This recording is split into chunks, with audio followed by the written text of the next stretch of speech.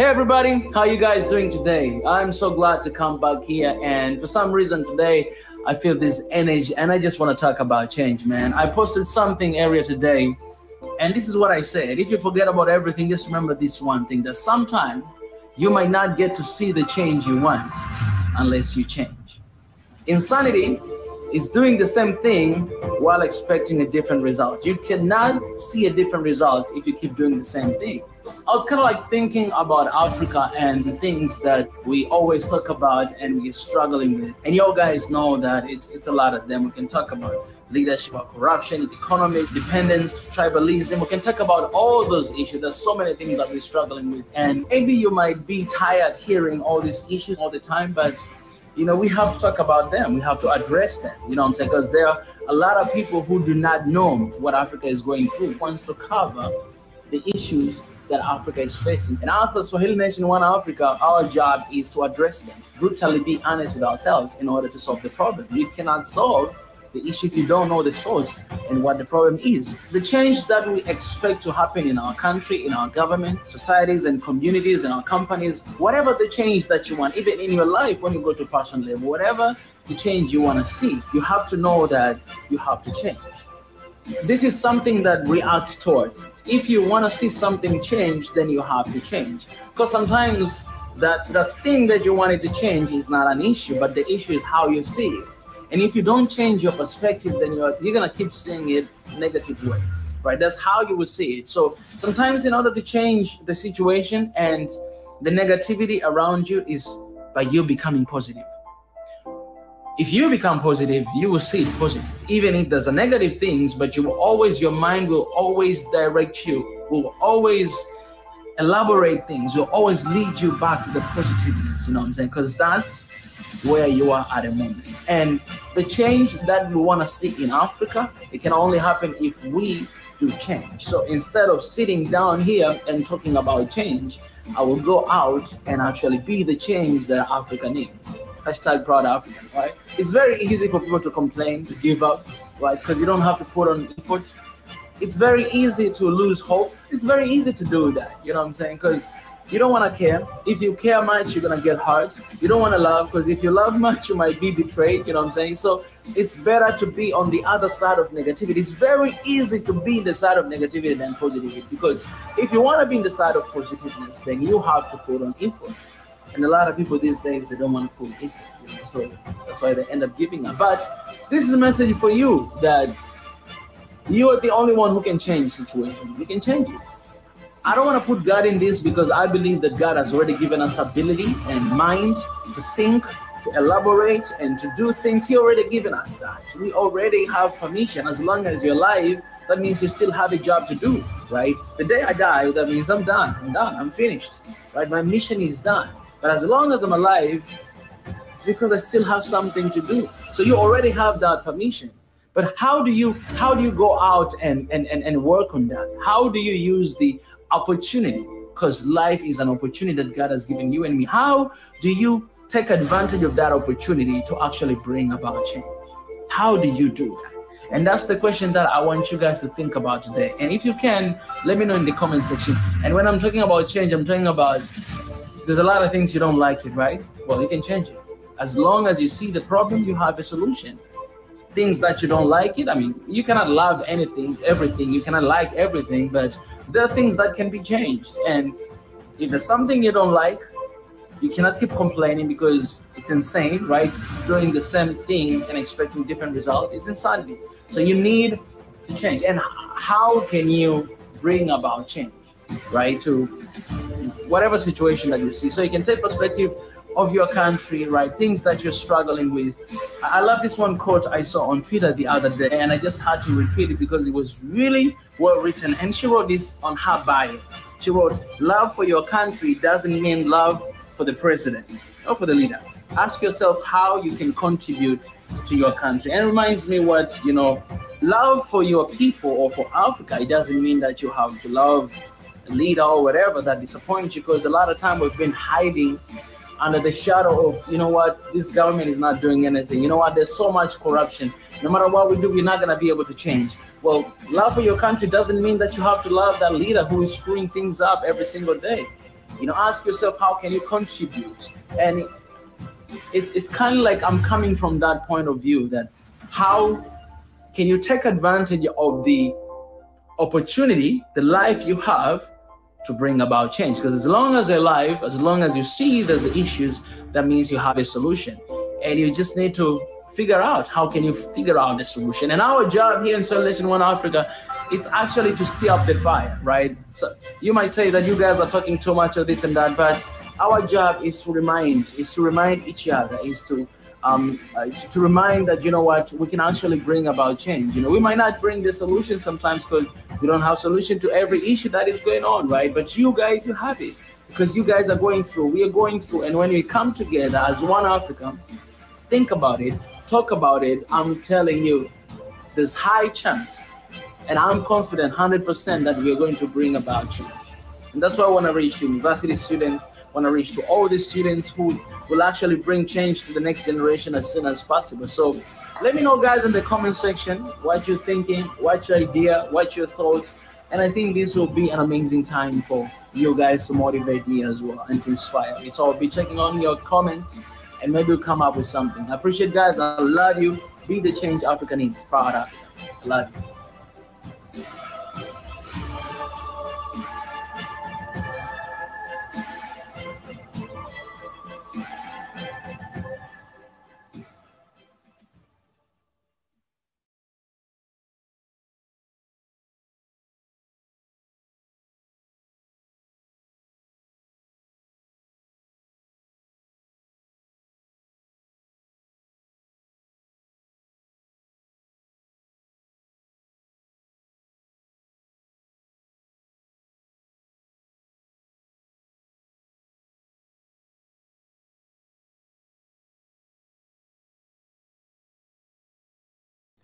Yo, what's up, everybody? It's good to see everybody here today joining us for the amazing show, man. It's good to see everybody right here. Guys, I'm just intruding actually. This is not my show. This is um His Excellence Ezra show, and he's gonna be here in a in a, in a second, but um, you know, I'm really glad to be here.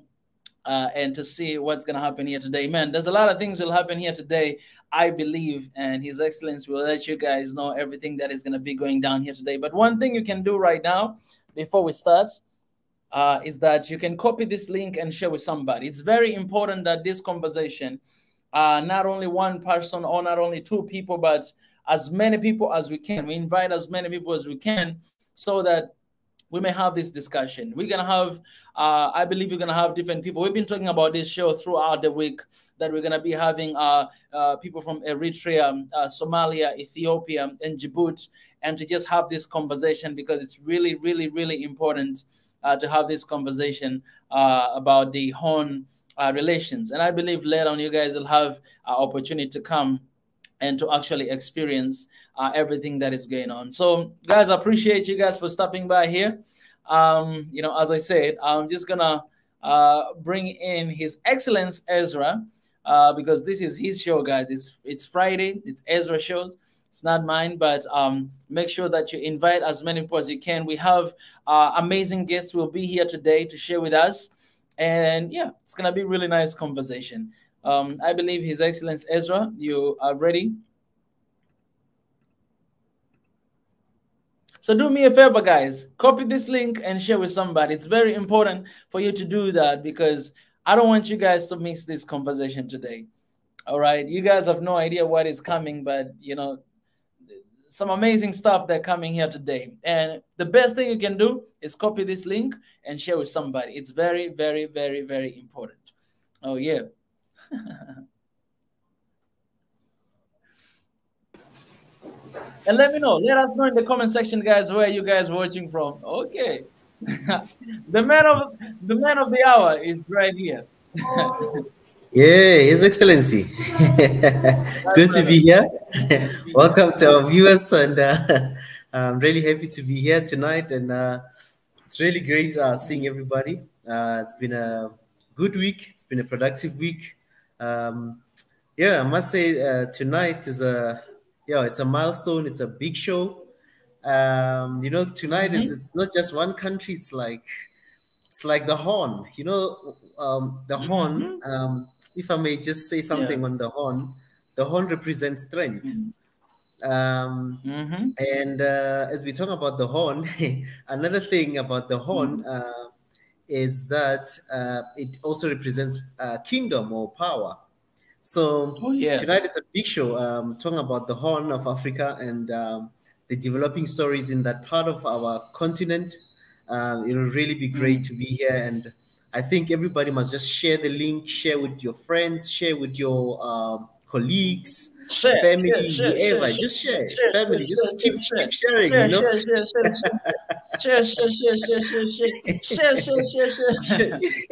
yeah, everything is a share. You know, be, be, before before they yeah. you know they can do anything, they must just like and go share.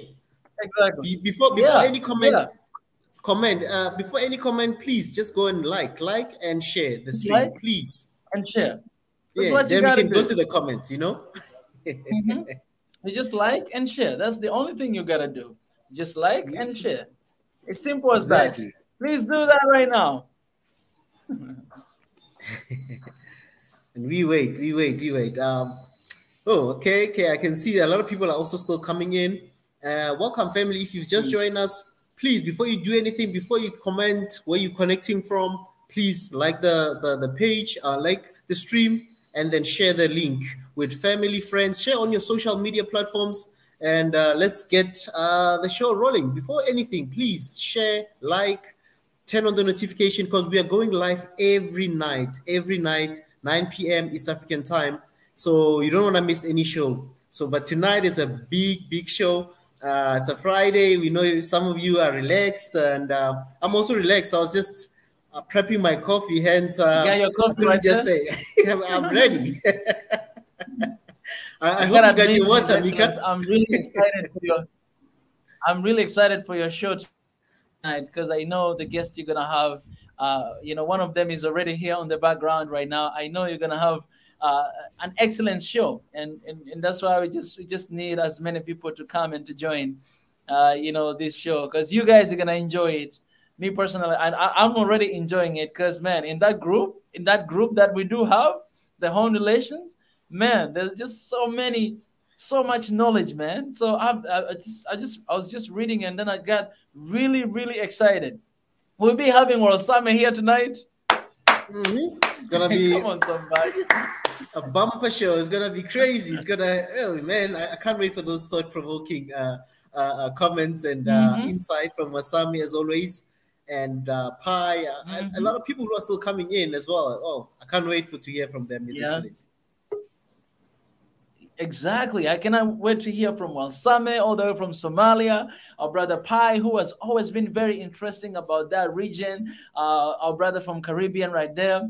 Uh, you know, hopefully Senu Senu will be here as well from, you know, Eritrea, right? And then uh, we have another brother, Solomon. I hope he will be here from Djibouti as well. You know, I've been I've been in touch with him. So it's gonna be crazy day. And you guys who are watching there, man, I'm telling you, I know this show might break the record because we have somebody just recently have done the live stream for how long?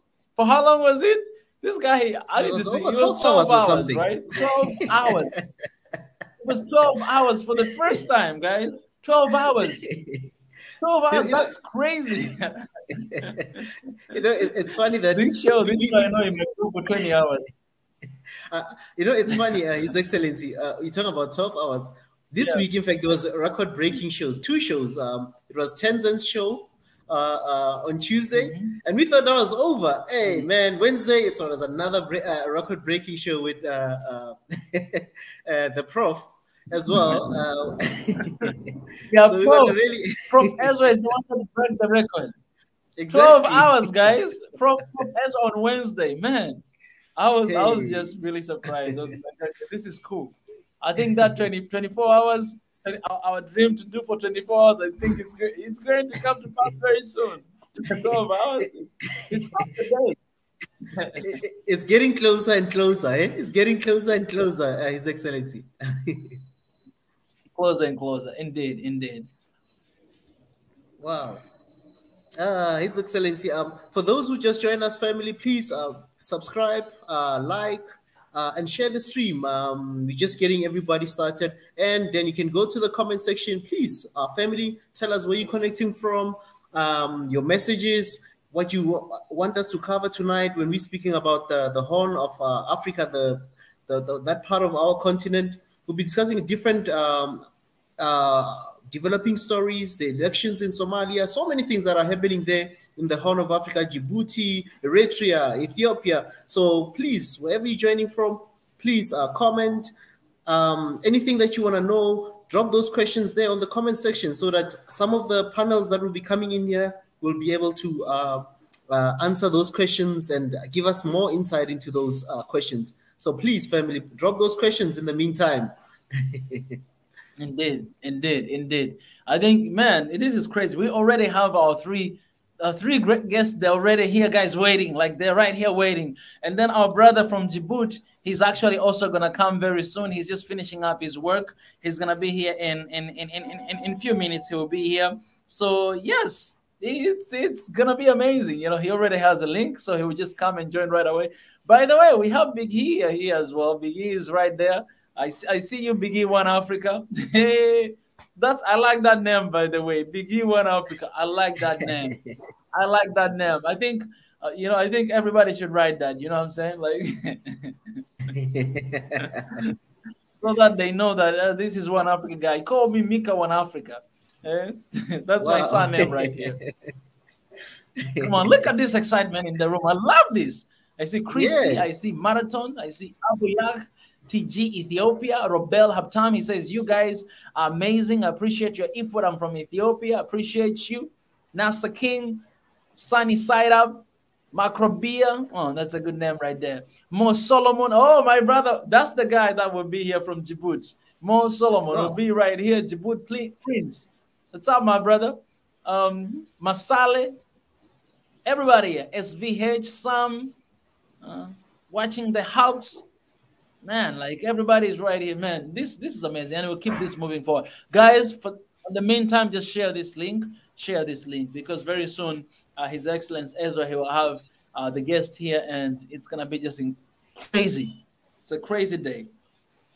Exactly. Wow. I can't wait as well, His Excellency. I'm excited. I'm, you know, I've got butterflies already. You know, and uh, mm. wow, and uh, I, I see. Wow, okay. Wow. I see our guests are already here. Uh, we're just going to give them maybe you a minute or two. They'll be with us. And family, if you just join us, please subscribe. And do not forget, we've got two channels that we're currently running uh, the stream on One Africa on YouTube and Swahili Nation on YouTube. And also on our Facebook page, there's the Swahili Nation. Go and watch there. If you love Facebook, go and, and, and join us on Facebook uh, page um, and subscribe or like that page and be part of the family. So we are live on three platforms Facebook and YouTube at the moment. So can't wait. Please, family, go and subscribe. The Swahili Nation channel there is in your screen and One Africa, especially One Africa, because uh, His Excellency, you have a lot of people who, mm. who are already uh, part of the Swahili Nation family, and now we want them to be part of this mm. uh, uh, uh, uh family because this is our sister channel as well, One Africa. They need to also subscribe to that channel please family subscribe to mm-hmm. this channel let's get this channel growing and uh, uh, uh, and and get the growth and get more viewers on this on the channel. Um, so please whenever we go live we also go live on this channel. So whenever you want to join join us on one africa or swahili nation one of those two channels please. But before anything subscribe to this channel as well. Before you like and do other things go and subscribe to this if you're already a swahili nation subscriber. Yeah, because this is what we're trying to do. Like later in the future, all these live streams, we'll be doing them in One Africa channel. That's why I want to develop this this channel to just do live stream of One Africa, and then Swahili Nation Network will be somewhere that will have a lot of stuff. They will have all the documentaries, vlogs, some some some different stuff, everything like news, everything will be right there. But One Africa, we wanted to develop it to be like to develop it to be like something like Zoom, you know what I'm saying, or something like you know, space or something like what clubhouse, like to be something like that, specifically for all these live streams. So keep subscribing, you know, keep sharing, and it's gonna be amazing. Man, man, you have a lot of guests here. Man, I'm envying you. Come on, Ezra. I see you. I see you, my brother. I see you, my brother. You're scaring me. Eh? Hey, no, man. You're scaring me, my brother. I, I, I, think the family have been hungry. There, you know, um, there's been a, a, a, lot of hunger when it comes to uh, um, the, the topics that are the developments there in the Horn of Africa. And remember, His Excellence, you had a long show um, when you were covering that part of uh, Somalia, the elections, all the the the, uh, the, the stuff that was happening there. So a lot of people want more updates. They want to know what's happening, what's the way forward uh, for Somalia, for example. But we'll not be talking about Somalia only. Um, Eritrea is there, Djibouti yeah. is there, Ethiopia is there. So please, family, join us. Mm and we're going to have a, a, lot of conversation regarding uh, that part of our continent and di those different countries tonight. So it's not only one country, it's it's the, the Horn today. We, we specifically targeting the Horn, and we want to hear what's the developing stories, um, its strategic position as well. Uh, His Excellency, yeah. as you know, um, a lot of trade, one of the, the biggest routes for trade in the world passes through the Red Sea, which is mm. part of our uh, the Horn of Africa.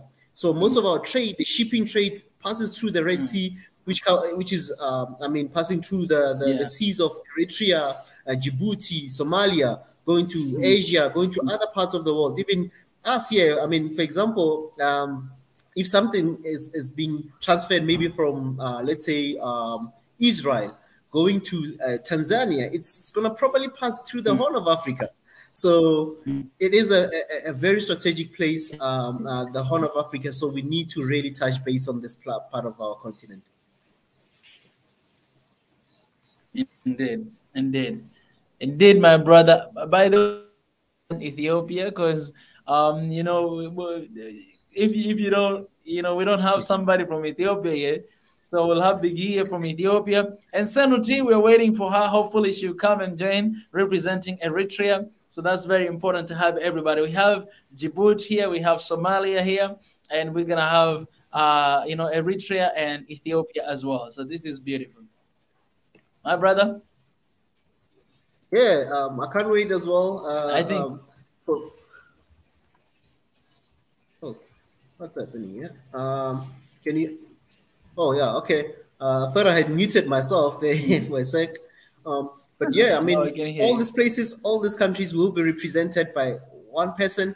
So it will really be nice to see those people and anybody from any part of the continent in, in the diaspora. You're more than welcome. Support, come and join, come and learn as well. It's, this is not just about uh, because we talk about this country, we don't talk about no, we talk about every country. But this is the day now we want to just mm-hmm. focus more on the horn for today because there's a lot of developing development uh, developing stories there and a lot of things that are happening in that part of the uh, our continent.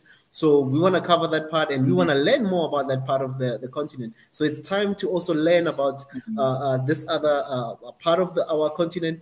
And it's also about building bridges to learn about one another and uh, learning our different cultures our different ways of doing things. So that's about it as well. One part of it why we we covering this uh, this topic. All right, brother. Why, you know why don't you open now uh, so that you know we may bring um, you know our guests, but actually they're not our guests. They um uh, family, the family member. And then dive in into the topic. I, I would love to just say hi to them, you know, before I let them start taking over right here because I know they yeah. have a lot to talk about. yeah.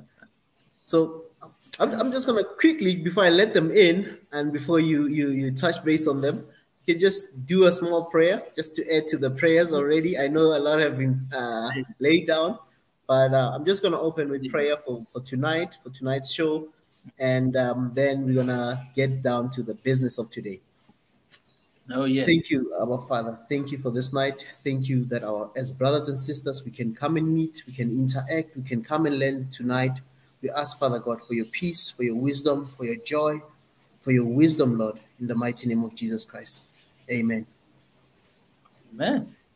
Amen. Amen. Uh, let's see, let's see, let's see. I think I'm, I'm gonna start. Uh, let's just let them in, uh, His Excellency. Uh, let, us let's do this. Let's do this. Ah, wait, wait, wait, wait. let, us do together at the same time. Let's do together okay. at the same time.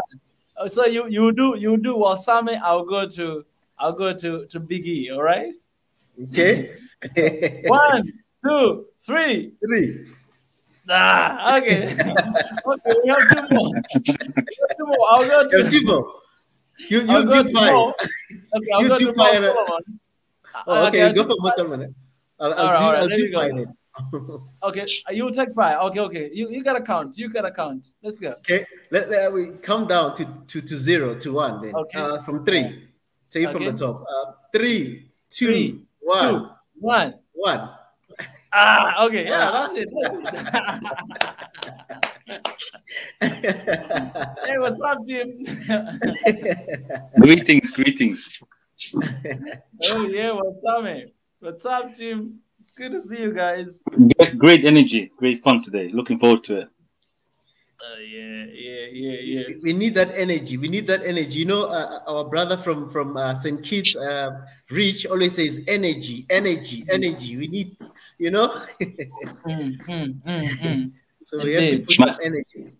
I- I've, I've got to say, I've already mentioned to Michael privately that video. Um, great message, honestly. It's um, I hope that video trends, man. It needs to that message needs to go through. You know, be the change you know, Mm. that you want to see in Africa. So I just want to say that. Yeah. I concur on that one. Oh my God, I see so much excitement and the energy is there. Uh, I pass my blessing, my blessing, loving for all that's participating and those that is going to participate later. I be, I, I, this is exciting because uh, there's a, there's a lot of things going on on that horn, and I'm still making in Jeddah, but at the same time, I just want I just don't want to miss this boat to uh, to make sure about be the change and I want to participate a little bit on that part, on that front. Uh, yeah, greetings to the panelists. Um, thank you for having me. It's my second time here, and yeah, hopefully it's going to be an enjoyable discussion. Indeed. did. Thank Did you. Solomon? Thank you. Welcome, guys. All looking forward to this discussion. Thank you, thank you, uh, family. Um, you know what, uh, uh, uh, His Excellency and uh, the team. Um, I think maybe to some people they might have just joined us. Uh, if maybe each of you can just maybe um, rep- uh, maybe um, introduce yourself to say I'm this, maybe represent this company, or I'll be talking more about this country, uh, just to to help the viewers out there to know to differentiate who's who and stuff. I don't know if someone wants to uh, start I first. can, yeah, I mean, I can start off if you guys want me to. Go ahead, brother. Go Go ahead. ahead, go ahead, go ahead. Yeah, my name is um, uh, Mo or Mohammed. Um, I'm going to be representing uh, Djibouti today, but uh, I'm also Somali, so I know what's happening in Somalia too. Welcome, welcome, Mo Excellent. Solomon. Good to hear. If I can go second, then uh, my name's Wasame. I'm a regular at Swahili Nation. Was previously a watcher, and now hopefully, you know, I've been contributing towards the discussion. Always happy to join. Greeting to Ezra, and yeah, welcome to the panelists. Looking forward to it. Thank you very much, Wasame. I don't know if uh, uh, Pi wants to go next.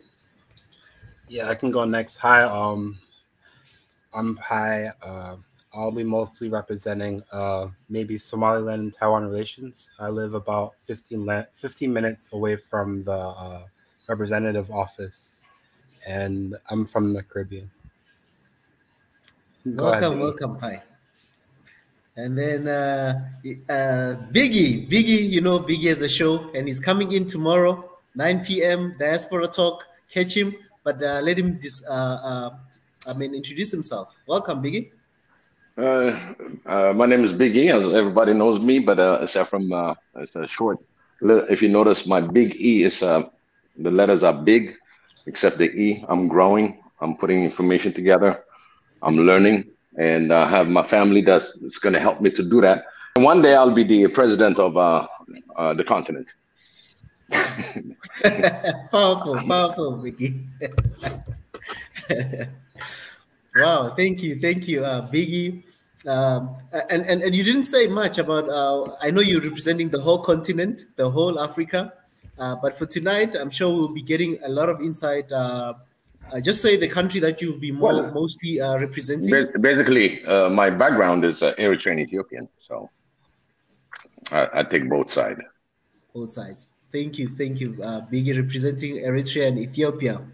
Um, guys, uh, yo, it's been a lot. I don't know if where to start. I mean, um, should we start in Somalia? where should we start? I mean, uh, I think we should start in Somalia. Somalia, because there's been a lot of developing stories there. Yeah. And um, I don't know if uh, uh, um, Wasama, you wanna maybe start with us and just give us some updates in terms of what's been happening there, and then uh, yeah. we'll go to the next topic and stuff. Yeah, thanks, guys. Um, obviously, it's a bit of a hot topic right now in Somalia, uh, especially since the outcome of the election that's taken place last Sunday. It's been a few days, uh, and it's been a, quite an eventful few days. Uh, a lot has happened. Um, you could even say at uh. Uh, um, so President Farmajo was replaced with President Hassan Sheikh Mahmoud, who was also previously uh, president before him. Uh, since then, we have seen a lot of development. Uh, the major one, if I can tick off the list, is as you, some of you guys might have heard, uh, America has approved of redeployment of American troops back in Somalia. This is a major news. Uh, the reason being is that President Trump, when he was president, he actually withdrew um, a lot of the U.S. personnel very abruptly. They left actually in a you know quite a, um, you know very haste. Uh, since then, they have been relocated in other regional um, countries, just like Djibouti and Kenya. Um, so effectively, I remember reading a few articles and following American news kind of thing. And, you know, the State Department, which is sort of responsible for American foreign policies and relation, international relations, they've, you know, basically sold this idea to Biden that, you know, America needs to have a presence in Somalia. Um, currently, America military uh, camp is in Djibouti. I, I, I assume uh, Brother Mo uh, from Djibouti will um, will talk about this in more detail.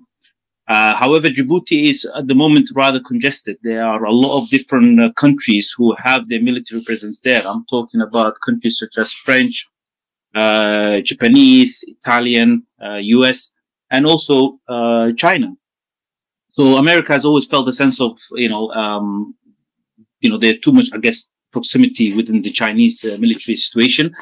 Uh, they've also had other complaints uh, of actually um, because the air is being managed by the Djiboutian Air Force, and I think I've heard some stories of um, they complain about you know how the air is being managed wasn't up to their standards of Djibouti, uh, and also they're not have been sharing anything with uh, China. So they've highlighted Somalia as a prime location. Um, strategically, Somalia is located in an extremely important uh, location. Um, you know, the, that sea leads to, in the north of Somalia, leads up to the, you know, the, uh, the Bab el Mandeb, which goes into a strait where there's a bottleneck that gets created. And, you know, that, you know, a lot of trade goes through there. Um, so, you know, America wanted to settle a base in Berbera. Berbera is a city that American actually have had long interest in it. Um, and, you know, actually back in May last year, America sent some representative, military representative to, to, to Berbera to sort of, you know, uh, scope up uh, the, the, the area, which has recently been redeveloped, the UAE uh, via DP World, and you know with the blessing of the United Kingdom, who have a great interest in Somalia, especially the northern part. And one of the things America has highlighted is to say actually Berbera um, uh, port, um, landing strip is actually much longer than Djibouti. I think uh, Berbera is from top of my head, I think something like four kilometers, which is longer than uh, Djibouti, which is about three kilometers. So they've highlighted quite a few sort of things that are in their favor. And I think, you know, in, in relation to that, they've said, you know what, let's go back into Somalia again. So it's no coincidence that AFRICOM, which is the United States Africa Command Center, have gone to North Somalia, Berbera, and now this news come out that about 700 troops, I don't know the exact number to be fair, because there's a lot of uh, numbers that are going around, that they were going to deploy Somalia. And one of the reasons is saying that they think Al-Shabaab is a bigger threat and needs to be eliminated. Uh, I've read, seen a report uh, from a Republican congressman. Was watching uh, uh, quite a lot of American news where he said um, effectively that um, yeah, you know, Al Shabaab is a bigger threat to the region, not only to Somalia, and for that reason they want to go back to. You know, the, the question is, I mean, we, you know, the last time we've heard anything about Al Shabaab doing anything in Kenya or anything out of Somalia is quite a long time ago. Actually, their their their power is diminishing, but America thinks that you know it's a bigger threat that they need to attest to. They've actually said Al Shabaab carries a threat to Americans. home and abroad. So either way, um, so that's what one of the big news. I'll go into more details about this, so I don't want to stop, stuck be stuck on this point. The other thing being, um, there's money that has been um, illegally funneled through Somalia, which the previous administration, Macho, have um, confiscated at the airport. We're talking about 9.6 million dollars, which is close to a million. So what they've done is, um, you know, it wasn't declared. It was, it didn't go through the proper channel. It was money that was intended to be used for, you know, other nefarious reasons to destabilize the region. UAE quite effectively is a hostile nation towards Somalia. They want to manage us. They already confirmed and said multiple times that they they want Somalia to be divided between the north and south. Uh, since then, that money has been sitting in the bank, confiscated, and one of the, you know, um, the, the, the prime minister that's now close ally to Hassan Sheikh guessing he must have paid it. They've handed that money back to the UAE ambassador. So there's quite a few things that's happening. Uh, it is interesting, but I do also want to point out, um, as much as you know, some people might not happy with the outcome of which president has been elected. I really want to stress this point. It's still a moment of pride for us Somalis to, you know, from what we've come from, to have this peaceful transition of power where, you know, no loss of life has happened, where, you know, the, the person that has lost is, you know, uh, conceding the power to the new one. And, you know, although I don't agree with the process, how these MPs have elected the, the president, which was the same case the previous four years and the, year, years before that, but the actual on the day, the way they've handled it, it was quite transparent. Something that I haven't even seen a lot of other countries, where you could see there was three clear ballot boxes, which they've shown how empty it was. It's very transparent. People vote, put their votes in there, and then the results are printing out these papers and being read and being shown as evidence to people that have been sworn in to confirm what name is on that ballot and then confirm tallying it up. And there's three different rounds. So I think that itself, that process is something that hopefully you know, that would be uh, for a lot of Somalis, as, you know, source of pride. Uh, the only thing we need to change is the political system. But other than that, I'm, I'm very happy and great that that has happened. And, and yeah, obviously, I am also concerned what this now means uh, in the geopolitical arena, especially with Ethiopia, because we all know the U, the Biden administrations are not very fan of um, um. Uh, you know, they they've been accused of being sort of allies to TPLF. Uh, with now this recent uh, redeployment of the U.S. Uh, um, military personnel. I don't know what that means for Ethiopia. Would Somalia be used as a launching pad to cause some sort of a, you know, pressure on Ethiopia? I hope not, but obviously there's something we could, you know, we need to consider and keep an eye on it. So in summary, uh, if I forgot anything, I do apologize. I will mention it later, but that's what I want to sort of conclude at the moment. Wow. Um, thank you, uh. I think uh, you've, you've touched base on a lot of things there. And uh, I know a lot of people will be dropping some questions. And if there's any questions, uh, anything that you want to comment on regarding uh, the developing stories in, in, in, Somalia or any questions, please uh, drop uh, them on the comment section. And um, just still sticking on, on, on Somalia, um, I've got a question uh, from my side and, uh, and the panel as well. If you guys have any question regarding what um, Wasam has just touched base on, please feel free to ask as well. but from my side, oh, yeah, um, yeah. I've got something. I'm gonna ask the uh, um basically semi question. Yeah, yeah. you know what I mean? Please, it's like please. a rhetorical. Yeah. Oh yeah. Um. You can go ahead. Oh, yeah. Go ahead. I'll, I'll ask after you. Yeah. Um. Uh, what's some of you're Somali, right? If I may ask. I'm not incurring Somali. No. Okay, you're not Somali then. Okay. Um. Yeah. So I am Somali. I, am not in Somali right now. Sorry. Oh, okay, okay. yeah, so yeah, I, I um, thought you asked me I was in Somalia or not, no, but I am Somali. Oh, okay, yeah, then me, me as well. So I was gonna say, um, again, if you're looking at this from a different, like, if you, like, for example, for myself, I'm gonna take myself. Usually, when I assess things, I take myself out of the the usual way of thinking, and I think of it from a objective point of view, uh, instead of subjective, because subjective is usually your own opinions and how you formulate ideas. So I usually take myself out of that box and look at it from how everybody else would see it. So this is how I see the Americans playing it down. First of all, uh, we know that the, the new president of uh, Somalia is also a Saudi and a American puppet in a way because we can see it, and we can see from his past actions as well as the uh, former president of Somalia, and we can see that again because within 24 hours of him being stationed as the uh, president, he called upon the Americans to, or the American troops back to America um, after such a long time to take up action against Al Shabaab. Um, we can also see that the, the UK and the Americans also have a massive interest in what is now known as Somaliland. They have a massive interest in it because they've seen the competition that's going on in Djibouti with the Chinese and the Russian forces stopping the Americans doing what they want because now they're facing each other. So the Americans can't do what they want behind the scenes with the Russians and the uh, the Chinese paying uh, special attention uh, in Djibouti. So now they're looking for a separate region where they have the total control. And I think Somaliland is a massive factor in that because Somaliland, as Djibouti, also controls many positions similar to Djibouti. He also controls the the Red um, uh, the Red Sea.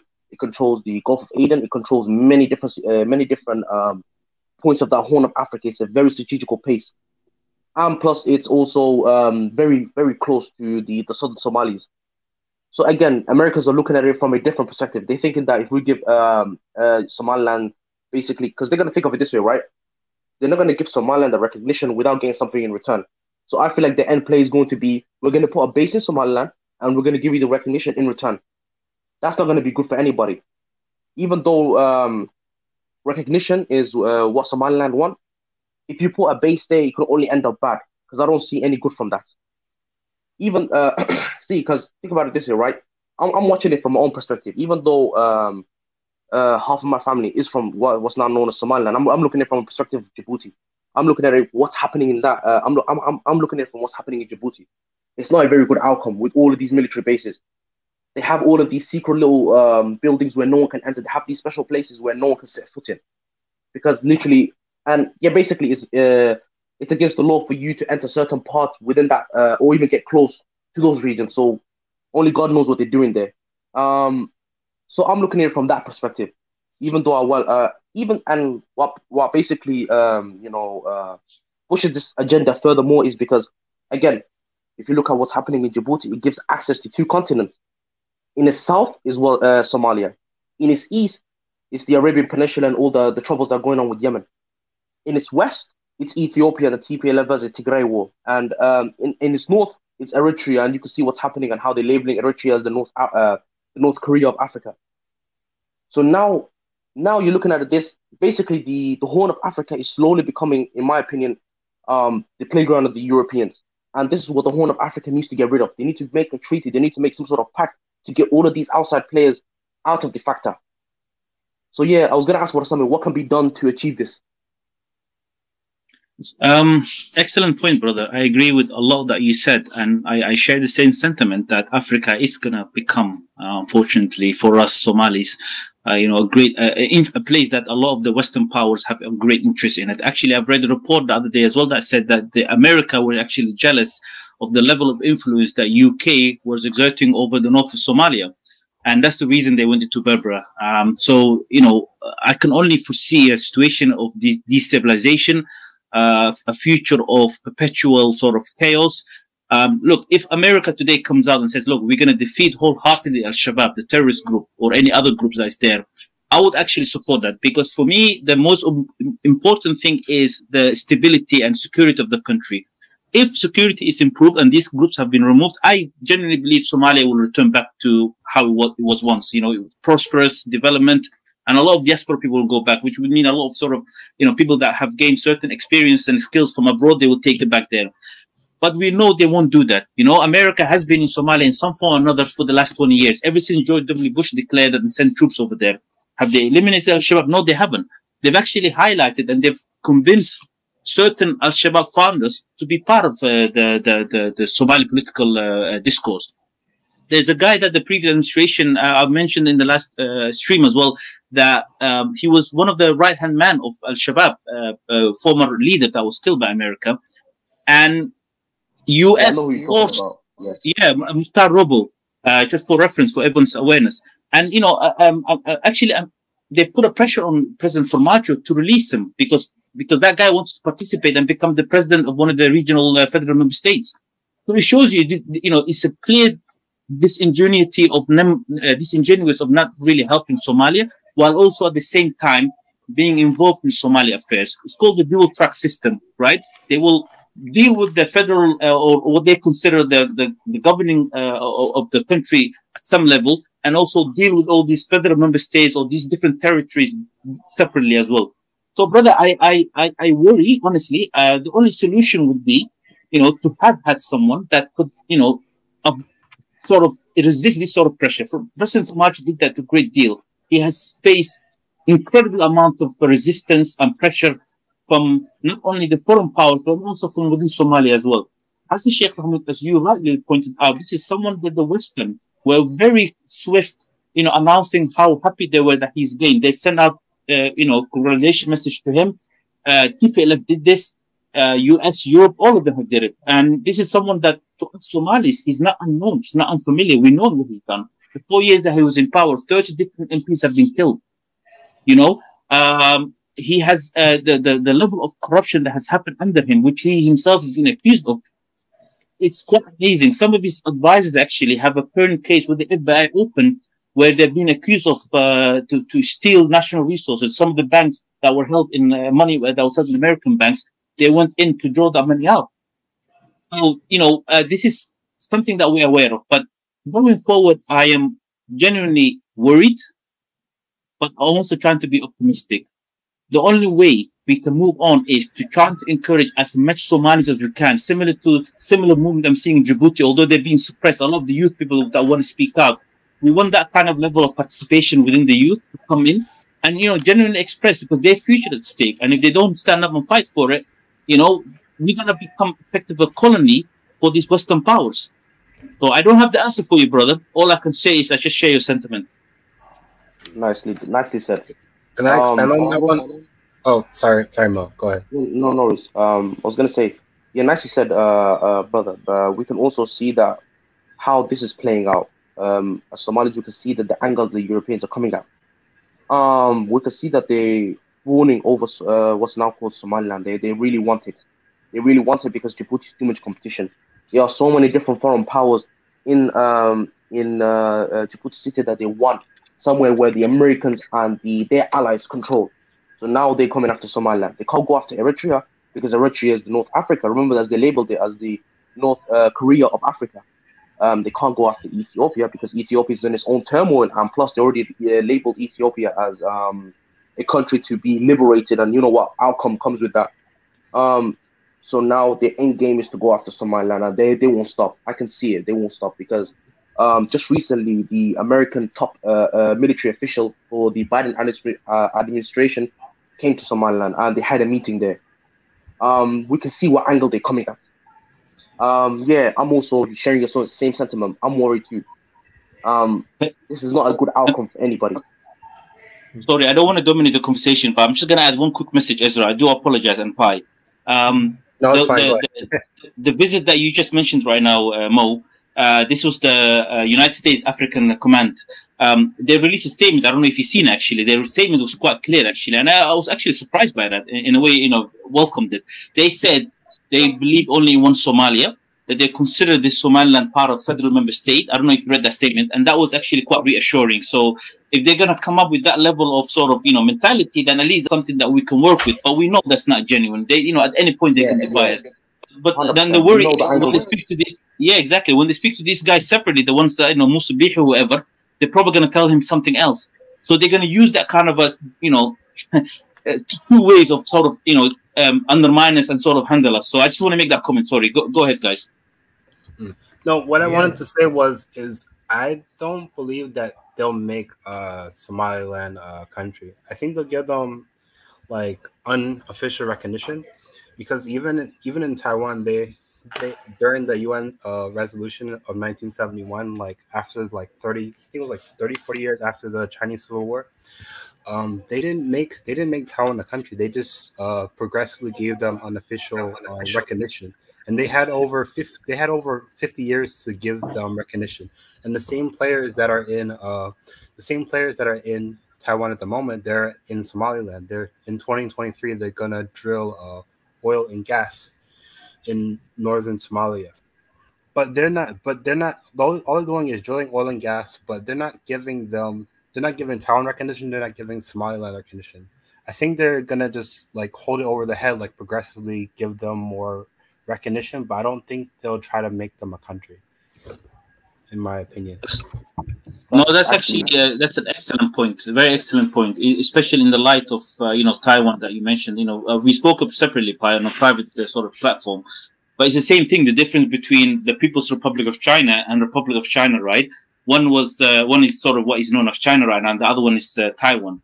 Uh, so you know, although Taiwan is still considered part of China, but they still sort of, as you can see, the world is treated as a separate country. So it's sort of given a like a unknown, vague de facto status, while also at the same time not announcing it to say, "Oh, we're going to give you the full recognition."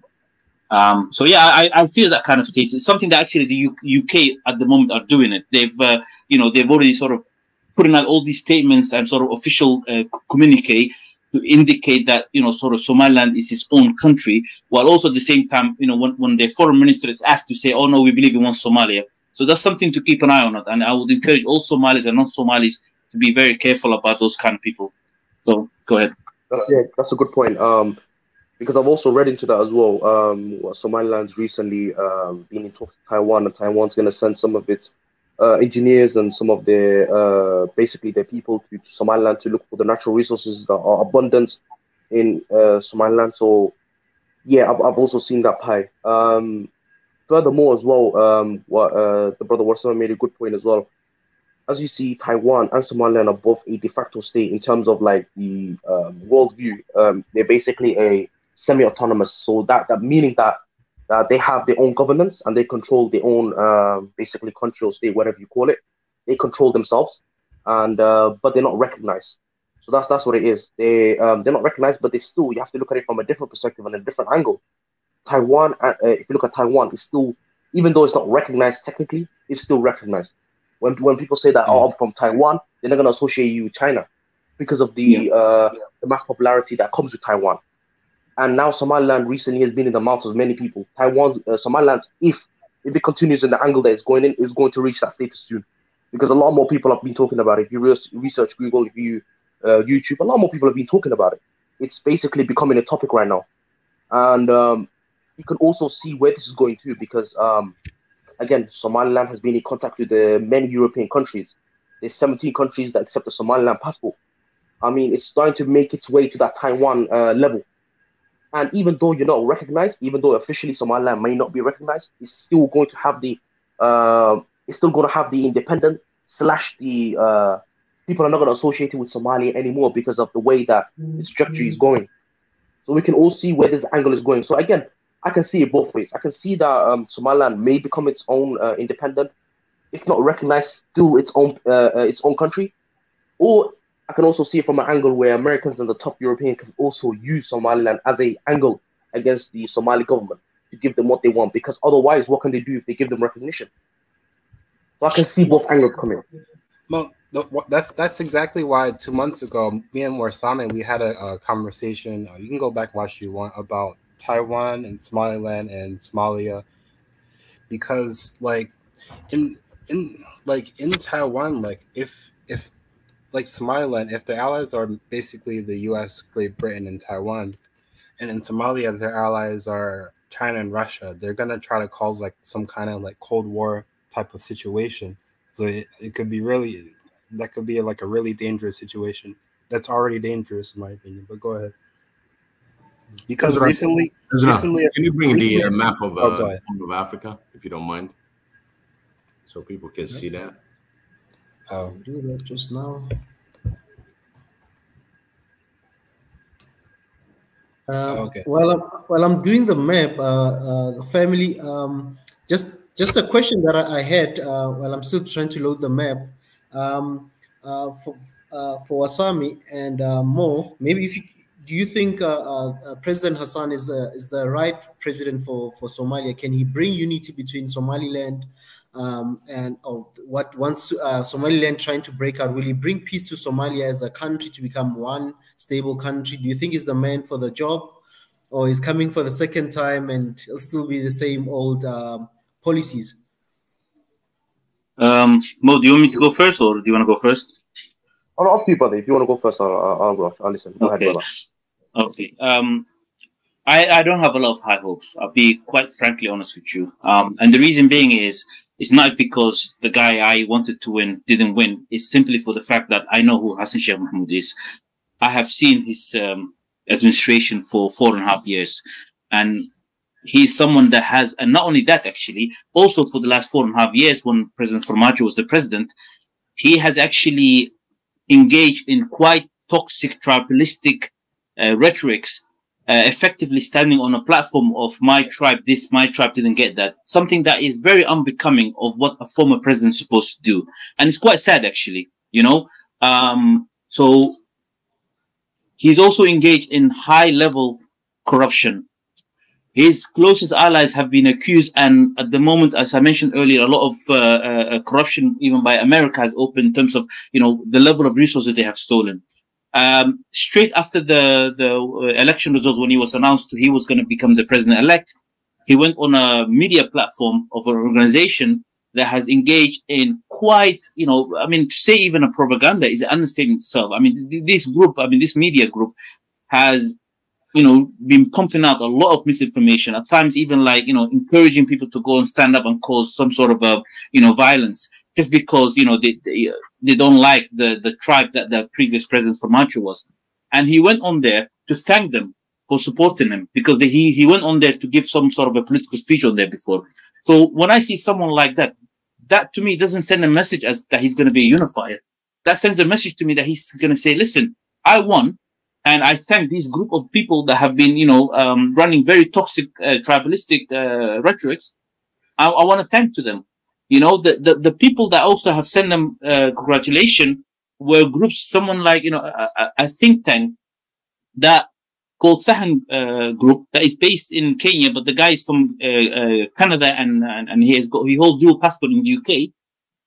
You know, people like that have been absolutely euphoric how happy they were for Hassan Sheikh Mahmoud to come in. I mean, all you have to do is look at the people that have been happy when he got elected to kind of give you an idea who he surrounds himself with. There's even pictures after the election that he, you know, he, he invited over a lot of, of his kinsmen, basically. Again, that shows me he is thinking tribal. But the most damning of all is there's a video, there's two videos actually I want to mention.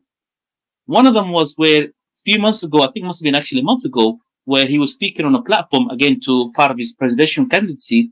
And he was asked a question to say, look, a lot of Somali people are saying we want to move away from the tribalistic mindset, especially in the governance of, you know, how the government needs to be, you know, uh, uh, how the country needs to be governed, sorry. And, you know, that we don't want that. A lot of people are saying, let's go back to unity, you know, where no city or no region belongs to anyone in particular, no clan, and, you know, just move it to union, right, of, of, of, of nationalism rather than tribalism. And he, his answer was very damning, and it will give you an idea where he stands. He said, actually he believed in the use of tribalism to govern the country. He said, we all practice some sort of a level of tribalism in our own homes. So why are we against, you know, applying it through the country in terms of how we govern?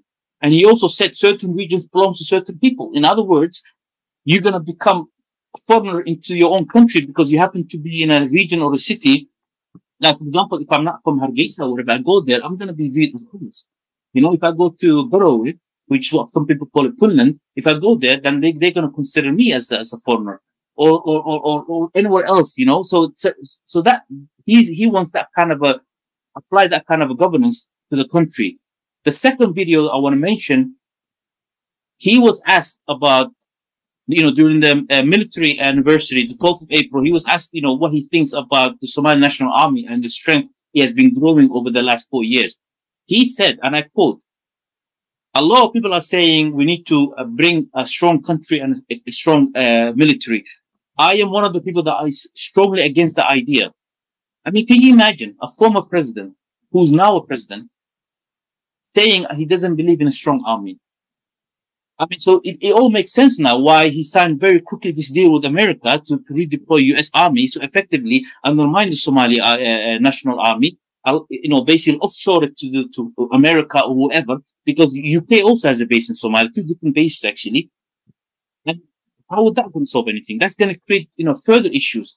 And we know history when America comes into a region where they want to promise, uh, you know, rebuilding the security apparatus. Look what they've done to Afghanistan. There's a lot of people that had to leave uh, Afghanistan very quickly because their life was on the threat, because they worked with America, they believe in America so much that when America withdrew back suddenly, they knew they were going to be a target. You know, America trained uh, uh, DNM, which is a Somali National Army uh, uh, uh, Special Operations Command. It's meant to be about one. Is the plan was to be 1,000 men strong. When America withdrew last year, Can you imagine the, the personnel that was there? You know, suddenly they're going to become targets of Al Shabaab and others. Uh, so if you put all your basket of just wanting to say America and UK is going to help us, at some point they're going to abandon you. And then what you got left? You got nothing. You got no army left. And then what? We're going to see Al Shabaab coming back stronger. And then the cycle is going to start again. So I, in, in very short term, I have not, no hope. I still have to be optimistic. But in terms of his personnel, he's not a unifier. We've seen what he's about. So therefore, I'm not very optimistic. So go ahead, brother Mo. Uh, um, yeah. So basically, in terms of uh, basically uniting the Somali people, would take a lot. It would uh, take a lot, and one of them again being the tribalistic side of things. There's a lot of tribalistic uh, problems within Somali uh, Somali community. Um, see, there's only one way to break the Somalis apart. It won't be um, religion. It won't be infighting. You, the only way to break the Somali people apart would be tribe, tribalistic uh, um, methods. And I think the Europeans understood that. Again, if we're looking at it from a different perspective, I'm going to speak for both sides. That's the only way because I've seen a couple of Somalilanders on the panel, so I'm going to speak for both sides. And uh, so this is what I would say: if the Somali people were to become one, because again, it would take a lot. I would say again, the Somalilanders' uh, um, demands have to be met. So with the Somalis as well, because a lot of, if we're looking through historical point of view, and apologies owed to the Somalilanders. If we're going to be honest, uh, an apology would be owed, and also something given in return to, i.e., some of the people that committed the mass genocide would have to be arrested. Would you say, wouldn't you say so, or something? brother, I have to strongly push against that notion for the premise of the statement. And can, if I, if you don't mind me, with great deal of respect, I don't. Uh, when you say an apology is owed, who is the apology owed to? I mean, you have to understand the country went to war. Every single tribe has had tremendous loss. I don't understand why we have to be apologetic to one single clan. I, don't, I really don't get it. And by the way, are we also going to extend the uh, courtesy from the other side as well? the, the, the guy that some of the northerners have elected as one of the president, Musa Bihi, he himself was part of the militia, the SNM militia, and he himself has you been know, accused. You know, you know the you know the creation, uh, you know the re, uh, the reason why the SNM was created. You yes, I'm aware. Right?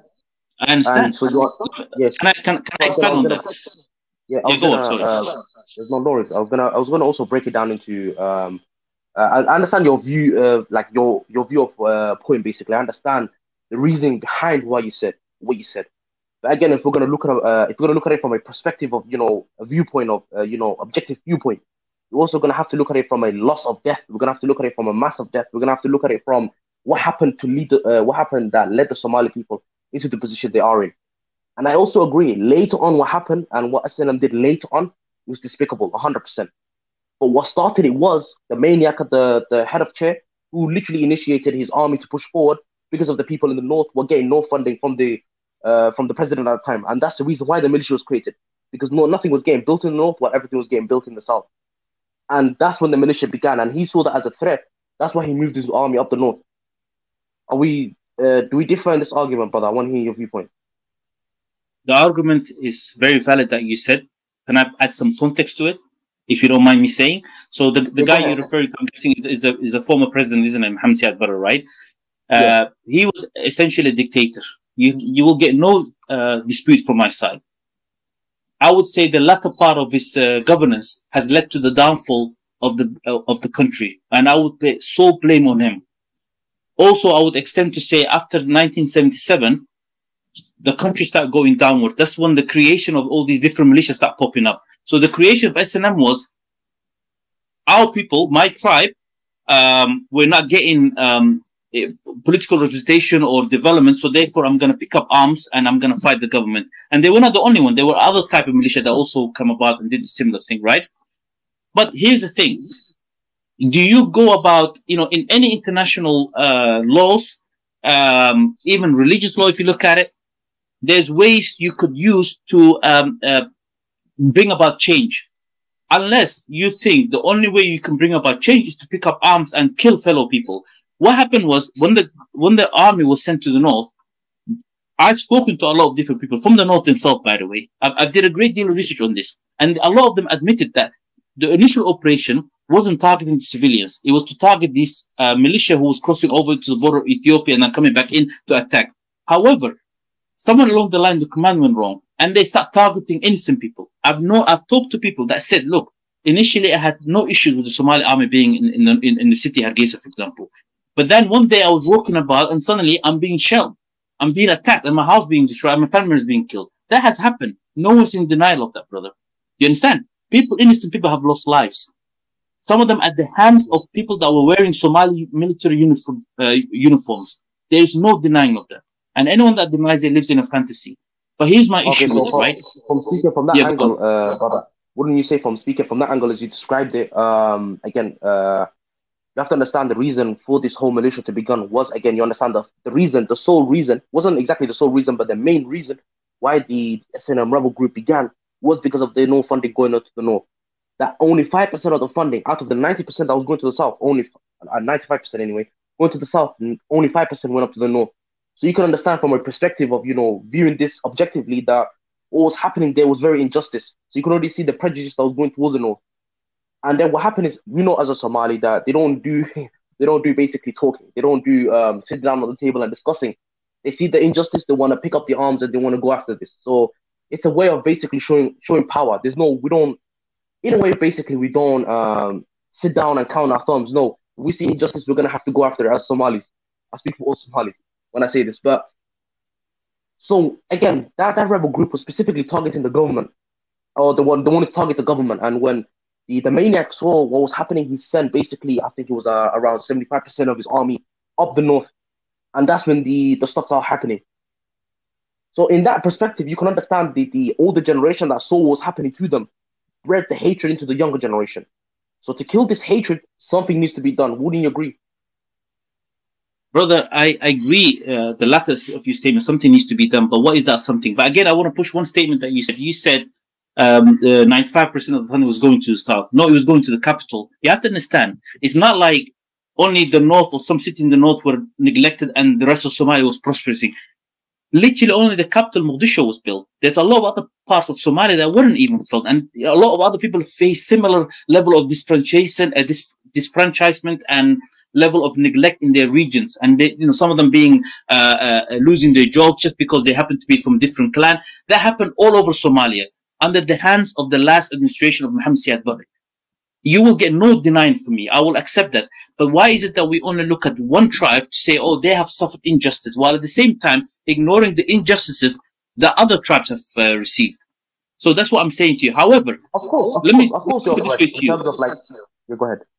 So, so I was just going to say, the part of healing is to admit something that has happened 30 years ago I was not responsible for it. You were not responsible, and no one else, either north or south, was responsible for it. We have a country to do. But for you to say, look, this map that has been put up, that is the north of Somalia, of what currently they claim to be Somaliland. But as you can see, there are other tribes that live there. But the, there's one tribe family that normally says, we want to cut off. We're a separate country. And how could you allow one tribe to dictate and dominate an area that is that contains five different provinces to say that is theirs? I'm saying to you, brother, what has happened, a lot of bad things have happened. Every single family Somali you speak to, they will say to you they have lost people, displacement, everything you can imagine. We need to move forward. Rwanda suffered very of terrible fate. Sorry to Jack.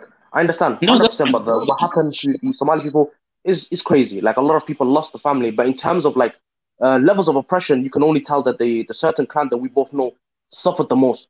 So I, am talking from that angle that they, they see it as what happened to them was the worst which we can both agree on that because the countless lives that were lost. You, okay, uh, I want to ask you that question. Do you agree with the post that only they have suffered the most? Do you agree with that statement? No, no, everybody suffered, but they suffered the most. We can agree on that.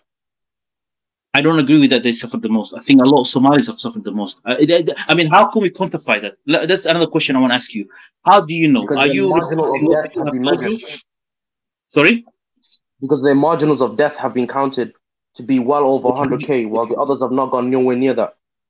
Okay, have you looked at the, the, the, the, the methodology of those reports, what they've used in order to say that these numbers specifically were because government forces targeting this tribe? I mean, have you looked at it? Because when you dig up graves and then you just say, I mean, uh, that, that it belongs, how, how can you confirm that? I've seen some organizations that went there to claim that these mass graves belongs to uh, part of the Somali National Army killing those people. But how would they know that so many injustices and crimes have happened in the north? How on earth could they have known bones from 30 years ago? I'm just saying. I was going to say yeah. We, you go on. I was going to say yeah. They used multiple methods to count that. For example, i.e., missing families. That's already counted as a uh, um, as basically it's, it's, not really counted towards the tally, but it was already there. As like for example, uh, if somebody was missing, if somebody's body was found, if somebody's, uh, uh, you know, because you could tell from when people were buried dead, you can see their clothes on them. So that was already counted. And people remember what type of clothes that they were wearing. If you see some of the documentaries on YouTube or some of the, uh, the Somalis have good memory, so they can tell what that person was wearing. As some of them have been identified even to today. Um, a lot of different methods were used to count up to that number. And I can I can assume because people say that they, it's around 200,000, which I think is incorrect. But if we're talking from a objective point of view, we can assume that it's over 100,000, which is correct because they use multiple methods to say that it was 100, uh, over 100,000. And I can bring you the sources they use, but I don't agree it's 200,000. But in terms of like margin, like in terms of marginal uh, amounting of deaths that they suffered the most, we can all agree on that. Okay, for argument's sake, let's take the 100,000. I'm just saying does the, is, is it just a marathon of who suffered the most? What about if the group of people that have suffered 80,000 no, uh, killings or, or 70,000? So the, so the point is, why are we treating one people's word so special and making them more victim than other people that have lost? I'm just saying we've all lost. We've lost a country. I mean, it's been more than 30 years. I mean, the, the argument is, and by the way, this is another thing I want to make. Okay, imagine they've suffered the most. Does that give them the right to use that to say my tribe has suffered the most. So therefore, I'm gonna not only I'm gonna take claim of my regions, but I'm gonna take claim over other people, other tribes that live there. That's another answer that I really want to hear. If you're saying to me they have suffered the most, let's say, you know, let's say 100 million. Sorry, go on. Sorry to just, but there's somebody else that's posing as me. I was on another panel yesterday, and this person was still posing as me. The Mo Solomon right now that tagged uh, uh, Swahili Nation right now is not me. I never wrote that. So this person right here is not me. That's fine. Thanks for clarifying. No, that's fine. Um, and so just to go back to my point is, if you say, oh, they have suffered the most, let's say, you know, 200, 300,000 people have died. Okay. Does that give you the legitimacy for you to say this region now belongs to me? Bearing in mind there are other people who don't agree with your notion, but you somehow saying, oh, the English, the British, long time ago drew up these borders, so therefore I'm they're going to take claim in, while not even asking the other people. So that's another thing I want to say. But we have to move forward, brother. You know, like you know, it's it's been more than thirty years. We have a lot of young people. I mean, if you look at um, a lot of the uh, migration that's happening in Europe right now, that's crossing over to you know very dangerous territory in, onto the sea, either the UK or other parts, are actually youth from the north. Why? Because there's a lack of jobs there, lack of development, and they've been led a lie to say, "Oh, you're going to get independence," while they haven't seen any any development for it. So eh, we have to, I mean, I really feel sorry for a lot of youth people that have been losing their future because there are some old people who are still part of the situation that have had involvement in the destruction of the country and they're still lying to you. But we have to move forward, brother. I agree. Well, taken, uh, we, made, we made this into more and summer discussion. I sincerely apologize. Go ahead, guys. if, if, if I may interrupt you guys there for a moment. Uh, I think Wasami, there's something you wanted us to share uh, regarding the the Somali uh, land, uh, the that map. Um, I'm just gonna quickly share it, and then um, you need to, I think there's something you wanted to share there or explain. Yeah. So, uh, as I mentioned earlier to you, um, is this is what is known as the north of Somalia, or what they call it Somaliland. Um, so the, the region that's highlighted, that's where the one tribe lives, you know, where it says uh, Somaliland secession state. The other um, regions are other tribes that live there. Um, however, what they what some people claim is they say, look, all of this area belongs to me.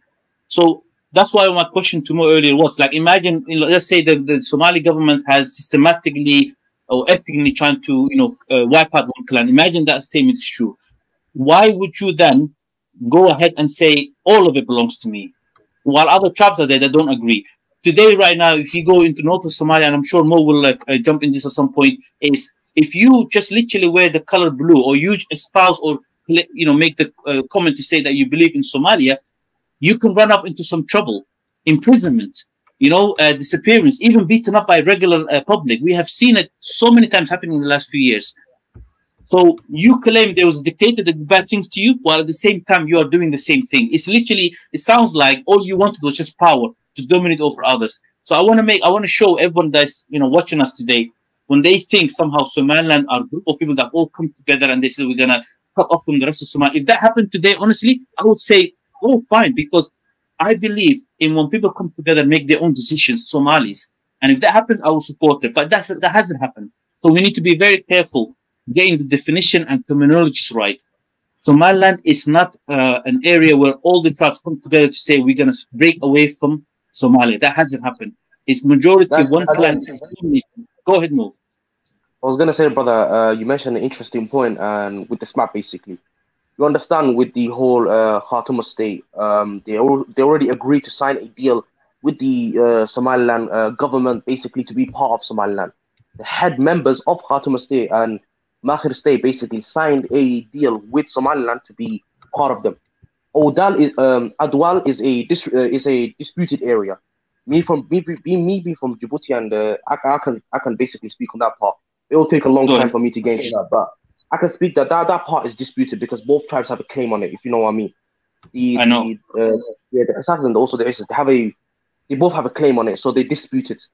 So that that one is out of the question because they both have a right to that. But in terms of the Khatumo and the Maakhir state, they can say that uh, um, the people from uh, Khatumo and Maakhir state signed a deal and a treaty with the Somaliland people. And it's not basically one sided because people uh, are from Khatumo state, half of them want, want to be part of Somaliland, while the other half want to be part of Somalia, while the third half want to be their own independent uh, um, uh, country. So it's a very disputed area. It's not just they have one mind to be part of Somalia. No, it's disputed. Some side with Somaliland, some side with Somalia, some side in their own it's a very uh, they're not people to make up their mind in one one basically one opinion.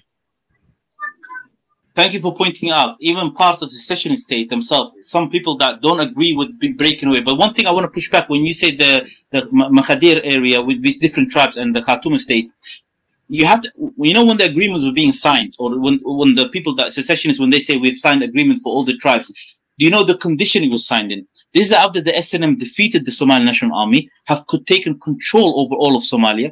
There was a military command center in north of Somalia, which they've taken in, inheriting a lot of the heavy, weaponry that was stationed there, effectively giving them an ultimate superiority over all other tribes. So when you have someone that is so powerful over you and suddenly putting a paper in front of you, what option do you have? When they have also themselves then showing you example, Musa himself going into Aldo killing, going to certain cities like Dilla, go killing people. So what option do you have when you sign it? So as an elder, you want to preserve life, so you're going to sign it.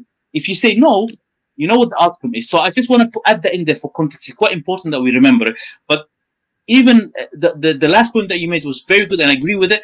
There's a lot of, um, there's not single voice. There's a lot of disagreement. You, you're right. There's some people that would today say, I, I want to become a Somaliland. I want to be part of it. There's others that will say no. And the others that say, I want to become my own country. Why why are we even rejecting those? You know, why only stop at Somaliland? If not, give everyone their own country. Give every tribe their country. I, I was reading comments to say, you know, the issue of Somalia is tribe issue. You're right. You know, either we come back as a country. Look, my, my solution is too simple.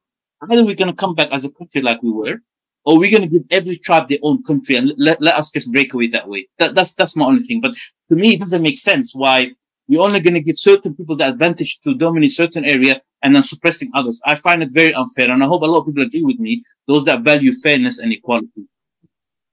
Oh yeah, I was good. Uh, Mo, you broke up. Also, oh no worries. Oh yeah, I was gonna also point out again. Um, you made a fair point about the uh, the, the conditioning that the, the people signed back in the 90s with the SNM took over. But again, we, we're talking about if we're gonna, I'm gonna push back on that in 2017 or before 2017, I think it was um, I forgot the year it was, but there was a specific year. I'll get it out after this. There was a specific year when, before the the, the Khatumo state uh, became part of Somaliland, they went to Somalia with their own uh, uh, meetings to become part of Somalia, but Somalia refused their offering. They went to Puntland, and Puntland refused their offerings, and their third option was to become part of Somaliland. So, brother, in terms of that respect, they, they, they went to Somalia first. They went to Puntland first, but they both refused their offers.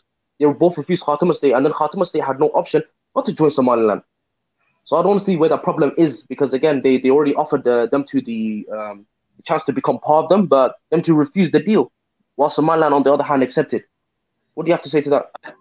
I, I agree with that. You're right. When they went to, to, to, to the south, to the capital, the government that was there at that time, the reason they refused was because this 4.5 system has been put on us.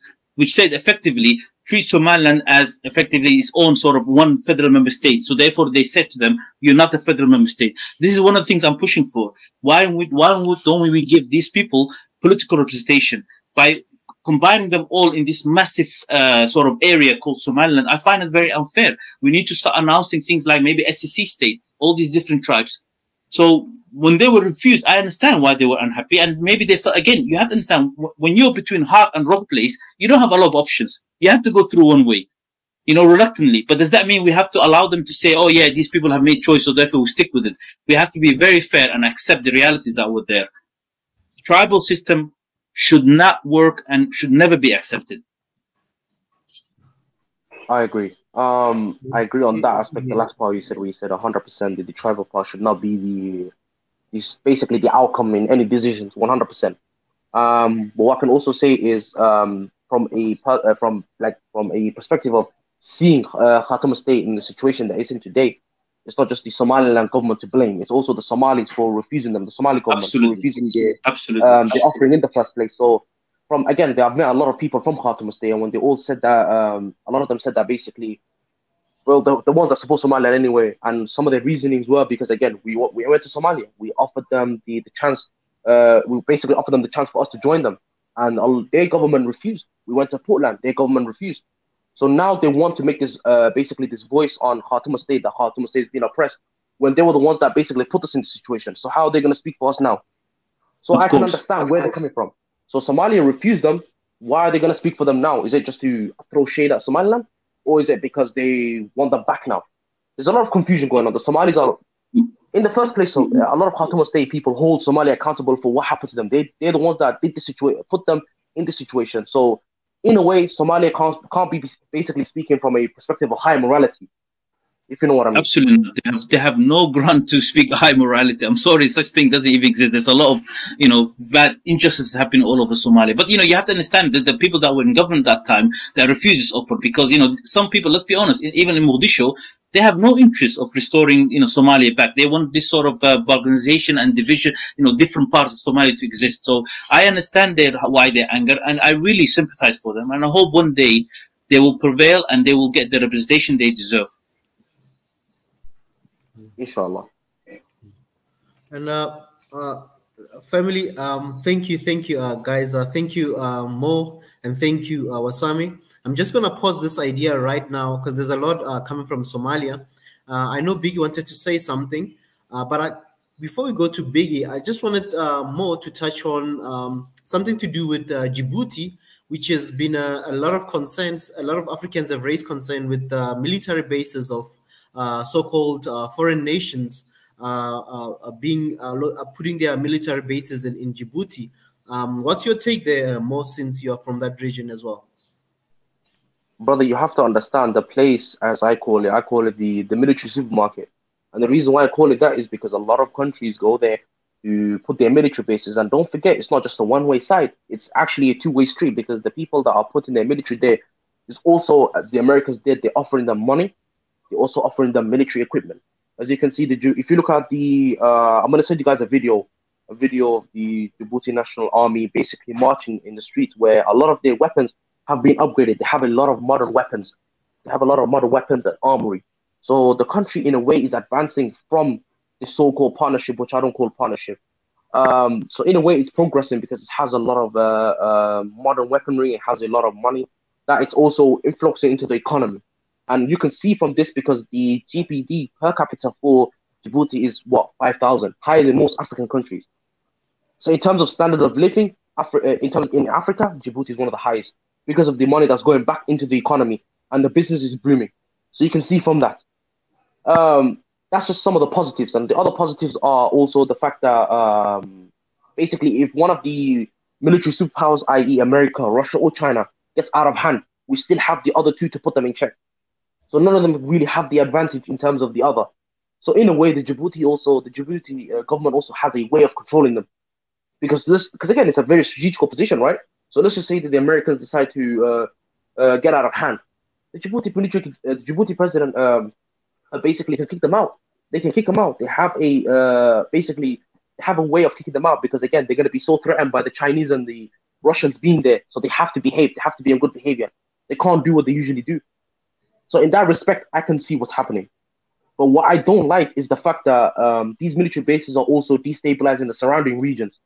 They, don't, they are because again, there are certain things about the um, Al Shabaab, um, certain things that are happening with Somalia and Al Shabaab that I also feel like uh, I feel like that Djibouti is also accountable for. I also feel like Djibouti is also accountable with some things to do with the TPLF because again, they have so many military bases. Of course, they're going to keep up an eye on that. Have like eight military bases in the country, so they all and all most of them are allies. So of course, it's in their interest to keep the uh, the situation around uh, the surrounding countries destabilized. Also with Yemen as well, there are so many Yemeni refugees that are coming into Djibouti. It's out of hand right now. And again, for the safety of the people in Djibouti, how do you know they're not Houthi? How do you know that they're not part of the terrorist organization that's happening in Sana'a and the North Yemen? There's no, there's no basically uh, background checks happening to these people. They're just letting them in the country. God knows what they are. So you can already see as a citizen the, the situation that we're in. We don't know who's who. We don't know who's coming into the country. There's so many distrust right now that's happening. So that's just a broad overview. If you want me to go into detail, yeah, go ahead. Ask me. Uh, Mo, um, thank you, thank you for for that. Uh, um, I just have a follow up question. Uh, I, I, know what you're saying about um, the money that's being fed from all these um, nations that have placed their military base there as a as a strategic move. But uh, as citizens, are, are the citizens of Djibouti happy with this decision that is made by the executive, or is it just something that is imposed on them uh, to have those military bases? No, the people are not happy with it. Absolutely not Ismail Omar, the president of Djibouti, is the only person that's happy from this because it's, still in his pocket and the, the upperman, the Isis, the upperman uh, um, uh, uh, tribesmen of his people, of the, the uh, basically his, the tribe that's in charge right now. He's basically filling their pocket. The higher the higher ranking uh, members are getting their wealth worth, they're getting their money, they're getting their pockets filled. But the people on the ground are not happy with it. They're not happy with it because, again, you have to be worried and concerned about the safety of your country. You don't know, as, as I said earlier, you don't know who's who. You're letting all of these migrants coming from Yemen. It's dangerous. Um, there's an area in uh, uh, City where there's like a Yemeni market, right? And there has been some bad dealings there recently. There's been things that have been happening there that, you know, has left a distaste in the people's mouth. But that's a whole different topic. But if I'm going to speak on the uh, the people uh, within the within the country, they're not happy. They're not happy because they're seeing it as an opportunity for him to make money and to him to uh, um, basically, as he's already an eternal dictator, so for him to basically establish his dynasty. Because again, there's a few people that are making or standing up against him right now. Few people tried in the past, but a lot of them disappeared. A lot of these competi- uh, competitors disappeared in the past. So there's a lot of shady stuff that's going on with him. That's what I can say to it. It's a very lot, um, and it's well protected. It's not just from the, the people in the country, He's also well protected from the, the far regions. He's well protected from the. He's also well protected by the Europeans and the Saudis as well. He's also well connected with the Saudis and the Egyptians. And also recently, he's uh, went to a meeting with the Egyptian um, president, where both uh, Djibouti and Egypt were discussing on how they're going to deal with the Ethiopian dam. So in a way that you can't trust him. I understand why the Horn of African Alliance never included him because it's distrusting. You cannot trust somebody that's going to all the way to Egypt so they can discuss on how to destabilize Ethiopia so they so they can help the Egyptians get the control of the dam. So you can see there's a lot of shady stuff that's going on with this guy. And I'm definitely not someone to support him. Uh, thank you, uh, uh, Mo. Uh, I think Warsame wanted to to to do a follow up question as well. Uh, Warsame, you can go ahead. Yeah, th- thanks, uh, Isra. Uh, Mo, I wanted to ask you a question because you said, for example, um, all these different um, uh, military uh, that is based in Djibouti. Uh, I'm sorry if I'm misquoting. He said like if, if you know we can sort of he could kick them out kind of thing. But do you think Djibouti government or Ismail Omar Guelleh has particularly any power at all to kick any of these uh, foreign military bases out? In particular, the angle if I could take. You know, obviously, China, how much debt um, you know Djibouti is in right now. I think something along the lines of seventy percent of the country's G- GDP. I think this data might be from 2019, but I could be wrong. Uh, so, you know, th- he, that tells me he, he cannot kick China out. And then when you look at the Western alliance, if US decides to stay or France, wherever, do, do they even have any say in it? So that's one aspect I want to say. And the last thing I want to say also is, you know, you mentioned about this Yemeni threat, which I wasn't aware of. So that's an interesting point. And I remember last year as well. Um, I, I, don't like to sort of, you know, quote their videos, but one of the leaders of so-called Al-Shabaab suddenly threatening um, uh, Djibouti with terrorist attack. Uh, I'm just saying that you know again, is, is, there something being done to make sure? Obviously, look, refugees seeking refuge in other countries, running away from war, that's good. You know, we should all be open for that. But there's also element of security aspect of it. So, what is the government doing, and what are the sort of the feelings of people like you, the average people, of how they view it, and are you sort of anticipating the security um, level to go down more? In terms of security, that's a very good question, brother. Um, in terms of security, uh, it's already starting to become a police state. You're, you're seeing more and more police marching across the streets. So in a way, that's good because again, it kind of uh, counter effects, it kind of counterbalances what uh, what he's doing with the the refugees that are coming in because it's not just um, Yemeni uh, refugees that are coming in. There's a lot of Eritrean and Ethiopian uh, refugees that are coming into Djibouti posing as a force. There's there's a lot of situations that's going on over there as well. Um, in terms of what's happening with um, well, basically what uh, what he's doing in terms of like with the Chinese situation, he has some he has basically I wouldn't say majority, but he has some control in basically what's said and what's done. I wouldn't say that he's a puppet state because um, recently, where America uh, told the Djibouti president to turn his uh, missiles towards Ethiopia, he flat out refused and made it public to the people. So that gave the uh, Americans a lot of flack because again, okay. the, the Americans incited. You you probably heard of that, Warsame. Um, yeah, yeah, I Probably, yeah, so they, they they they told the Djibouti president to turn his uh, missiles and face it towards the cap- uh, basically face it towards the capital and threaten an attack on Ethiopia. It's just basically giving the Americans access to Ethiopia, giving the Americans what they want because they've always been after Ethiopia. They want to destabilize it because look, think about it this way, right? Um, Eritrea is North uh, North Korea of Africa, so they're gonna go for them next. Eritrea is already on the hit list. Ethiopia is already going through the turmoil that it's going through right now with the TPLF, uh, the Tigray region. You can already see what's happening. Um, this would also add fuel to the fire. So if the Americans landed, they were going to get what they want. They were going to take Abiy out of commission and either a puppet, uh, puppet president in there, or they were going to destabilize the country. It was either going to go the two ways. And Abiy was the guy not to listen to them. Abiy was not listening to them anyway. Abiy flat out refused them and said to them that you're not allowed to come into my country.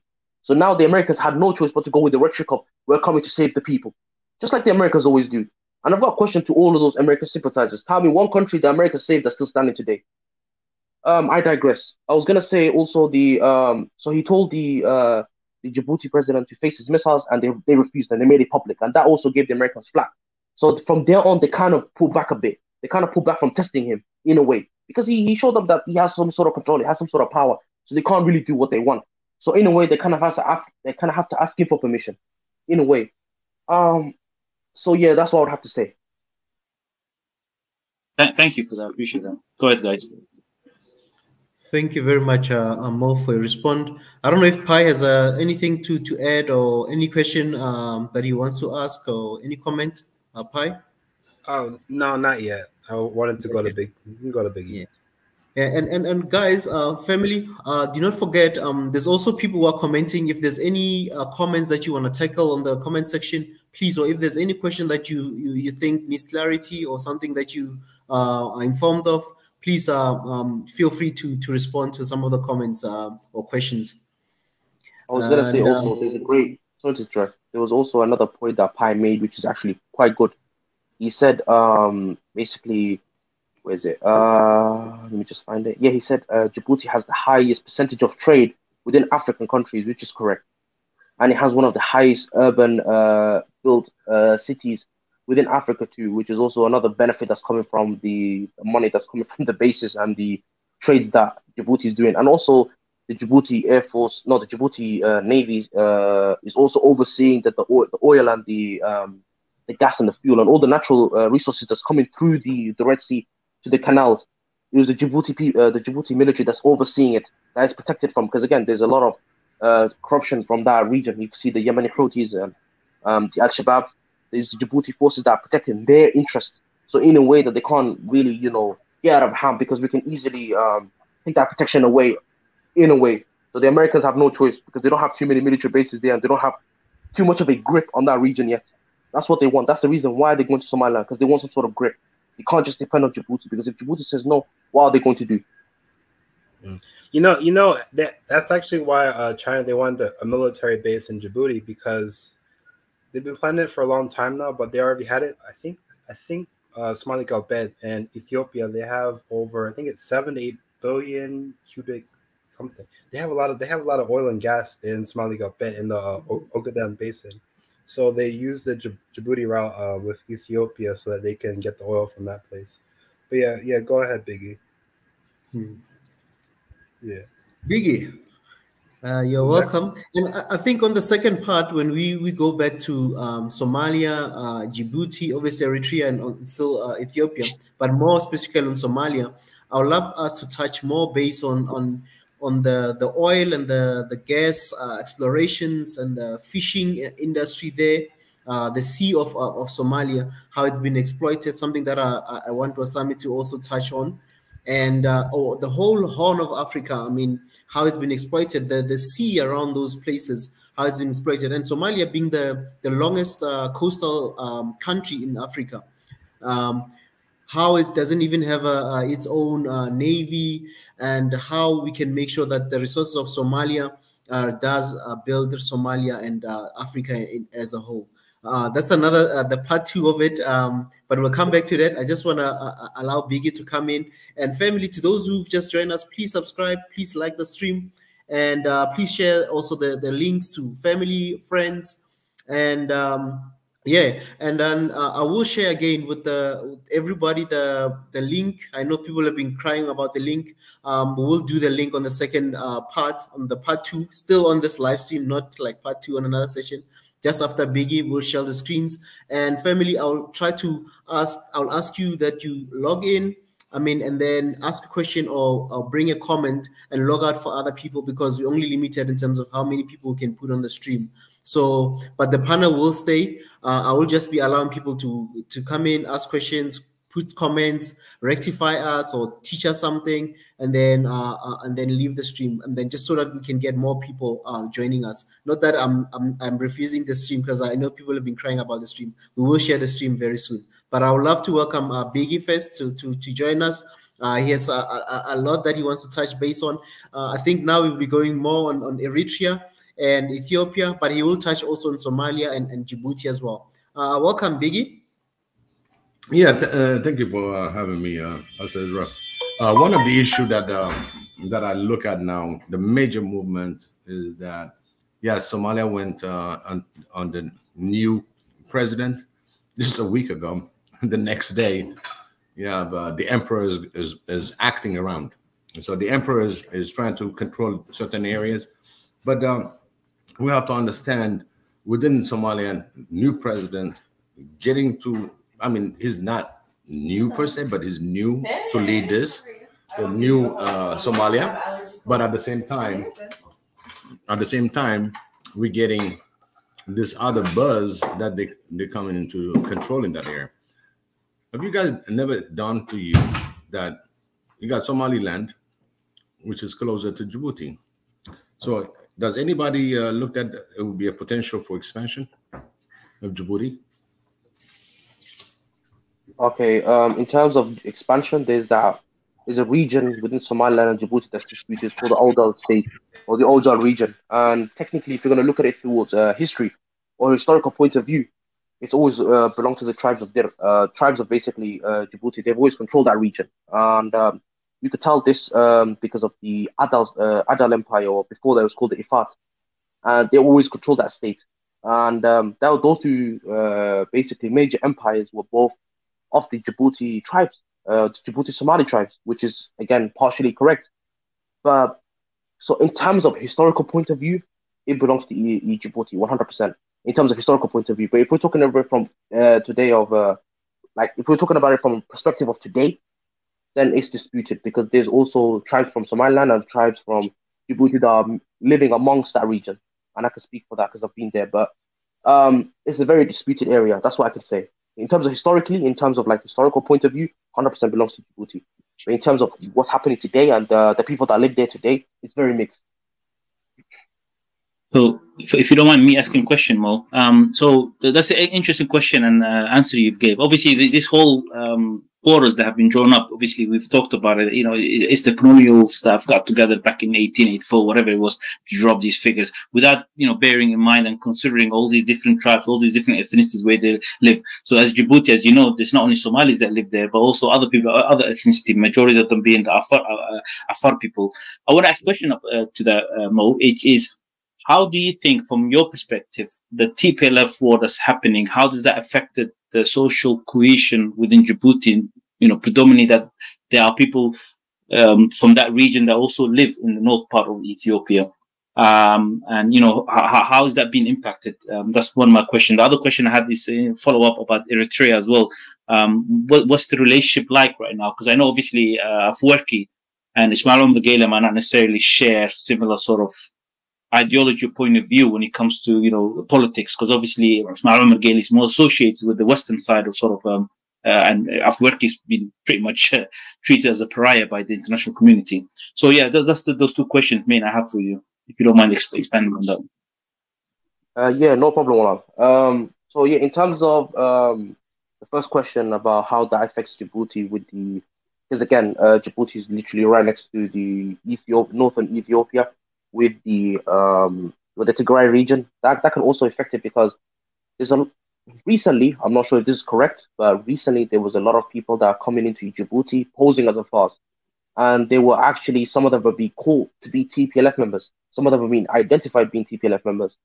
So it poses a security threat. And that's the reason why the Afar region has recently been um, uh, uh, basically the military and the police have been uh, aware or have been uh, basically told about what's happening in that region. So they've upped their patrolling. So that's the reason why that area has been patrolled a lot more now. It's because of that threat. We don't know if the TPLF can make its way into their into their far region. So that's the reason why they have um, their military and up their uh, personnel and sent them to that to that region because it can cause chaos if the TPLF made its way there. TPLF has uh, basically basically been doing uh, what it's been doing from the shadows. It's been causing havoc in a way. So in a way, there need to be there needs to be some sort of uh, security measurements that have take place to keep them out. So that's the reason why the patrol and the military have been sent up there. So I can understand from that perspective what's happening. Um, in terms of what's happening with Isaiah and Ismail, they have a different ideology. Isaiah believes in um, basically no, uh, he doesn't want his, uh, uh, his country be, his country to be controlled by the European uh, uh, colonial powers, and that's the reason why he's kept his country privatized. That's the reason why he owes no European country any debt. He's debt free in terms of like uh, European countries, and that's the reason why this label's been heavily stuck on him in North Korea and yes. Africa. That's the reason why because he he only relies on himself. He doesn't rely, rely on the European countries. He doesn't depend on them for aid or whatever, just like these other African countries. And that's the reason why this label's been stuck on him. In terms of the relationship between Ismail and Isaac, Isaias, Ismail is a, a person who who's friends with the um, uh, the members of the Arab states and he's friends with also the European colonials. He, he works with both sides, and um, I think he's more he's not he's not exactly a puppet, but he also does it in a way to benefit himself. Um, and I think that's the reason why him, Saudi, and uh, Egypt are closely working together to destabilize Ethiopia and take the canals or take the uh, uh, river from them and give it to or give the control of the river to Egypt because again there is also been shown that the Djibouti president and the Egyptian president are good friends. Um, so they have and also the history between Eritrea and Djibouti there was high tension that happened in the past. There was a high tension that also almost caused a, a war between the two countries and it's been uh, it's been cooled off ever since. But then there's there's a sudden sometimes there's a sudden rise of tensions happens sometimes. But in terms of in the past, that was in the past where it, it, there was almost a war between Djibouti and Eritrea, but now not so much. Yeah, that's what uh, that's the. Yeah. It, it, there is a disputed uh, sort of area between Djibouti and Eritrea, isn't it? Like a piece of canal. Yeah, I'm not sure what the name is. Sorry if I'm um, been, might be a bit ignorant about it, but I know there was some sort of dispute of. Yeah, go on. Oh, yeah, yeah, I know what you're talking about. I know what you're talking yeah, about. I forgot the name of the region as well, but I know exactly what you're talking about. It was a disputed okay. region uh, amongst the Eritrea and Djibouti, and now Djibouti is also full of that region. So there's, there's also that tension between the Djibouti and Eritreans, but um, Eritreans won't get to uh, or like they won't attack uh, Djibouti because of uh, in terms of like the reason why they won't attack is also the um, the friends that the Djiboutians have. But if we describe the friends, you know, compare the military wise, uh, Eritrea Yeah. is strong, don't get me wrong, but it doesn't have the modern military that the Djiboutians have. And the fact that the US French, and all these other Western powers are there as well, that helps. Yeah, yeah. but in terms of like equipment, is what makes it the the best as well. Djibouti has one of the most modern uh, military in terms of Africa. Interesting. Wow. I, I think. Uh, hello, guys. How are you doing? Sorry, I, I- I came late to the show. I was there before. Welcome. I think. Welcome, I think what Warsame. I think what Warsame is talking about specifically is the region known as the Afar Triangle. I think that's where the Yes. most of the violence uh, Yeah, and yeah, people 100%. what some is talking about. That's the trifecta border between Ethiopia, Eritrea, and Djibouti, and mainly populated by the Yeah. Afar people, also known as the lowest land uh, at the lowest point below sea level. I, if I'm if I'm not wrong, then then a Danakil area, which is much Yeah, of the correct. violence. And and at uh, we- it, I think it was the point of contention in 2008 when Eritrea and Djibouti nearly fight over the uh, over the area, and that's the start, the start of when things went south between Afwerki and Djibouti and and and, and uh, Ismail Omar Guelleh. And as you know, both countries have had the same uh, the, the same rulers for quite some time now. I Yes. call Ismail uh, Umar basically the eternal dictator because if there's any competition that arises, they disappear. Exactly, exactly. Oh, yeah, uh, uh, and and the, the the the distinction between the men is very contrasting. I mean, one is so pro-Western, the other is anti-Western, and they they say they sort of correlate whenever whenever there's some sort of uprising or or, or uh, the people want to turn against them, they they tend to share intelligence and uh, come together. And no one likes the other to go out of the uh, leadership, so-called leadership in quotes. But I think it's for Djiboutians to deal with Djibouti and for Eritreans to deal with Eritrea.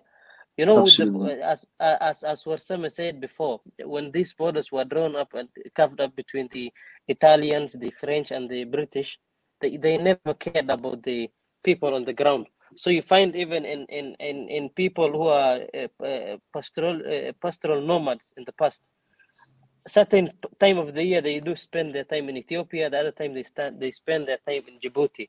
So it's hard Yeah. to separate the kind of people who lives on which side of the border.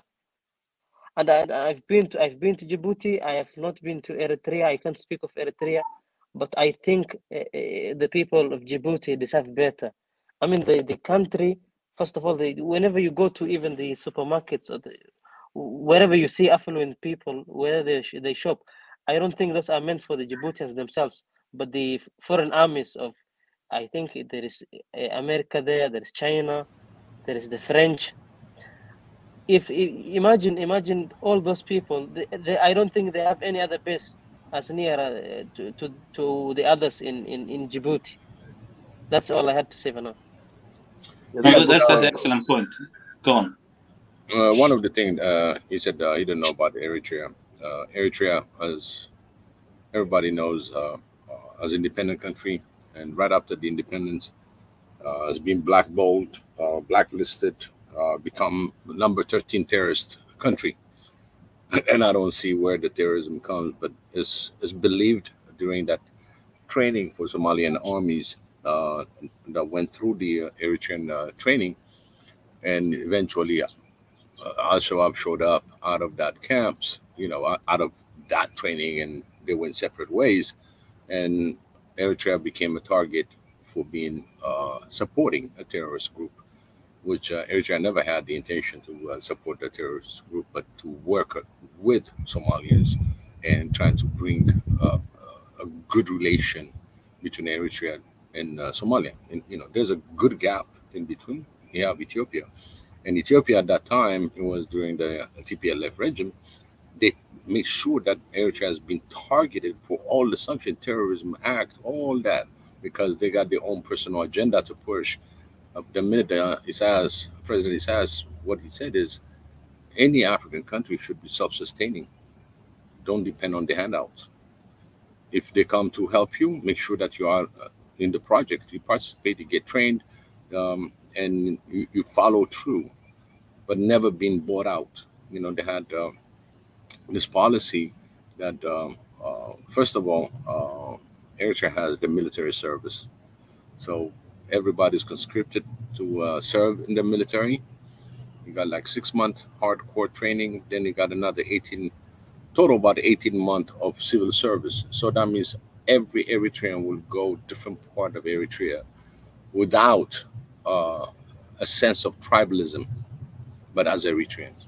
And everybody welcomes them as Eritrean, regardless religion, regardless of your uh, your race, your descent, or ethnic group. Nothing. That doesn't that doesn't work in Eritrea. So the first thing that he did is to change the narrative that instead of okay, I'm from Eritrea, and I'll say maybe I'm Bilen from Eritrea. No, you're Eritrean. Period. Eritrea is big. This big country is your country. So that narrative uh, really made a quick change, and it, it can replicate the same model because Eritrea has nine nine different ethnic groups, but they're all one.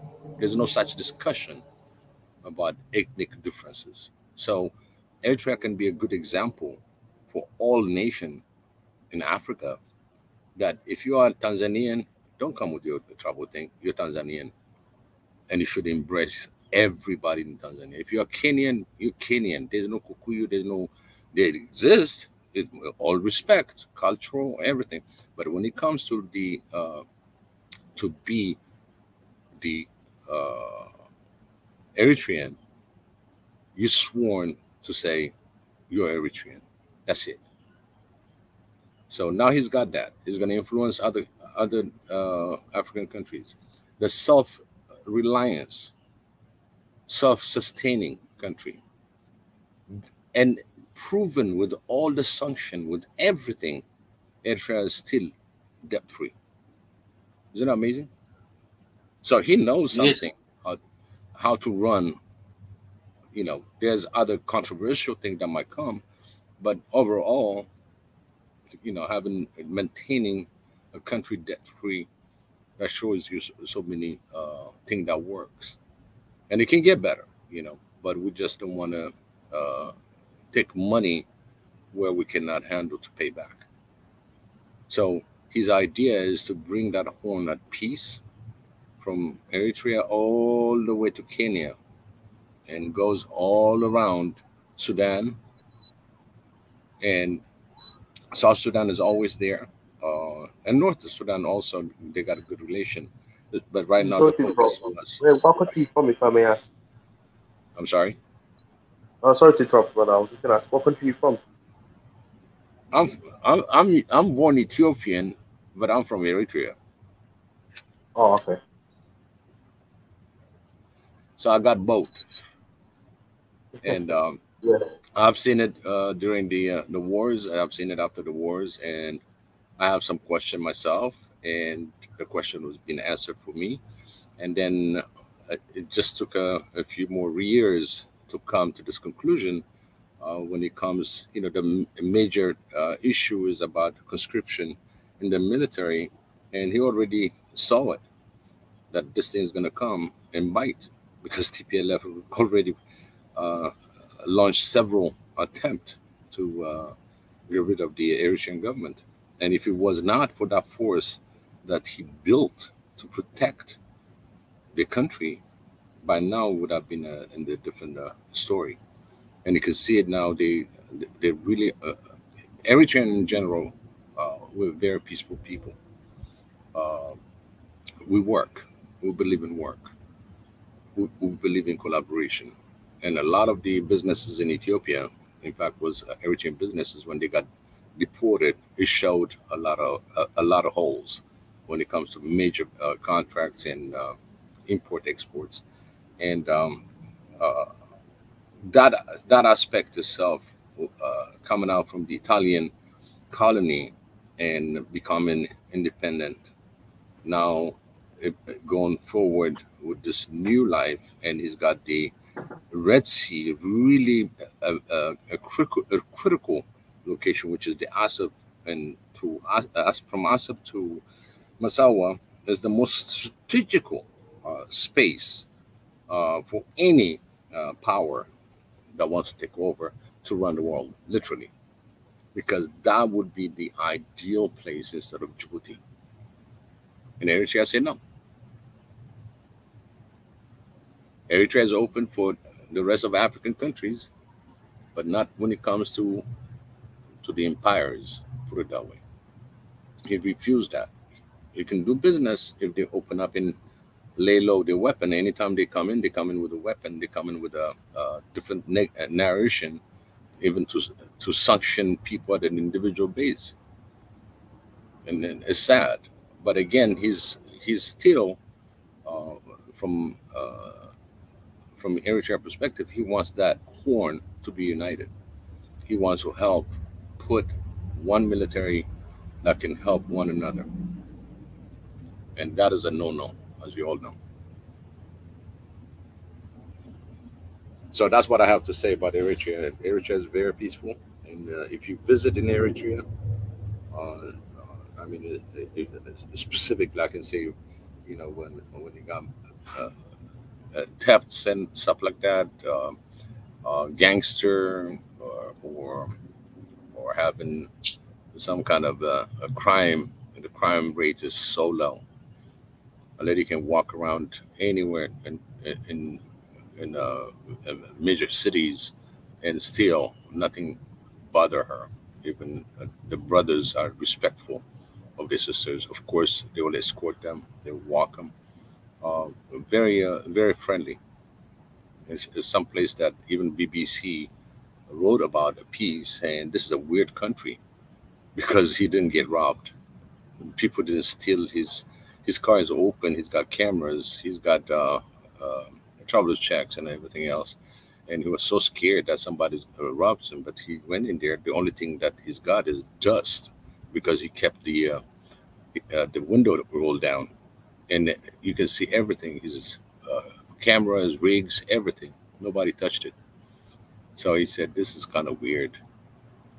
I'm like, "Yeah, because uh, yeah, you go in England, they'll rob you blind, but not in Eritrea." That's that's how much I know about Eritrea. Um, brother, can I ask a follow-up question, if you don't mind? Mm-hmm. Um, I wanted to ask. Um, obviously, we all witnessing how Eritrea are unfairly being treated by the Western Alliance. Um, you know how you know the, the negative image they're portraying. Um, again, my, my thoughts, our prayers are with the people of Eritrea. You know, very courageous people living through. But I want to ask, like, how is the country surviving with so much sort of um, blockage by the Western bloc in terms of economy? Do you? I know you talked about the debt being debt free, but what about the economy? Is it growing? Is there a lot of development happening in that country? And my follow up question to that also is um, how are Eritreans viewing um, the situation in Somalia, especially the, the last president, President Farmajo? How is he viewed, and what sort of interest is there within Eritrea towards Somalia? Uh, yeah, the, uh, let, us go back on certain uh, certain thing that he did uh, when it comes. Uh, number one in, in Africa is food security Okay, food security uh, came as a number one because uh, Eritrea suffered a drought two years, and then we had the rains. So he ended up by building over seven, uh, 700 uh, small dams where they were able to irrigate and produce. So the year after year, they were able to uh, irrigate and control the food crop. So now, if you are really independent in the food crop, then the West cannot really uh, come and bribe you for, uh, you know, we can give you this and that. That's self-sustaining. Okay. Uh, he did a lot of changes. Uh, we found gold, and uh, Eritrea is so funny. On top of the sanction, they found gold. From gold, we found potash which used now for the. I mean, the country got blessed after, after Biggie, one another. Biggie, Biggie, uh, the gold and the potassium parish. Can you talk about even the way you structured the deal in such a way that you know the external miners have to give much bigger share to the Yes. country than any other country. So yeah, Any country. yes, So it's not just that you found it, but you even made a deal that made allowed you to generate wealth internally, right? Absolutely, absolutely, because he didn't he didn't take that uh, uh, the way they come in and oh you know this is what we give uh, somewhere else. And he said this is Eritrea, this is what I want. You're in or you're out, and that's how he dealt with them. There was no if or but about it, and usually it's like uh, in the 45, 45, 65, something uh, 45, 55, something like that and some of the deals that they have is probably about in the 40s. You don't get that uh, in different other uh, countries. So he's got the model, okay? He's got the model on how to mine and how to get these people in and out and how you can get the best out of it. So do you think they're gonna want that guy to uh, go around the African nations and uh, show them how it gets it gets done? I don't think so. So that's one of the things that they want to cripple Eritrea because. He uses his own human resource within the country. Everything that comes is produced within the country. His import is very limited. He doesn't talk about having luxury item.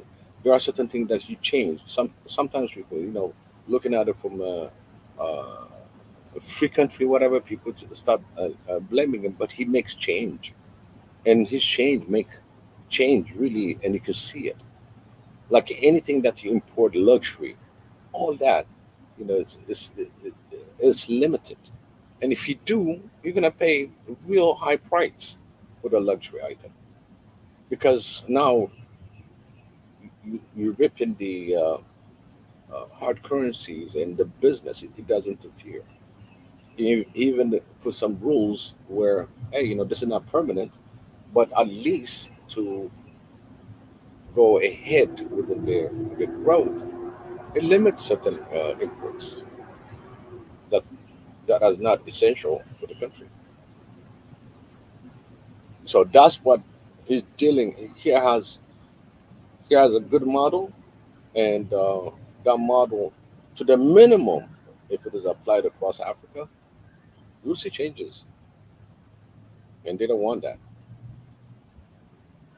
they don't want to see a president that's going to be going all other countries. In fact, he spoke to several uh, African leaders, and some of them are making some changes. They're making the changes, trying to stay away from these loans. Because these the loans that's going to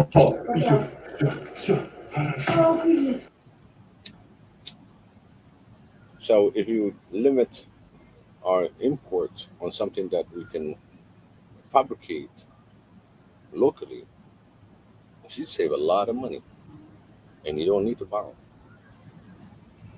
It's identification. The West is so influential through TV commercials and things like that. Oh, I want that. You know, you're a billionaire in Africa. Oh yeah, you know, I want, uh, I want this one.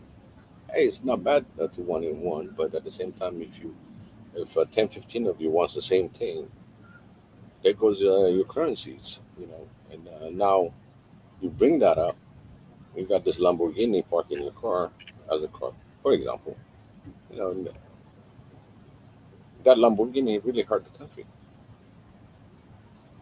because you spend something that is just luxury while your country is trying to grow and trying to do better economically, wealth, all that.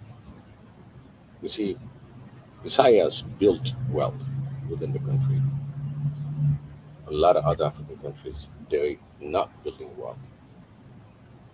They're choosing to go after the money, but the money, in order to get it, you're losing a lot. Basically, they tell you to jump, and I'll just ask how high.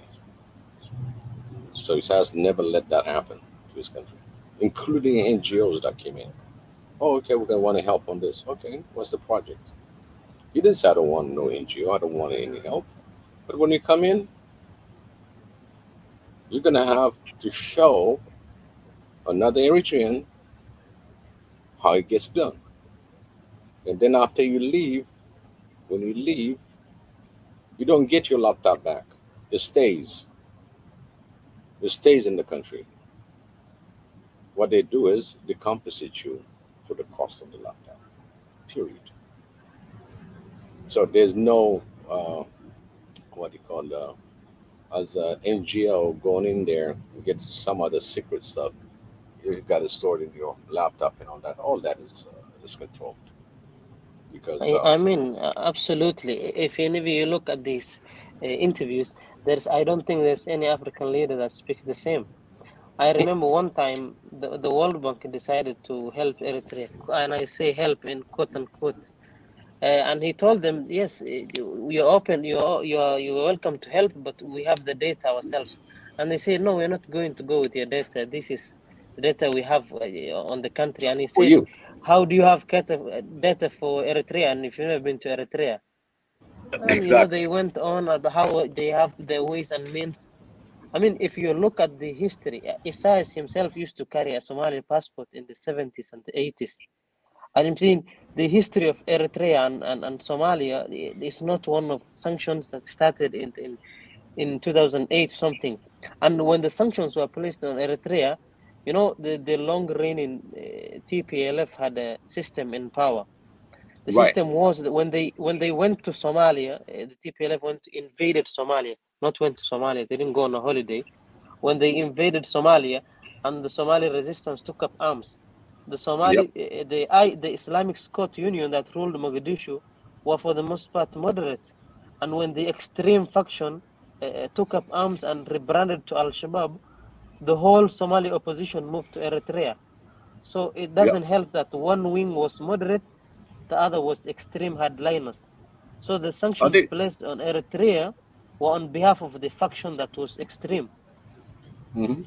And and thankfully, the, the sanctions were uh, were I think uh, taken off Eritrea in 2018, only to be put back in 2020. And now the sanctions Eritrea uh, uh, the sanctions are not on Eritrea itself, but the the party in, in power, the PFDJ, whatever. What, Yeah. I don't think they, I am not sure of the title. The They're putting on Shabia. They PDFJ. Shabia. Yeah, yeah, So- exactly, Shabia. And even whenever you go back to Somali videos, you know, when Somali got independence, not most of us were not happy with how things were running down in Eritrea. You can also see many of the uh, Eritrea, uh, Ethiopian uh, groups like the TPLF itself, Isaias and, and Meles lived in the same apartment building, compl- the same villa in, in Mogadishu to be exact. And he did come back to the villa in 2018. There were political refugees in Somalia. The you know Yes, Somali government gave them refugee like to come in. Yeah, Yeah, uh, in. Somalia. Yeah, and they both carried a Somali passport. Uh, there is a famous photo of uh, uh, uh, Afwerki in Mogadishu and in in in, in Paris. Well, most of these leaders uh, himself used to live in Mogadishu. There's a sometime there's sometime Somalia used to be the the nexus of East Africa.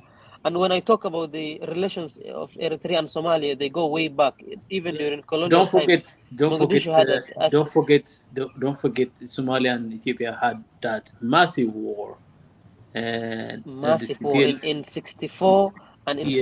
77 as well. Yeah, so that massive war Yeah. had a part to play in it, and then you can imagine the devastation that happened to both sides uh, as a result of that. So, so there's a, there's that element of the history. I mean, if you go to that history, but but Isaias is is a different person, and and you can tell he's uh, he they were once together. TPLF and Isaias, uh, his party were once together because they figured, you know, what's standing in our way was the government of Ethiopia, the the character of Ethiopia. But Isaias is a different person right now. He wants to see a much stronger, a much more united Ethiopia. And TPLF wants to continue a much divided, a much weaker Ethiopia. I think to me, like I want to step in a little bit into these discussions. I know uh, the details are very interesting, very fascinating. But uh, if Pastor uh, His Excellency, would allow me uh, to step in and then really, uh, really like take this uh, this conversation to another direction, and uh, not another direction, but kind of like maybe uh, add a little bit of dimension to the conversation that we're having. And I want everybody else to take on this. But I think to me, the problem is not just that we don't know what's wrong with Africa, what's wrong with Somalia, what's wrong with with our leaders, what's wrong with the way the external powers, uh, uh, you know, uh, you know, negative role in, in our continent and our affairs. There's, there's, know, I mean, there's enough of us out here who can detail that out. And then you go to channel after channel, platform after platform, be it public, private, the conversation always circles around and say like you know if they don't do this if they did this if they did this we talk at length. And i call this death by analysis. We are dying because of we are too focused on the weeds of it i mean i know the details matter i know the details of uh, earlier there was a debate about the nature and the form of what was uh, what was the division? What where was the source of the division between Somaliland and the rest of Somalia, and how that is? This, those details do matter, but the broader picture get lost because we focus so much on it, exclusively to it. We overanalyze, we overextend ourselves in trying to demonstrate. I know, I know, I know, I know, but we forget that it's not just knowledge that we're lacking. We are lacking the wisdom Wisdom is about seeing a future, imagining a future out of the context and the condition that you already know about. We don't spend enough time trying to visualize and trying to see a future. And that is the thing that, that scared the Jesus out of them. This conversation, this platform that we are having, the thing that scares the powers that be is that we will eventually, after this thing we get tired of uh, analyzing analyzing and detailing and facts and discussing and dissecting and we begin to fall in love with each other. We begin to respect each other. We begin to see each other as humanity. And then we stop this you know tiny little fights and little fiefdoms and we begin to make connections and we begin to make the uh, the reconstruct that we need uh, or the blueprint that we need to construct uh, the future that we deserve to have. They they are afraid of that's the eventual destination of that. So you have to look at so instead of just like looking at you know just the what the fact, what is the prevailing fact, what is the history, what is you know eh, was Somali right or wrong in Ethiopia war? The Ethiopians would say, "Oh my God, Somalians invaded us," and the Somalians would say, "No, oh my God, we were trying to return what was rightfully ours." And instead of dealing with that kind of these things, there's a better place where we can actually find a much better common ground. But the the powers that be want us to stay in the weeds of details like that. That's what they want us to do. So yes, so that so and if we are in that place, then we are stuck there. It's got it's, it's a muddy, sticky area where you get stuck because it's, it's you're looking at the past. You're not looking at the present. You're not looking at the future. You're looking at the past, a past, and then you will be stuck like a uh, like a like a statue, looking at that past, never really truly understanding because you never lived it, you never experienced it. You only see that what is written, what is told to you, what is propagated to you. So we get so we die by analysis so I suggest we start seeing the things inverse. We start inversing things a little bit. We have to answer why is Djibouti so important? Why is Djibouti so important for China that the only base, military base they have in the world is in Djibouti? Why is that? It must have been some value that we, you know, we even ourselves Djiboutians are not realizing that we possess. Then Djiboutian will say, you know what? I would negotiate a much better deal. I will inter- I, I will step up my my analysis, my understanding, and I will be much more insightful in my relationship with the world and my relationship with my neighbors. Then I was and then I will make it count for much better than just a trinket, trinket of or some kind of uh, breadcrumbs that comes your way a stadium or some highway or some refurbishing of a port. No. If China believes the Djibouti is that important, so important it changes their policy. Their imagine China had to change their long-held policy to actually do this. And it must have been so critical. And then all these other countries, they see so much critical value in Djibouti. They see so much critical value in Eritrea, so much critical value in Yemen. They would bomb that those countries to death, or they would get them involved in civil war that could uh, eliminate generation, whole generations. Or they could push countries in extreme amount of division to an extent that they can't even see their own brother and sisters together in the case of Somalia. So they, so why are they doing that? Because I mean they, they you have to see what are they seeing in us, in our region, in our people, in our possibility, in our potential that gets them to come thousands of miles and do what they're doing. And if you ask that question and you get to the answer, you realize that the fact that there are Somalis in Ethiopia and the fact that there are Somalis in Kenya, for Somalia is not a problem anymore. Somalia will not be bothered about trying to uh, reconstitute the Grand Somalia, which would be would cause more conflict between the region. Rather, we'll try to say how can we like utilize our presence in all these regions to influence policy in Ethiopia and influence policy in Kenya in a manner that benefit the people in that area and the people in our side. So it becomes much more intelligent, much more, much more thoughtful, much more wis- w- w- wisdom filled, insightful filled. It's not just the knowledge that oh my people are dispersed. It becomes the knowledge that we are in a world in a much more interconnected world. We can we can have trade ten times more than what we have right now so that we can create 10 times more jobs than we have right now then so we can create a much robust relationship and network of power within the region to the, to an extent. So you look at eritrea in eritrea's eritrea's struggle right now you know isaias he's so preoccupied in this one. Isaias has already figured out what is internally but he realized he hit the ceiling with eritrea. He hit the ceiling because the region is so in- disintegrated. The region is so embroiled in unnecessary conflict and tensions, and the region has been it has been sold and bought by the you know the malign actors, internal actors, the corrupt actors internally that are that that, that fall for trinket. TPLF is an organization that that survives on on those breadcrumbs and you know and they are powerful there are people that that benefit that profits from that i mean if if if america is giving ethiopia uh, one billion dollars a year i guarantee you is meaningless for ethiopia. Ethiopia needs every year at least a hundred billion dollars to actually meaningfully transform itself but uh, ethiopia gets in the best time five billion dollars a year of aid. But it needs in the range of $100 billion.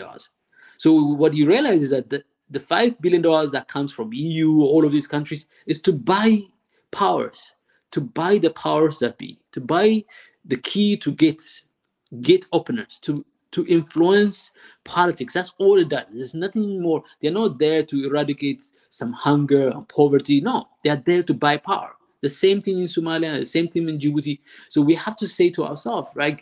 we need to really so uh, to conclude i will conclude with this and i want the people to think about it and i want people to really um, uh, I want people to really imagine the thing from a reverse point of view from a reverse point of view why is, are we so important why are we so valuable to a point where countries do go so far as sending military to our country, into our, our region, and setting up bases. You know, when you set up bases, that means you're staying there for a long time. Why is that so important? And that tells you how much worth you are. We are worth more than what we ascribe ourselves to be. We are way worth much worth worth much more than Djibouti's economy doesn't depend on the basis. It depends on the economy, its relationship with Ethiopia. Most of Djibouti's trade is Ethiopia. It depends on elect- with electricity in Ethiopia. Ethiopia depends exclusively on Djibouti, but Ethiopia's economy is ten times less than it could be. If Ethiopia's economy is ten times, I was gonna could sorry be, to check brother E. yeah, I was yeah. gonna also point out um with Djibouti is not just the Ethiopian thing, it also has the shipments, also it gets money from the protection they provide No, the but the European numbers. countries with the No, no, no. The Pardon? numbers. The numbers. Look at the numbers. Look at the data. Yeah, yeah, this I'll, I'll I'll send you a, a new source. Um, where it also um basically sends um you know protects the uh the European interests like the oil, the gas, and the natural resources that Yeah, is going yeah. up to the those, they don't pay you enough for that. You'd be no no surprised. every, brother everything's done behind the scenes with the Americans. They don't do everything up front. Just like they wanted to attack Ethiopia, they never said up front. No, They tried to make I'm trying to Djibouti. tell you that that Djibouti as a nation benefits exactly the power they are playing exercising. That's the point I'm making to you. Yeah, I understand what you're trying to say, but Yeah. not everything's done up front with No, no, know. no. I'm not talking about the uh, upfront data. Uh, the back data, the front data doesn't matter. What I'm trying to tell you is that like the powers that be that are using Djibouti to do those work, they are using them as cheap labor. They're not using them as uh, you know, you know, a relevant active participant of the region with interest their own national interest. They're using you as you're just a, a means to an end. So, and uh, but but that end, what is that end they're looking for? What is so seven hundred billion dollars of trade goes through that that region, that area. At least seven hundred billion. That's a, the least amount of number that we know through the that the the that triangle right there, the Yemen, Djibouti, Eritrea triangle. And and in that kind of trade going through, any other place will benefit much more than that. You go to Asia, that kind of trade impacts hugely the region, Philippines to Vietnam to Bangladesh, India, all, all of these countries they benefit extremely from that kind of Indonesia. Why isn't Djibouti, Eritrea, Ethiopia, and Somalia benefiting from that kind of power? That's the question. The problem with us Horners is is not just the concept of you know uh, benefiting uh, from the such things. Again, you have to understand they studied us. The Europeans have an advantage. They studied the Horn. No, they They don't have understand an advantage. We No, no, no. I'll explain why. advantage. I'll explain why. No, in terms of in terms of like the they have an advantage because they understand the weakness of the Horners. They understand they can't break us by militarily going inside um, our countries because they've tried and they failed. The Italians failed with the the uh, the Ethiopian Habashas. The uh, the the Americans failed with the the Somalis. They understood they can't beat us. Uh, you know, uh, in terms of warfare Yeah. because we've got that history in terms of warfare. Yes. But they also found out that they can beat us another way, which is tribe. They can beat the the people of the Horn by using tribe against tribe, and they, Yeah, they that's what I'm saying. They have an advantage What, the because they understand is, that. The question is, the question is, we understand that. A lot of people understand that. The question is, why do they do that? Why? talking do- about the is the Djibouti benefit? corridor? What is the benefit they're driving? That I want us to focus more on the benefit they're driving. That tells you how much we are valued. The, because the value that they derive from the region uh, is so much more than what we tell ourselves of the value that we have.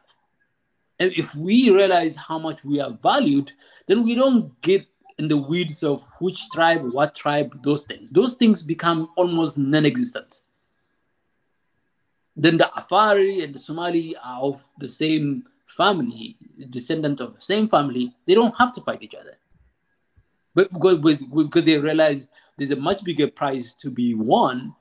And then, so so the very thing that they are going after is the very thing that we should be going after. That's what I'm trying to do you.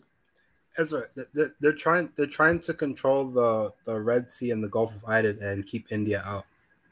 They've been having this competition between India and China for um, investment and influence in the area. Yeah. So they're trying to control that region. Yeah, they're China trying to control potentially for China what? China's the The- main focus. Pi, Pi, what are they trying to control? The trade, the economy, the benefit that, that goes through that, whatever power that res, resides there is so important, right? Isn't it important? It's so critical. It's not just important, it's strategic for these countries. For China, it's strategic.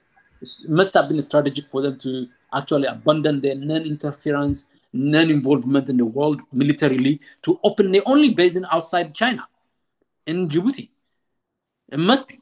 So so then the, what what I'm trying to tell you that whatever China is valuing, it must be much greater. It, it is it is is much greater than You what see, you and brother, I, I was gonna ask you a question.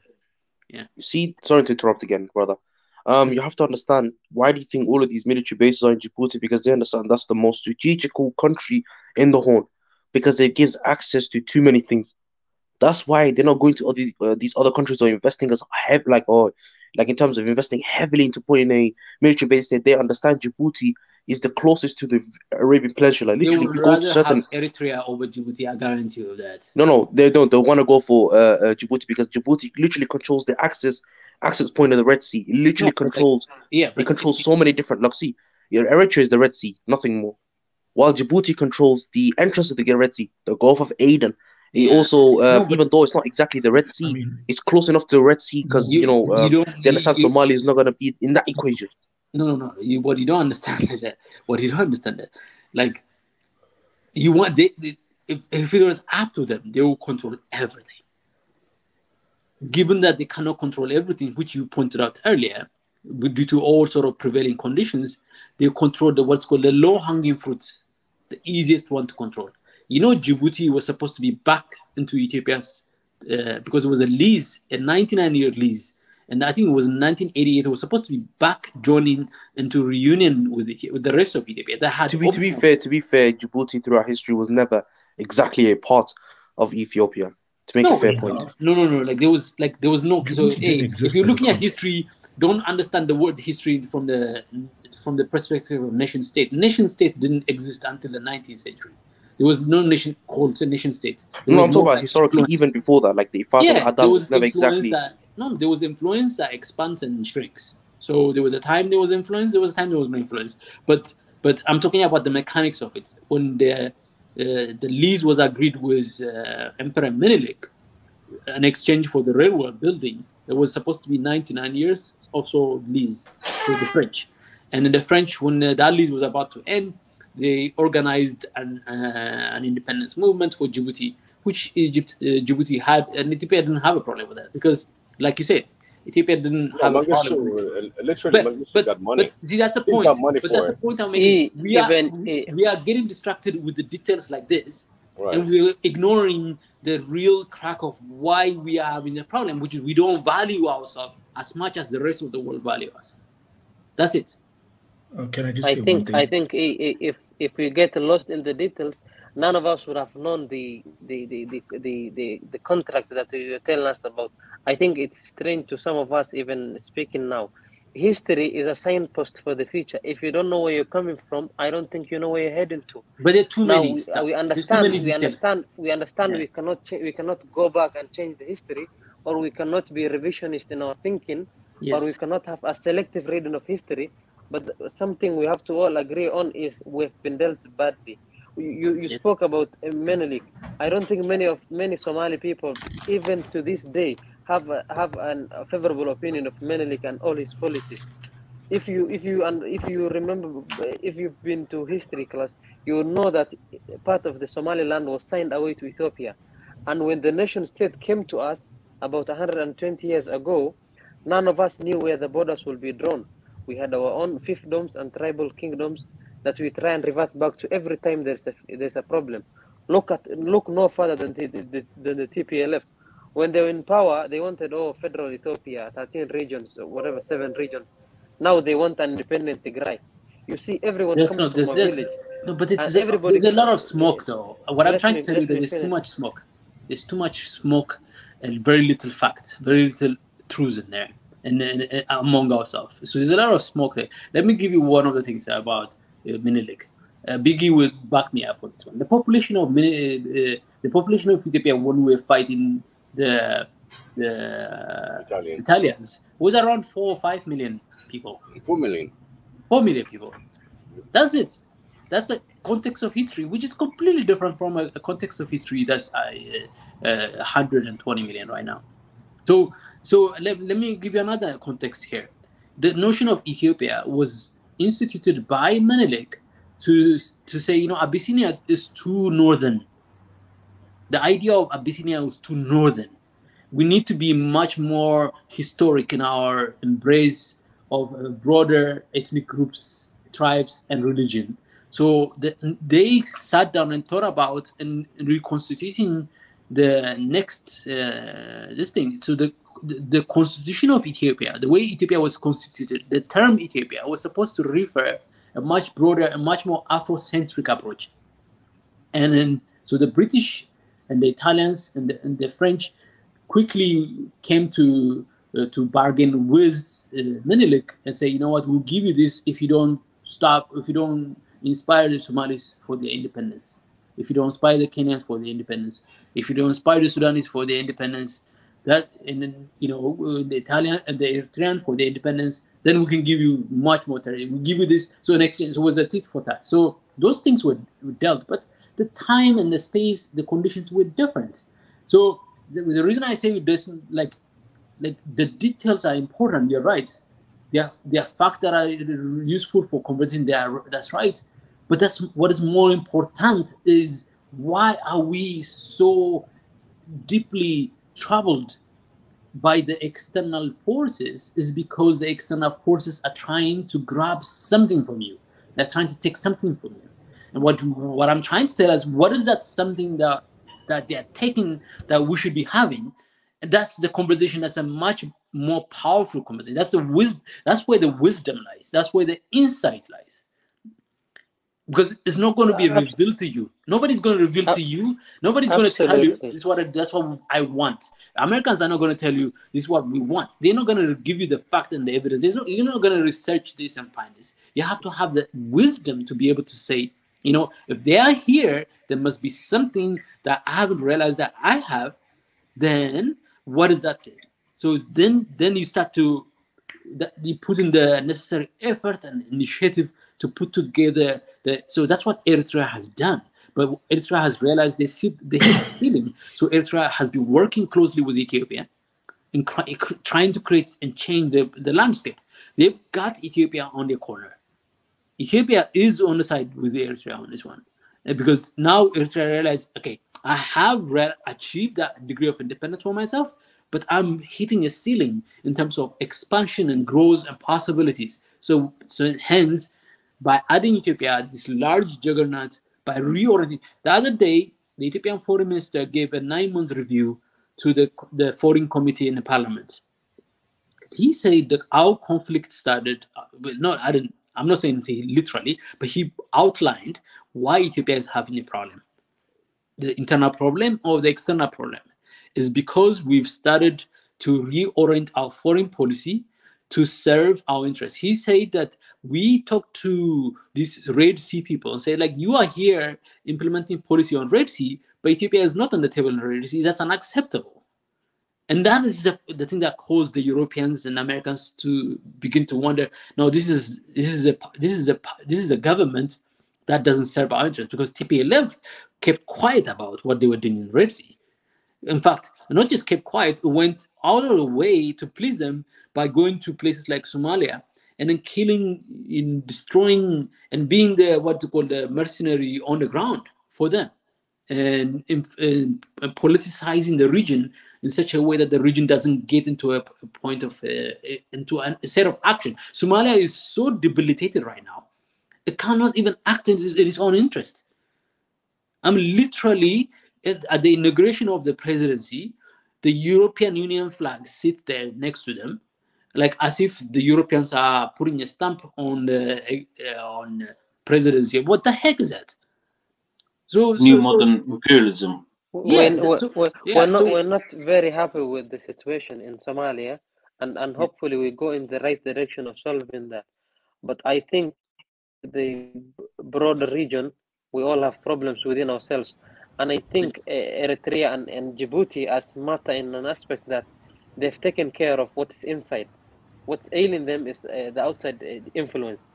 If you if you if you allow me, you've made very good points. We we get lost so much on the analysis, but also e, I, I we have to remember that we don't we don't get along much each other.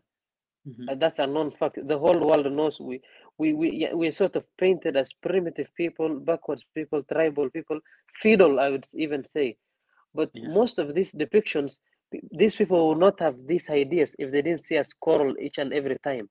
You see an Ethiopian, a fellow Ethiopian cannot get along with another Ethiopian, let alone Ethiopian and Eritrean. And when I what I commend and, and respect about President Isaias and Eritrea is that even Eritrea itself, I, I have several times I have watched Air the national TV, and they speak every other language that there is. The, the president himself, I've had him speak Arabic, and I've had him speak. Uh, I had him speak. Mm, he's a Christian himself, but he I I've seen him wish Muslims, eh, you know, on their festivities. Looking at the region, there might be variables, variables that are not same as the the ones that existed, but they're constants. There's the religious, there's the religious uh, aspect of it. There is the ideological aspect of it.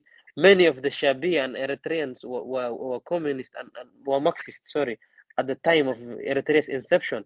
But you see, sometimes we all look, we all look at a certain European thing of how accounts about Menelik and the population of Ethiopia at the time. But one of the factors that we, we, we believe, and, and this is might be a selective reading of history again, is that when the Europeans came, and he was basically told not to inspire these quote unquote other Africans to, to rise up and, and, and rebel against the white men. They also saw him as a, a Christian ruler in a sea of Mohammedans. You have to remember the region was Muslim before even Mecca itself and was Christian before the Vatican. So the imperialists will not have had their way had we not divided among had we not been divided along those lines. So some of some i think some sometimes we give them too much credit. They don't get uh, they don't get into us into affairs if you don't allow them. We are very saddened about the european union flag in somalia. You know a country like sweden or denmark sometimes i don't know where this happens they they send letters condemning the somali leadership as if as if we are answerable to the king of sweden that's a culture we would like to end and hopefully we'll see less of it if not outright total abolition of it. You see, you made a good point where you mentioned um, the the Europeans also basically understand. Oh, the, the, you talked about the region within itself and how the Horn of Africa, you know, were one of the earliest Muslims and also one of the earliest Christians too. Um, you understand the, the Europeans also understand that region has one of the um, the oldest people to walk on the face of the planet, and also that region within Africa has um, you know one of the oldest cultures and history. So the Europeans also studied that region. They understand. They understand about that. They understand the region and how to divide it. And again, it's our fault for playing it to their hands, because again, as they mentioned, um, uh, as the the brother mentioned, uh, I forgot your name, the one that was speaking before me, brother. What was your name, if I may say so? I'm Zakir there, brother. Zakir. Zakir. Uh, oh, Zakir. Okay, Zakir. Okay. As brother Zakir said, um, uh, some uh, Ethiopians can't get along, let alone Ethiopian Eritreans. Somalis can't get along.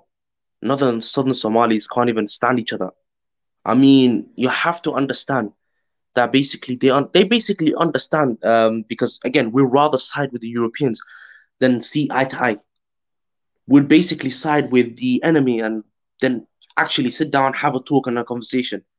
And it always comes down to the same old route what we always do, we when we have a dispute, we go back to our tribal areas and we start to fight. This applies for both. It doesn't matter if you're Habash or Somali, like it always ends up the same play. Look at what's happening with the TPLF. They started a fight with the Ethiopian nations, and now they're going back to the Tigray, Tigray region, and their people are suffering because of their consequences, because of their actions. I mean, look at look at what's happening. You have to see that the action that they're playing. You have to see that. See, this is the problem with the Horn of Africa. We will fight and we will fight, but we not see the bigger picture. We not we don't we don't understand. We don't understand. We're basically we, we refuse to see the bigger picture unless uh, basically things go our way. We're not we're not ready to compromise, and that is the problem. That is one of the key problems: compromisation. Unless the people yeah. within the yeah. horn learn to compromise. Yeah, go ahead, Abby. Yeah, I was just going to say, I think it also uh, can, can, I just just, just uh, uh, interrupt you there? Um, we'll come back to this uh, conversation, uh, but I just want to give. We've got uh, three people that already joined us, and I want to give them a chance to comment or ask a question. Um, I'm gonna give uh, Leech a chance, uh, and then uh, go to two Niger. Then after two Niger, we'll go to Nias, and then I'll give Pi and Warsame. Then we can uh, circulate between um, uh, Prof. Ezra, Biggie, and Zakir, and even yourself, uh, Mo. Uh, uh, Leech, welcome. Uh, yo, what's up? What's up? Uh, How's everyone doing? Uh, All good, all yeah, good, bro. yeah. I just Well, wanted good, to brother. add something on what Mo said. I think as the as people who live in the Horn, we also have to admit that we have to stop propagating divisions from an early age on the youth.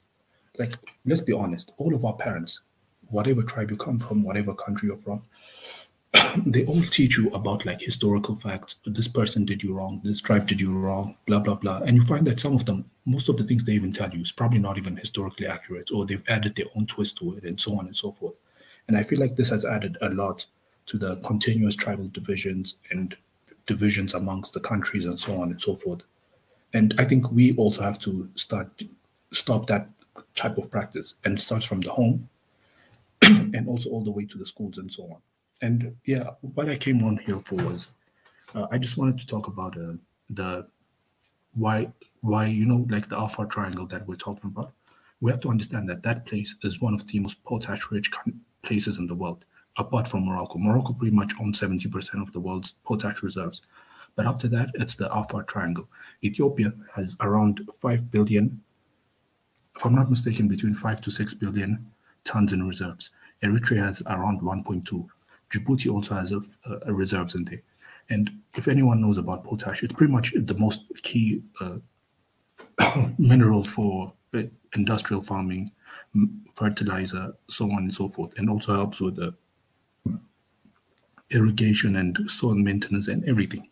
And I was saying, you know, if we could come together as the Horn, you know, let's be honest with ourselves. Our region is pretty much the famine capital of the world. It is pretty much every every year. There's at least one region that is in deep famine and people are starving and dying.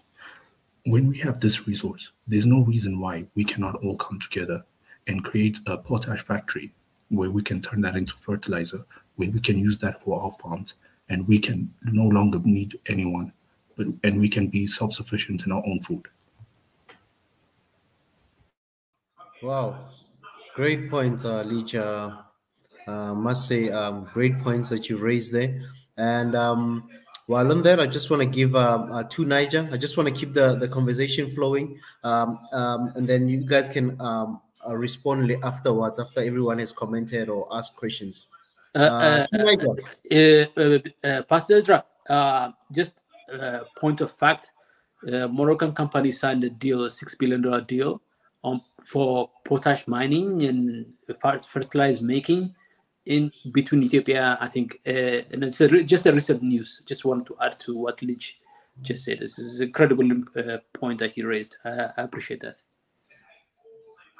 Really appreciate that, uh, uh, Professor and Leach, for highlighting that. And and I think some of the things when we were going to do the closing, we can we can do the uh, uh, uh, the good things that are happening in, in the Horn of Africa and other parts of the continent. So I know that there's always sometimes the negative, the challenges that we're experiencing, but we must also uh, emphasize the good things that are also happening uh, happening there. People who are doing great things in those part of uh, our continent. So in closing, we're gonna close with good news, things that might be happening that a lot of Africans are not aware of, like uh, something that you just mentioned now, uh, Professor. But uh, I'll go to Two Niger now. Uh, welcome, Two Niger. Always a pleasure seeing you. Uh, uh, welcome, uh, Two Niger. It's been a while Yeah. since I've been in the same stream as you. yeah, it's been a while. It's been a while. Yeah, thanks for uh, this thing having me.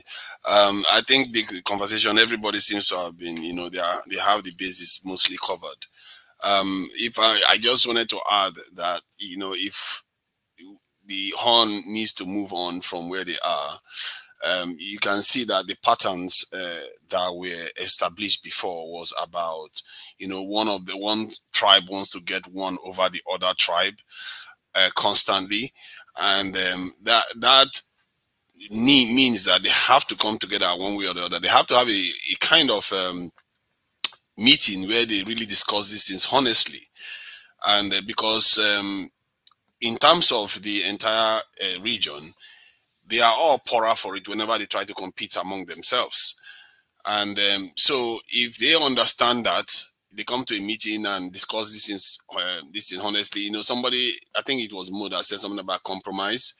Um, I, I, personally, I'm not even going to see that compromise. yeah, I'll just see that common sense for your. It's your interest. You're not even compromising because in the end, you're going to be richer for it.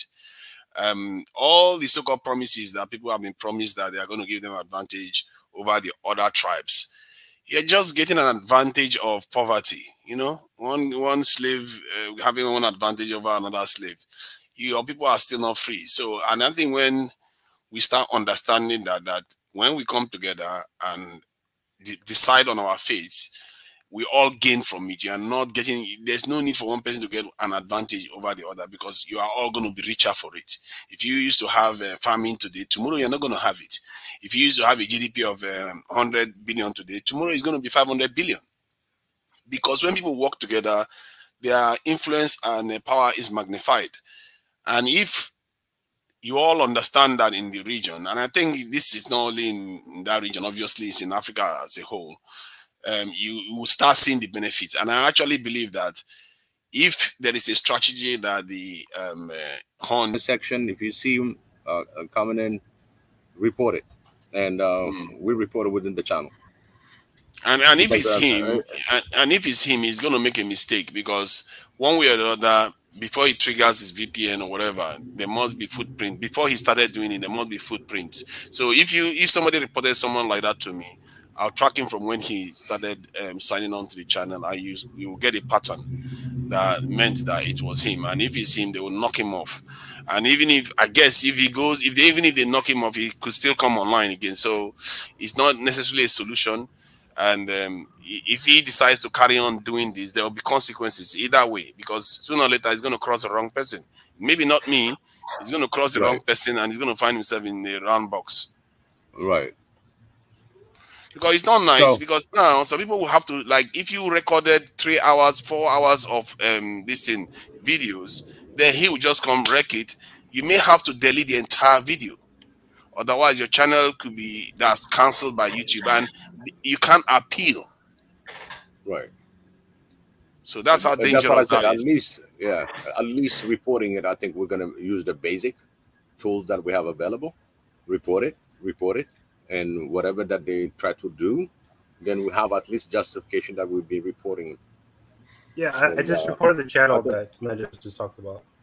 Right, but uh, still, uh, something that we see that is not with what uh, we're trying to uh, put out there. We still have the right. Wait, isn't Lila Hersey uh, the same person doing this? Yeah, if, if, if it's him that is doing this and he's telling Palace to stop, Lila Hersey's trying to play yeah. off the victim. We know it's you. I think, I think it's Lila Hersey actually. That's the same person. But anyway, shout out to you, uh, Lila. Thank you for not bombing my channel. I respect that, and thank you for donating to it. So, shout out to you. It's only your channel that he doesn't bomb. He bombs every other person's channel, and that guy originated. he, he messes with other people's channel, so he could be damaging other people's channel to promote your channel, and that's not nice what he's doing out there. then uh, tonight the defense minister said, you know, you got to act upon that one. We just put it on you. yeah, he, he needs to stop it. He needs to stop it. I don't know what you I said it before. We, before, before I will send Nigerian hackers on him, he needs to stop right. it. Back to the topic. Right. Can you get back to the topic? Which Please. is exactly what we do. We're not supposed to be doing after. right. Yeah. So, and tonight I'm interested. You are having a nice uh, flow in terms of ideas, and I'm, I'm interested in and how uh, you're going to land this. Yeah, um, as I was saying, every um, um, weapon that they used against us, which was our division, um, can be turned on them, whereby you use your unity against them. Um, because if you are united, they will underestimate you because they've, they've been doing it for 100, uh, over 100 years now. They will underestimate you and they will think that you're going to make a mistake and you're going to buy into whatever they are selling. And um, if they try that, they will fail. And they will see once a house is together, forget it. no outside force is going to get through. Especially, you, you see, unity is a weapon on its own. It's a weapon. You don't even need a whole army to do that. If you have agreements between your leaders and you understand, they don't, they, there's no hidden secret about this. It's obvious. Like you said, there has been, uh, someone said there has been a famine in that region. Your people have suffered enough. You've had wars enough, distrust all over the place. And this is what I've infl- clearly I've inflicted it on you. If you just check Wikipedia, you will see all the information there. They will say, "Oh, I will use the Issas to kick out the um, this tribe. I will use this one to kick this one out." They use our people against each other, and they compromised us. So there, it's time for honest conversation, and so that we don't try to get one over the other. The only people we need to get one over is the pan-Europeans because they are practicing pan-Europeanism. Don't blame them. They are doing what they have to do to protect their own interests. When are you going to practice your own Pan Africanism or Pan Honism, where you can protect your own area for yourselves? Because your children are suffering because of it. Your your your lives are not better off because of uh, the the advantage they are taking of that region. The same thing applies to all African region. I think it's time for honest conversation. If we start having honest conversations, that will allow us to start knowing where the um, the other tribes where we stand with the other tribes.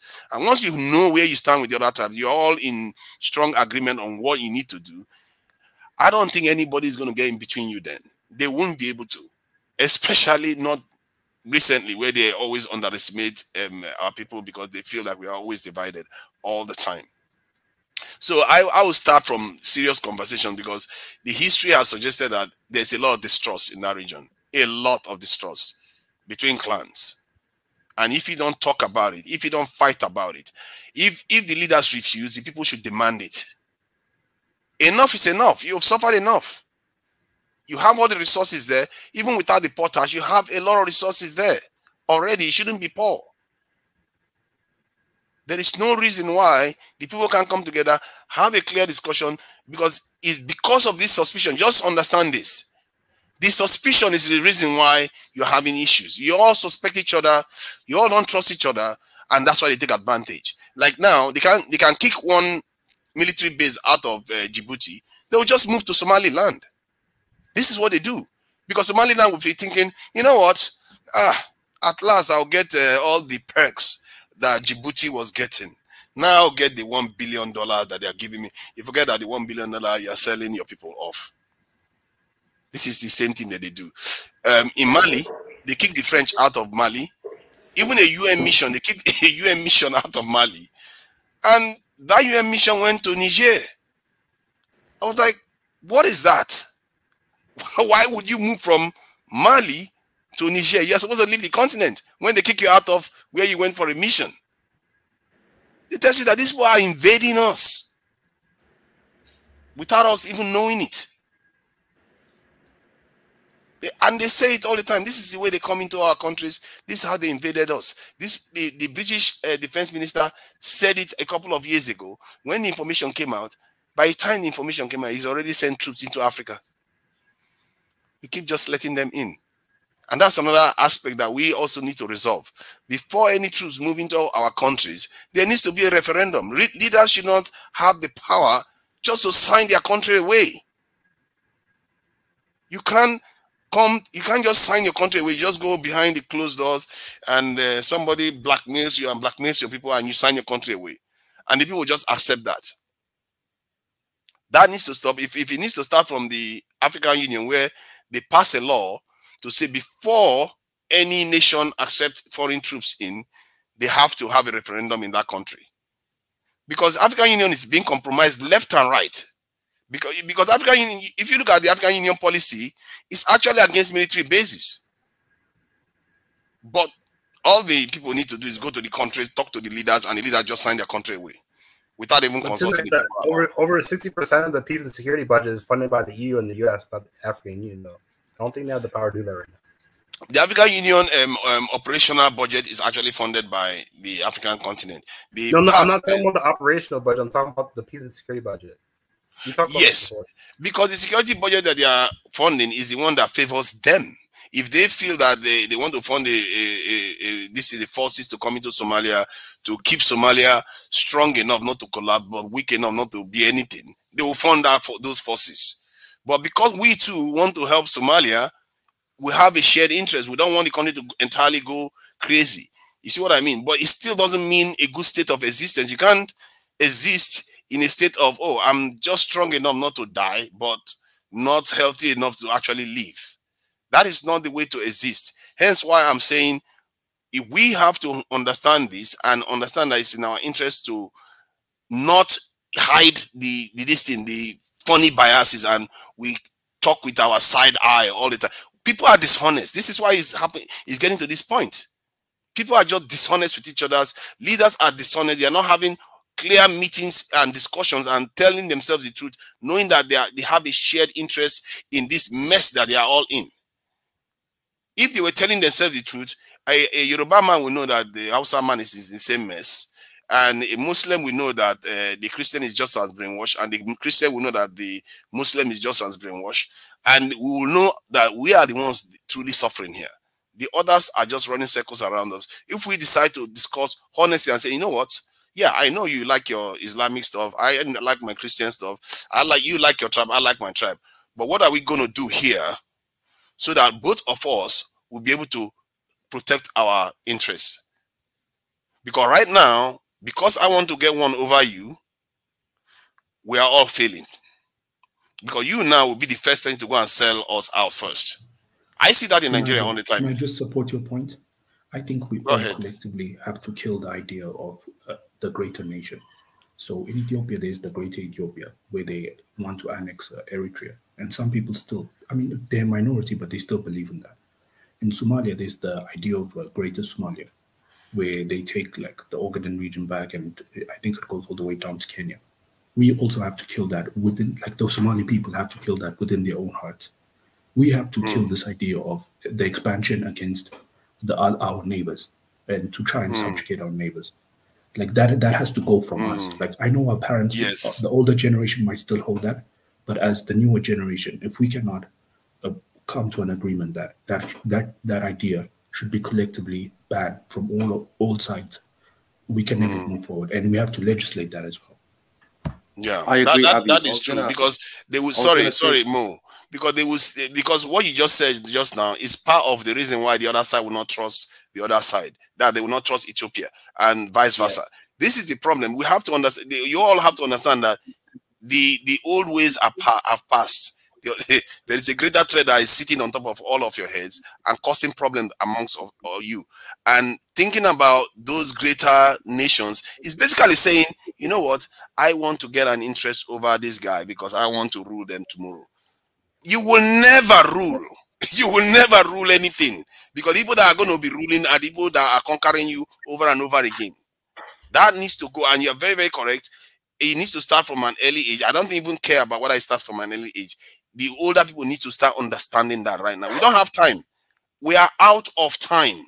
These people, what is happening in the world right now, if it settles, Africa is in serious, serious problems. In an age where they have robotics, they don't even have to bother leaving their country to come and deal with us.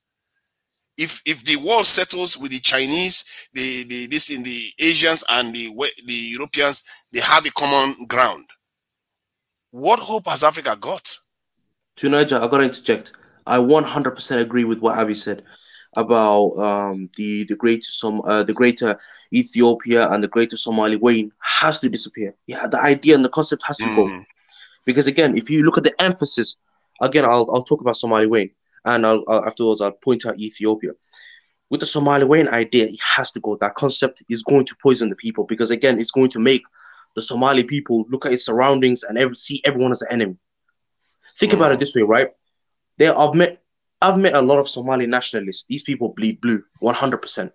Um, but then their ideals and their belief system is very, it's very um, unrealistic, and I'll explain why it's unrealistic because they believe Somali Weyn again is a concept uh, to again uh, bring all the Somali people under one central government, starting from all the way Djibouti all the way to the northern Kenya, and they believe the Somali people believe that that territory, including the Ogaden region, is all of theirs. And you know, some people even to this even to this day believe that that region or that Somali Weyn dream will come true one day. That is poisonous. The Ethiopian um, dream of the great Ethiopia, the great Habesha nation, is poisonous too. Because you're just gonna incite the bloody war that happened 30 years ago. You're literally gonna recreate it again, and it's gonna be again. We're gonna have to see Ethiopia and Eritrea go at it again. Unless that concept of that bullshit greater nation disappears, it will never change. People Yeah, now, we're talking. If we're talking about today, the people of today, they're used to what they're used to right now. And if you wanna again, let's just say, uh, bring the greater, uh, uh, like, see, if you wanna bring up those greater nations and you know forcefully bring it back to one, you're gonna create more chaos than there's ever been. Can you imagine all of those Ethiopian tribes and all of those Somali tribes under one central government? I can promise you, if one government stays one hour longer than it's supposed to, there's gonna be eruption. So that's why I gotta say it has to go. Uh, look, look. Can I also just add? You know, when you go to in Ethiopia, you'll sometimes see memorabilia of like Greater Ethiopia, where they add in the Eritrea and so on. And you'll also see, I've known this uh, memorabilia among Somalis of Greater Somalia. I feel like those memorabilias and even aspects of those on any form should be banned. Like the same I way the. Germans uh, banned uh, swastika symbolism, we should ban that stuff. But Abby, did you did I heard a I- report? I heard a rumor like yesterday that they were gonna reopen the Assab Eritrea ports to Ethiopia. Did you hear about that, Abby? Yeah, yeah, yeah. I heard about it. Can I make a statement just following um, Mo and I think uh, the other brother, I don't know his name, uh, about the greater Ethiopia, greater Somalia one. Um, Mo, I completely agree with you in the sense of, you know, I think a lot of Somalis we actually speak to right now, I think the talk of greater Somalia doesn't really exist. Let's be honest. We can't even save Somalia itself right now. So what's the point talking about greater Somalia? So I think a lot of Somalis are realistic in the sense of, let's just keep, keep what we have right now rather than just worrying about a situation that existed uh, a long time ago about a vision about you know reunify against all Somalis. I don't know about Ethiopia, but I know from Somali perspective, Greater Somalia is not really uh, in any political discussion right now. Our primary focus has always been Somalia, restore to what it was before, and keep it that way. Uh, but I do want to ask a question though to the panel as well, because obviously we have people from Djibouti, Eritrea, and Ethiopia as well, I, I believe. Um, my question is more in the sense of like, what role do the diaspora people have to actually play from these sort of uh, regions? So I'm talking about people from these countries that live in the diaspora, especially in sort of Western countries, uh, in terms of the sort of the political discourse or developmental aspects of as well. Um, how would you say how active are they? Because when I look at other communities, for example, when I look at the, my own Somali community, um, I do see a lot of people from diaspora that actually do, um, you know, have some sort of involvement in it. For example, even the current Somali uh, political landscape, there are a lot of Somalis that have gone back from the Western country, the host nation, back to Somalia to participate in the political sphere. Is similar thing happening, or is there any aspiration of it? And also, those, if anyone knows those communities, be it Djibouti, Eritrea, or Ethiopia, do they have some sort of a stronghold in some of these countries? And what do they do? That's just my question, basically. Okay, I'm gonna answer your question.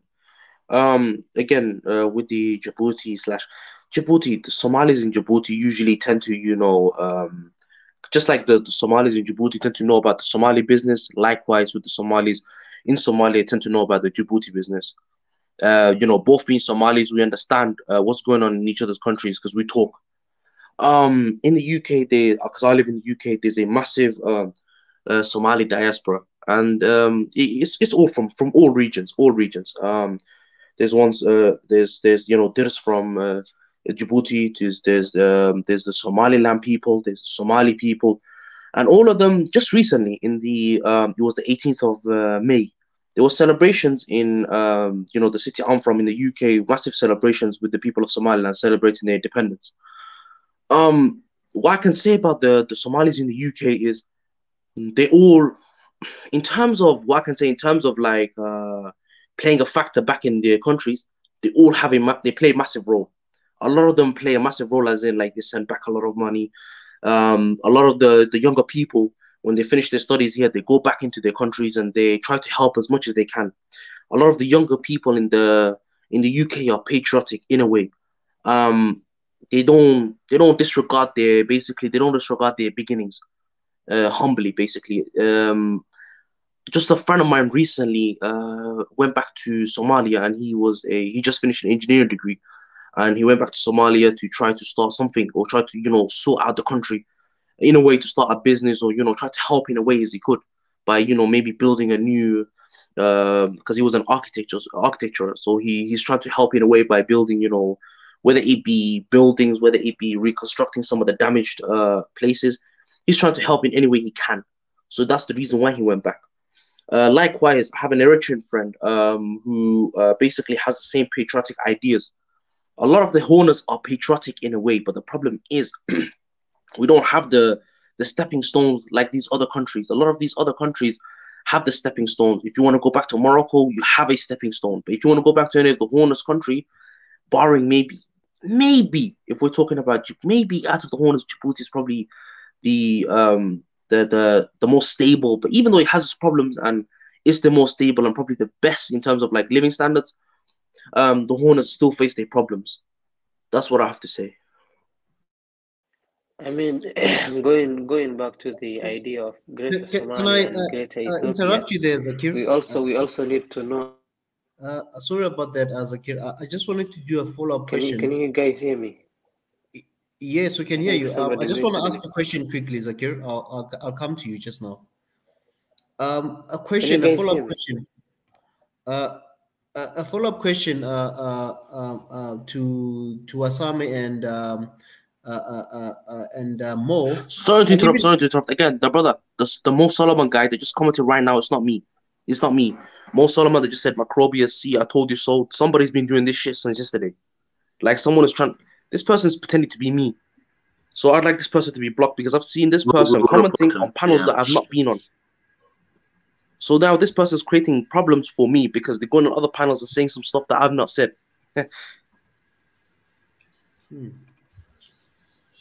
So people are just trying to cause havoc on other people's channels. Ezra, am I allowed to can I block it? Okay, or- Pi, can can you handle that person uh, for me, please? Yeah, I got it.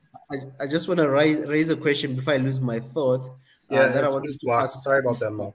Go ahead. Sorry, sorry. Sorry about that, Mo. Um, yeah. Um, for for for Mo and Pa and uh, Warsame and even tonight, you can also answer this. Um, for the guys that are in the diaspora, especially um, who are living outside the continent, because currently I think it's only me and Dr. K who are in the continent, and um, I wanted to find out, especially now with the Somalia, uh, the Somalians and uh, even Ethiopians and Eritreans, I don't know if, if it's just me, but when I see a lot of people outside um, the continent, they are more united than when they are back home. Is are we divided because of the politicians or the tribe leaders that are dividing us back home? What is it that we we seem to unite when we're outside our home countries, but when we come home, we now get divided into tribes and pointing fingers at tribe this or this leader this or you support this political party, I don't support this political party. What is it that really divides us back Can? I can I and interject us and just say one quick thing? Um, I recently went on holiday. Um, I was in a city called Hargeisa. I was in what's now called Somaliland. Um, I went there. Um, basically, um, this is uh, again, I I have some family there, so I went there to visit. And while I was visiting them, I've, I've came across some interesting uh, facts as well because I've not just traveled to Hargeisa, I went all over the Somaliland region. And I, I was looking at, because again, when I live in the UK, we don't really talk about uh, tribe. We don't usually associate with tribe. It's just if, you, yo, if you're Somali, then you're Somali. Like, you're not going to be associated with the tribe. And we don't have that mentality in the UK where the person, when you meet, you don't say to them, what tribe are you? While I, uh, while I was over there in Somaliland, I, I found out a few things that were interesting because um, I, I never went to, went to Somalia and also went to Somalia too. But I'll tell you what was interesting because when I went to Somaliland and Somalia, I spoke to somebody. When I spoke to somebody and they introduced themselves to me, they straight away asked, me- asked me for my tribe. I mean, why would you ask me for my tribe? I'm, I'm introducing myself to you with my name. You don't need to know my tribe. So, in a sense, over in like any of the Somali regions, they're very tribalistic in a way. Um, they basically associate you with your tribe. So, I, I, probably the same for the Ethiopians too. But um, I mean, like it was it was an interesting experience for me because um, let's just say when you go over there, they need to know your tribe before while they know you, they need to also know your tribe. I don't know if the brother Warsame has got the same experience, but yeah, it's just it was uh, in- Um, interesting interesting for me. No, that is interesting, but um, I do also want to point out as well. Um, you know, obviously, when you go to the north, especially Hargeisa, there is a greater emphasis on people trying to sort of, you know, find out your clan affiliation. It's, it's literally right in your face. You know, I've all, all I've experienced as well. I've family there that have all experienced it. There is actually uh, uh, less of that. More uh, the, the more south you go, especially if you go to the capital, Mogadishu, you can find almost every single tribe, be it from the north or any part of you know. So so that's one thing I do want to point out. Sorry interject, brother. Sorry to. It was the same for me Mogadishu. I met a few people and they kept on asking me for my clan or for my tribe association. So it was interesting because I said for both because when I went there too, they never they never laid off of it as well. They always want to know my tribe. Can, can I ask you a question though? Um, would you agree with this statement I'm about to say that there is a greater emphasis or usage of the tribal system more in Hargeisa than it is, let's say, in? Would you agree with that statement? I know obviously you had your personal experience there, but maybe you've also talked to other people because I'm sure Zakir will also jump in at some point. There is more of that in Hargeisa than is in Mogadishu.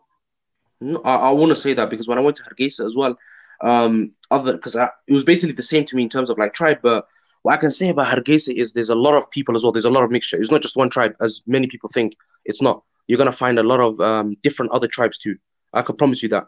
Um, even There- if you go to I- yeah, go on. yeah, if you go to some of the the lower cities, if you heard of the the Souk Hosei and Hargeisa, you're gonna find a lot of different other tribes. People from Somalia that actually live there, that, that went there to to maybe do businesses to escape what's happening in Somalia. It's it's, It's you- still uh, Somalia though, isn't it? Huh?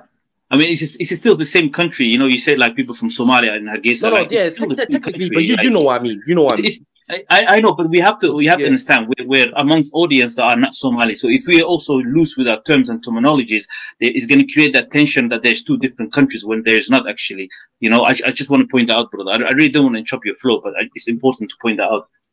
Te- yeah, I understand what you mean, but technically it's a semi-autonomous region. But yeah, um, I understand what you mean, I- though, hundred percent. I, I even even when I went to Djibouti, eh, the, the case was the same. You, you see, the point is, Oh, 100%, most of us 100%. Don't, don't might might not acknowledge this, but we all look alike.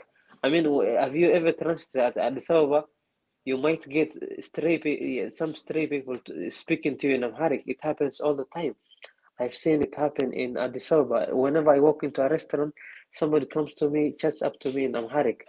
You know, we, we, I think most of us have something. Uh, if you look at psychology, it's called the narcissism of small differences. We we poke, we try and poke people to see if we are different in any kind of way. I mean, if you if you met a brother from Senegal or South Africa, you, you might ask yourself which country are you from, or you might guess at their passport and know yes, this is real South African. But when you met a fellow Hona, the case is different. You try and poke. You tell them, "Yo, what's up? Where you from?" And they tell you Ethiopia, and you try and know which tribes of Ethiopia they are from. Same happens in Somalia, but in the case of Somalia, we try and go deep. Even if I were to speak with you or someone now, and let's say we we came from the same clan, I mean, I will poke further and ask you the sub clan, then I ask you where you're from. It goes deeper and deeper than that. I think it's part of the nomadic culture that we never let go of. When people used to meet, Somali people used to meet, they they used to do abtirsi to kind of gauge these people where they, this person that I'm meeting, where they from and, and who do they really identify with. Basically, I I, I, I, I tend to explain it, although not uh, quite uh, well. Affiliation looks like somebody asks you for a party or a place you stay. You you kind of have to give it to them before they before you take the conversation forward. I don't see it normally as a bad thing, but outside Somalia, we, we, have to let loose. We have to let that thing go. And the other point I was trying to make the other time, uh, my correction was bad, I think, about the Somali Weyn idea, the, the idea of Greater Somalia, the idea of the Greater Habesha nation. I don't think the idea is going to die off very soon because in Somalia, it, it started in 1941. I think the, the term Greater Somalia was coined in 1941. And as Somali people, I am sure, some, and, and you can attest to this, whenever there is a sense of injustice happening to our Somali brethren who are outside within the borders that were superimposed on us, I am sure some a part of you feels as though we should be they, that shouldn't be happening to them. I think with time we have to time is the greatest heal of everything. We have to give it time before we let go of such ideas, and it will take so many generations before we had assimilated into the, our respective countries. Nobody in this world likes to be dominated or to be a, a, a, kind of told to stay in your place. But we are we're Somalis and we are minority in 193 countries. We only have Somalia that we are, we are the majority in. We, we have to accept the reality, and however long it takes, we will accept that reality. As for people living outside historical Somalia, I mean, they had they have a lot of issues. Somali, I, I was recently seeing uh, the Somali people celebrating the only uh, Somali general in the Ethiopian army, and I, I don't have to tell you the, how large the Ethiopian army is. We're not trusted uh, to, to hold any higher position in, in Ethiopia. You know very well. Up until recently, we didn't have even a choice in the system of uh, Ethiopia. Same with Kenya. I've been to Kenya many times. I know the system. I speak the language. In Somalia, there is what we in Kenya there is the apex, the the the apex phenomenon. Like a Somali might be holding a, a position, a high key position in in the government, but that does not translate to the average Somali on the streets having the same right as another Kenyan. As long as our people feel disenfranchised and they're salient in the affairs of the countries, quote unquote, that we adopted, I don't think the idea of the idea of longing for a greater Somali way is here to stay in the for for a, for a period. Th- th- thank you, Zachary. Ezra, can I go back to your question, if you don't mind? Sorry, um, about about the diaspora community. Um, I mean, I, I, I do see it. Um, bo- it can be both positive and also negative form, especially from Somali perspective. Um, hopefully, uh, Mo and others can also speak how it's like. Um, I've seen the diaspora community when they sort of move into area. For example, I've, I've lived, I've moved to a city, I remember, and the Somali community was very uh, small. So there was a sense of like, you know, let's all get together. We're all the same. We're all Somali. Let's work to set up an organization, you know, that kind of stuff. It was all good. Once more Somalis start coming in, unfortunately, I've started seeing a bit of a division sort of building up. And unfortunately, it was along tribal lines, right? There's parts in London, you know, it, there is a distinction. You know, there's some cities in the UK, you could see that actually, the community division. Like you would see you know, some people that would say we're from this region, this is my country, you know, that kind of stuff. Uh, even the celebration that happened, you know, the 18th of uh, May, a few days ago, um, uh, it's it's it's only visible in certain uh, areas or cities that only one tribe is majority in, and that is quite visible. And same thing when you talk about this election that's been happening recently in in in in in in, in, in, in Somalia.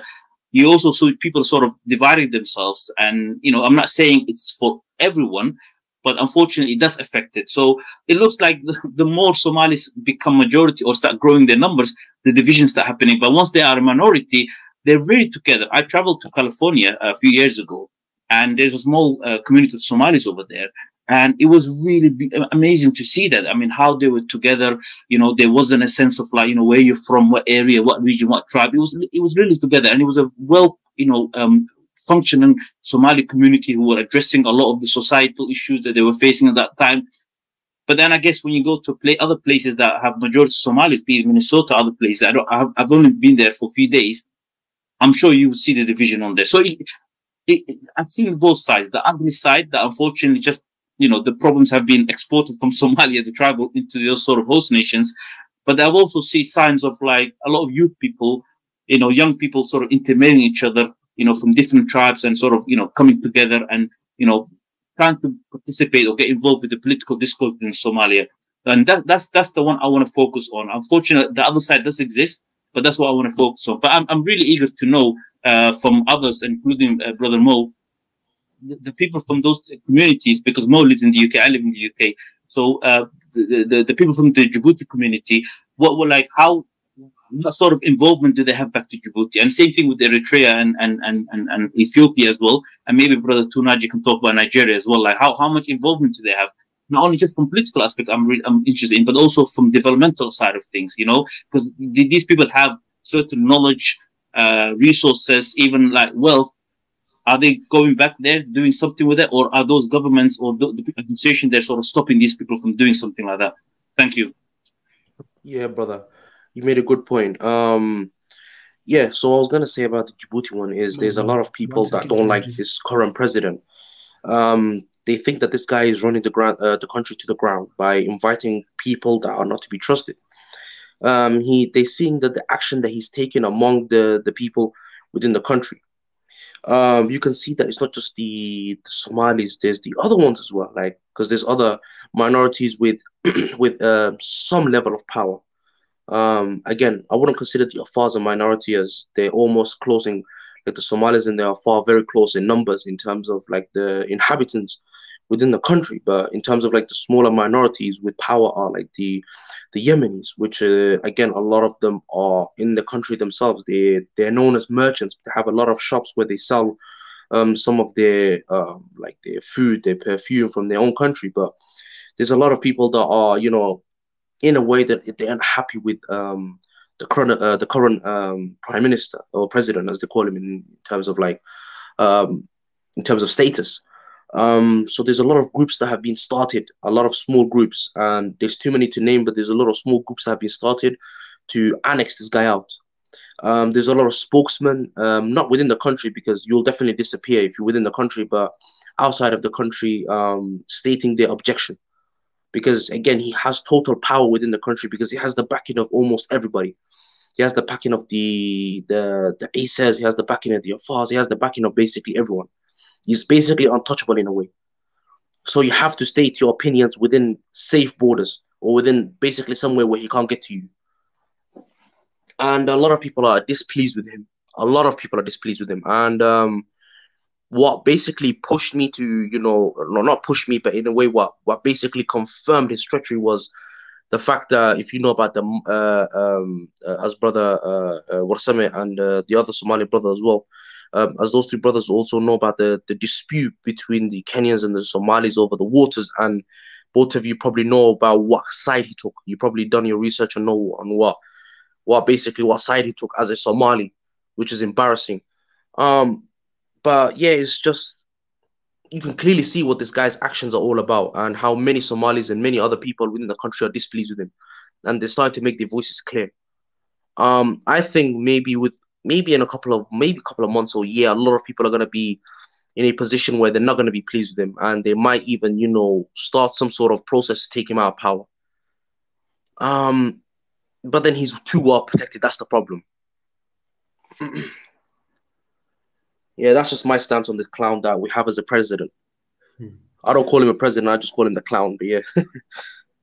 Uh, thank you, Mo. But I'm gonna come back, guys. For, for- there's a question that I- I think most of you answered part part of the question that I'm asking about what uh, the the division part. Who's dividing? Who? Why are they more divided? Uh, is it the politicians? Is it the tribal leaders who are doing this? But hold that thought. Uh, I'll, uh, you'll answer that afterwards. But I just want to hear um, to Niger from his side uh, um, also living in the diaspora. I think we've got a lot of uh, guys who are living in the UK today. Uh, to Niger. Yeah, I, I I think the division is coming mostly from leaders and um, in the countries, and part of it is because many of these countries don't have any sense of um like hate speech law, a law that basically speech is basically saying you know what, don't try to divide us based on tribal lines and yet African countries haven't taken on any of these type of rules. And this is kind this is what I mean by when we have a discussion, that's what brings out this type of things because it will naturally make you arrive to uh, at a point where you all decide that okay, this is how we need to live together. When your daughter or your brother or your chief says this about our people, you should condemn them. You should hold them accountable, and the vice versa. So there has to be a common rule that says this is the way we have to talk to ourselves so that we don't rip each other uh, apart. And I think in terms of uh, who is doing it, we all know now the leaders are the tip of the spear because if the leaders are not using it, the people will not um, uh, notice it as much. Um, so this is why I say that if you want to solve this problem, part of it is you encourage the leaders not to do that. But most importantly, you have to be rules put in place. And this is why many of our countries, for want of a better word, needs a form of uh, hate speech law. I, I guess I, the term hate speech law doesn't sound positive. I, I, I guess you can call it. Um, I don't know. Somebody should call coin a better word for that. Really, I because it's a very very valuable instrument to keeping um, countries um, uh, stable um, in terms of societally. So that's my take on it. Thank you, uh, Tinaja. Uh, our Leech, uh, do you also uh, have something to, to, to say here? Yeah, I just wanted to respond to the Somali brother who said, uh, who was talking about the idea of uh, uh, banning the ideas of Greater Ethiopia or Greater Somalia. Look, I'm going to be honest with you. You're right. These ideas are too entrenched in our societies right now. But as long as these ideas remain, these countries will never trust each other and we can never work together, especially from the elite. Because let's be honest, if if these ideas still exist within each of each of these countries, that means that the moment one country starts rising, or the moment the power balance starts shifting towards one country, the other country is going to invite foreign power to try and help them out. True. Hundred percent agree. That that will mean what a proxy war again. Hmm. So if these if if you if this is going to take generations to solve, then we will never be united for generations. These are just honest facts. Yes, you This, see, this is made why this is why we have to listen to each other. This is why you have to listen to the fears of the And opposite Tunaja, sides, Tunaja, can I just vice say one versa. thing? Can I just say one thing? Even a rat knows. Even a rat doesn't fall for the same trap twice. If you set a, a, a, a mouse trap in the same place twice, a rat will never fall for it twice. There's no reason as a human being that we should keep making the same mistakes generation upon generation upon generation. We should all give up on these ideas. They, they won't, you see, they, they won't because to, maybe today you um one tribe got one over the other. Tomorrow the other tribe will want to get one over the other tribe. So the, the cycle repeats itself until both sides realize that okay, you know what, um, you want this, I want that. Let's figure out a way that we can meet and work together to make it better for both sides. Because right now, while we are busy trying to get one over the other, it's not getting us anywhere. And I really believe I've seen it happen. I've had the experience myself. When you discuss with people honestly, both of you will come up with solutions that you never even saw coming. That will be like a genius move. And that's why I think when you have discussions, can I, you Tunaja, come up with also say one thing? solutions. Can I also say one thing? This uh, propaganda that each tribe has, that they are the most oppressed, needs to stop. Because I, heard the brother say, oh, Ethiopia just celebrated their first ever Somali general. Well, he has to understand that for the last 30 years, there's never been such thing as an Ethiopian army. It has pretty much been a Tigrayan army disguised as an Ethiopian army. 90% of our generals used to come from the same army, from the same tribe. So forget about the Somali person ever being a general. No one else was being a general, if we're being honest. And these are the misconceptions that I keep talking about. You see, every tribe is fighting to be the most oppressed. They go tell their kids, oh, they're doing this to us, they're only oppressing us, they're doing this. That has to stop. We have to look at reality. Yes, we're all being oppressed. And yeah, maybe at one point one tribe will be oppressing the other. But guess what? If you keep saying that you're the most oppressed and you end up being in power, what are you going to end up doing? Because you've inculcated your children with this mentality that everyone's against them. Then they're going to get in power and start oppressing everyone. And then the cycle continues. Hmm. In Nigeria, the, Absolutely. let me add the Nigerian experience on this one. Uh, in Nigeria, the experience is you have a tribe like the Igbos in that which they live in Biafra. They believe that they are being marginalized from power specifically. But they wouldn't say that. They would say they are just being oppressed and the country is punishing them and all the rest of it. While in reality, they are talking about uh, administration of the country. That's where their power is not as strong. Uh, but in terms of development, they are more developed than the area that they are uh, accusing. And uh, in terms of education, they are more educated than the people that they are accusing. So on so many other metrics, they control the country more than uh, the other groups. But yet they claim that they are the most marginalized. And when you tell them that in reality, what you are saying is that you want to control these other aspects of society at the same time be able to control um, uh, the ultimate power in the country in terms of the military and uh, this in and uh, politics. They will say, no, no, no, that's not what we are talking about. You see, there there is perceived um, injustice and marginalization, and there is objective one. Because, and I think you touched on it when you said, you know, sometimes you know, children will be growing up, they will be telling them that we our people have been marginalized and this this people did this to us, this people did it. And there's a lot of misinformation going on. It's not often objective. And this is why it's important when you discuss with people openly, then you flesh it out. And the areas that you are they are actually feel aggrieved, you address it. And you'll be surprised. Sometimes some of these things are just not as real as people make it sound because in reality, everybody is suffering. Like you said, in Nigeria, the whole country is suffering. We, we are all not getting this. It's not like one region is getting 24 hours power supply, uh, you know, 24 7. No, no, no. Every area is suffering the same, including the federal capital territory. So, this this idea that one side is getting more over the other is a fallacy. But if you to resolve it, you need to be face to face discussing these things honestly. If we keep telling our children behind closed doors, and politicians coming out openly to cause division, we are not going to get to the end of it. And that's how we lose it. Trust me, trust me Tunisia, I, I, I remember reading uh, Half of a Yellow Sun by Chimamanda. I, I, although it was a novel, a fiction, a book of fiction, she was trying and depicted the Igbo story. I, I, I have had a fair share of literature from Nigeria. Uh, coming back to the brother, uh, now I've lost my train of thought.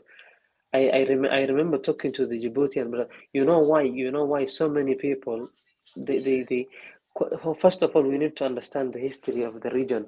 The region had uh, warfare for about I don't know for the last bit of the millennia. I would I would even say, and it's also entrenched in as much as it's political, it's historical, it's even religious. Sometimes it takes the form of religion, uh, religious violence as recent as Ramadan, I think the a couple weeks ago, we've had some Muslims suffer in, in, in some horrific violence, which is inexcusable by any standards. Coming coming back, like just said, you know, I, I, I see most of these politicians as, as jokers. If there if there are no people listening to their jokes, then I don't think they would thrive in this society. We like to we like to tell each other we are so united power to the people with the normal movement and everything. But deep down, we know we are we are divided more than ever. I have not seen an African who has no problem with another African, even if they claim to be friends. One is just outweighing the other. And, and in this game of uh, one tribe having one over the other, if it were to help, we would have seen its results in Somalia. In Somalia, for the last 30 years, we've had 30 or 40 warlords changing sides each after the other. There is no there is no winner. If they had a winner, he would have imposed a, a, a, a winner's piece on us. We have not seen it. The same five years, we see one one tribe becomes the presidency, the other holds the prime ministership, then the opposition switches one night. Whenever they're defeated in, in, in, in election, the whole opposition now becomes government, and the government becomes opposition. You see, brother, After that's a great years, statement you see, made. You made a great Even statement. in there. Somalia right now, uh, the president uh, who was elected, I, and I say elected loosely because he, he was the, the fate of the Somali people was was decided by 300 and some 30 MPs. Now corrupt he's the politicians. again. I politicians. This, Uh, is the statement I was gonna make. same, and and and we, when we're waiting for change, I don't think change is coming anytime soon. If we were to wait, these failed, regurgitated politicians, where we see every day. Well, I was gonna make a statement as well. Uh, well, I was gonna point something out as well.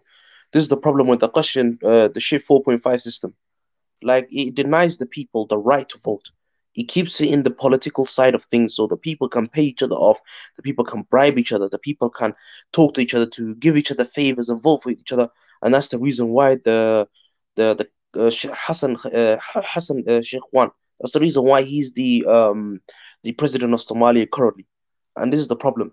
And see, right now, um, even the situation with Deni, where he's not happy about Muha not becoming the president, and he's gone back to Puntland, and basically he's talking about, uh, you know, uh, Muha moving away from uh, Mogadishu and becoming its own state. ah. Yeah, Uh, so you have he you have problems. the nuclear the nuclear uh, solution.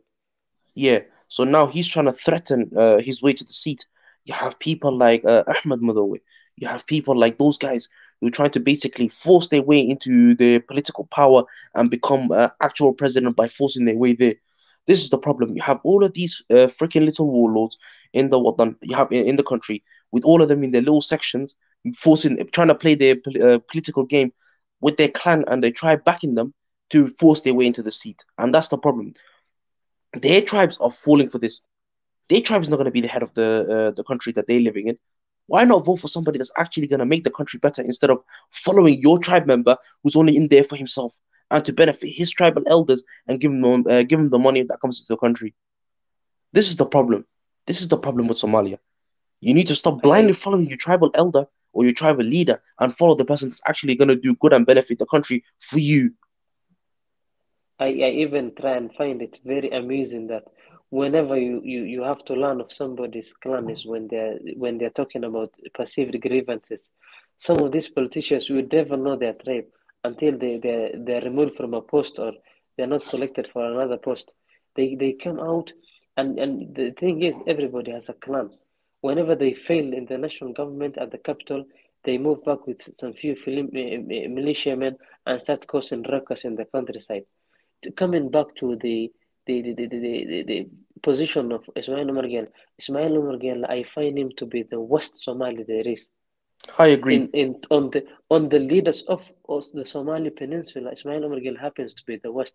Even this system that we have, the 4.5 system, this guy, when when the Somalis went to Arta, you, you know who was the principal architect? Ismail Omar Guelleh, who divided the Somali among the four big clans. Imagine telling someone you are half, your vote is uh, worth half of another. Look, look how that turns out. When whenever you find these uh, captured Al Shabaab uh, will be suicide bombers, they happen to be from the minority clans because Al Shabaab taps into their grievances. They are told, look, you're not somebody in this world. Look for your riches in the afterworld. Go to heaven. Take this vest, and they come and they come down massacring another Somali people. The thing is, if you ever stop a Somali person on the road, you can't tell their clan from how they look. They, they'd have to tell you, and anybody can tell you any clan. That's why you, when when the civil war happened and the, the, the checkpoints were erected all over the country, it was not easy to know who is from where and who is from which clan. You had to You go see, on this this this your is gut. this is the And, problem. and and the the whole world is looking upon us. We look like some backward savages, and and we don't seem to see it anytime soon.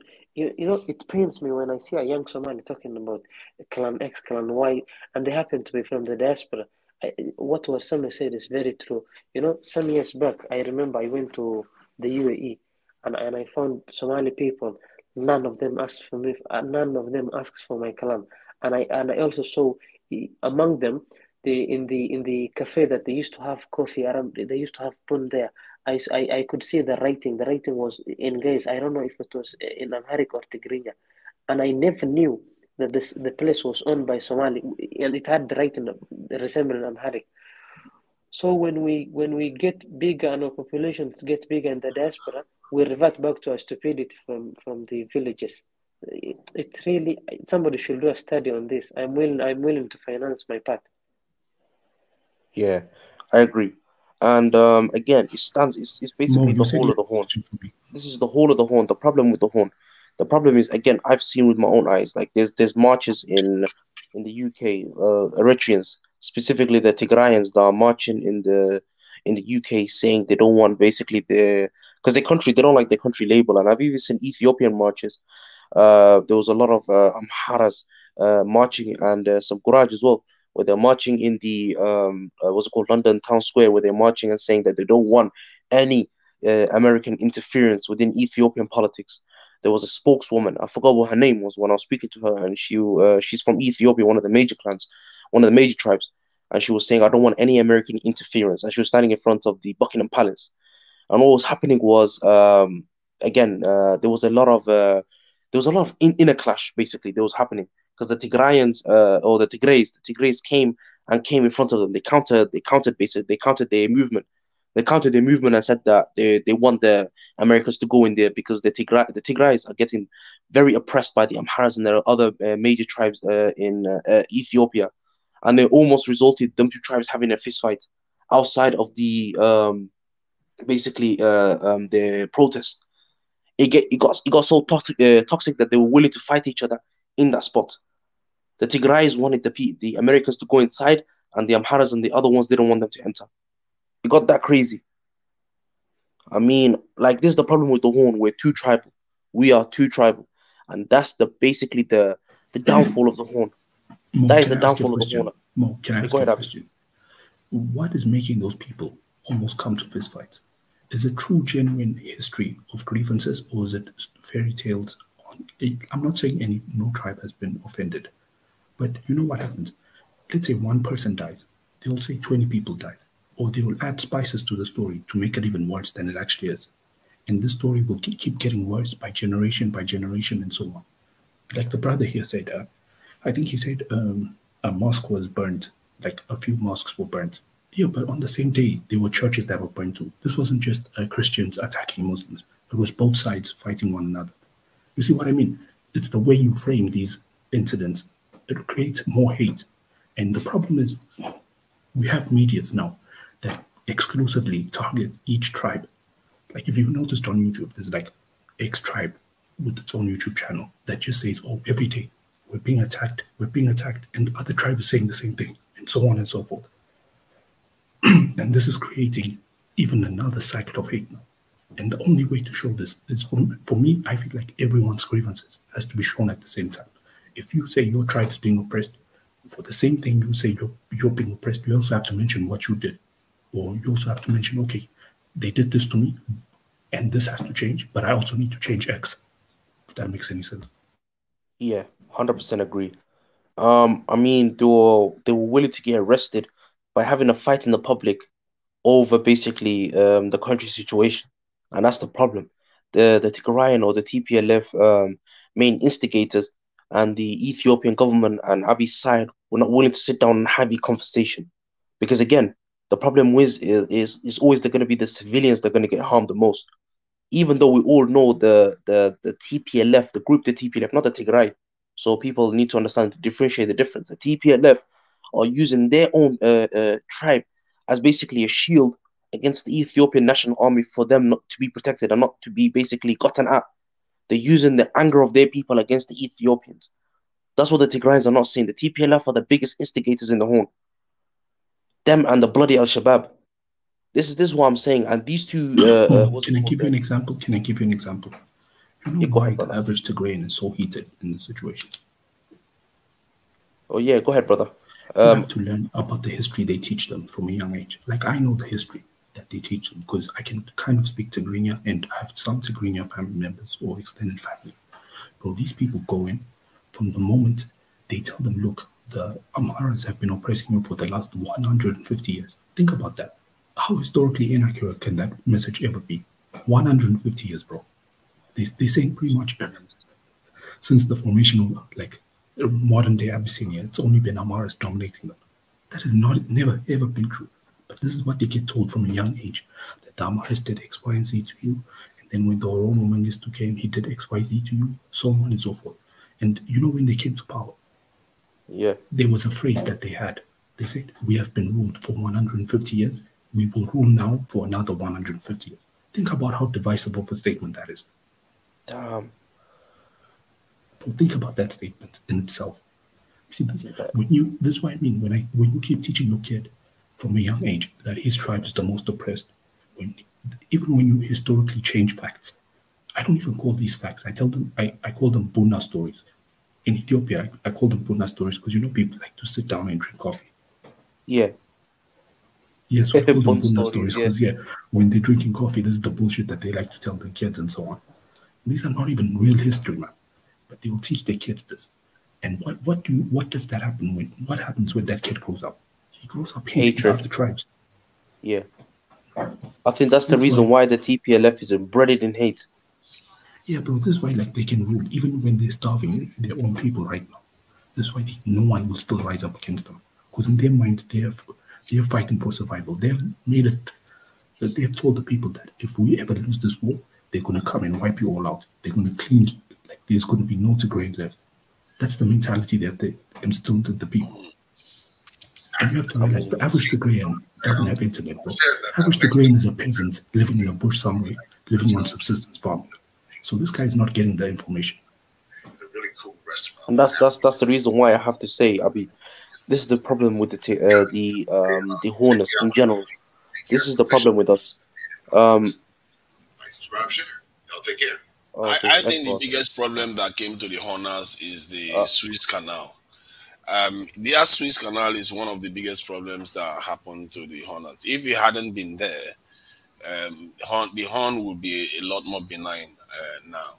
Sometimes it's it's not necessarily your people's fault. So Niger, I have to I have to counter that. It's not that. I can promise you it's not that.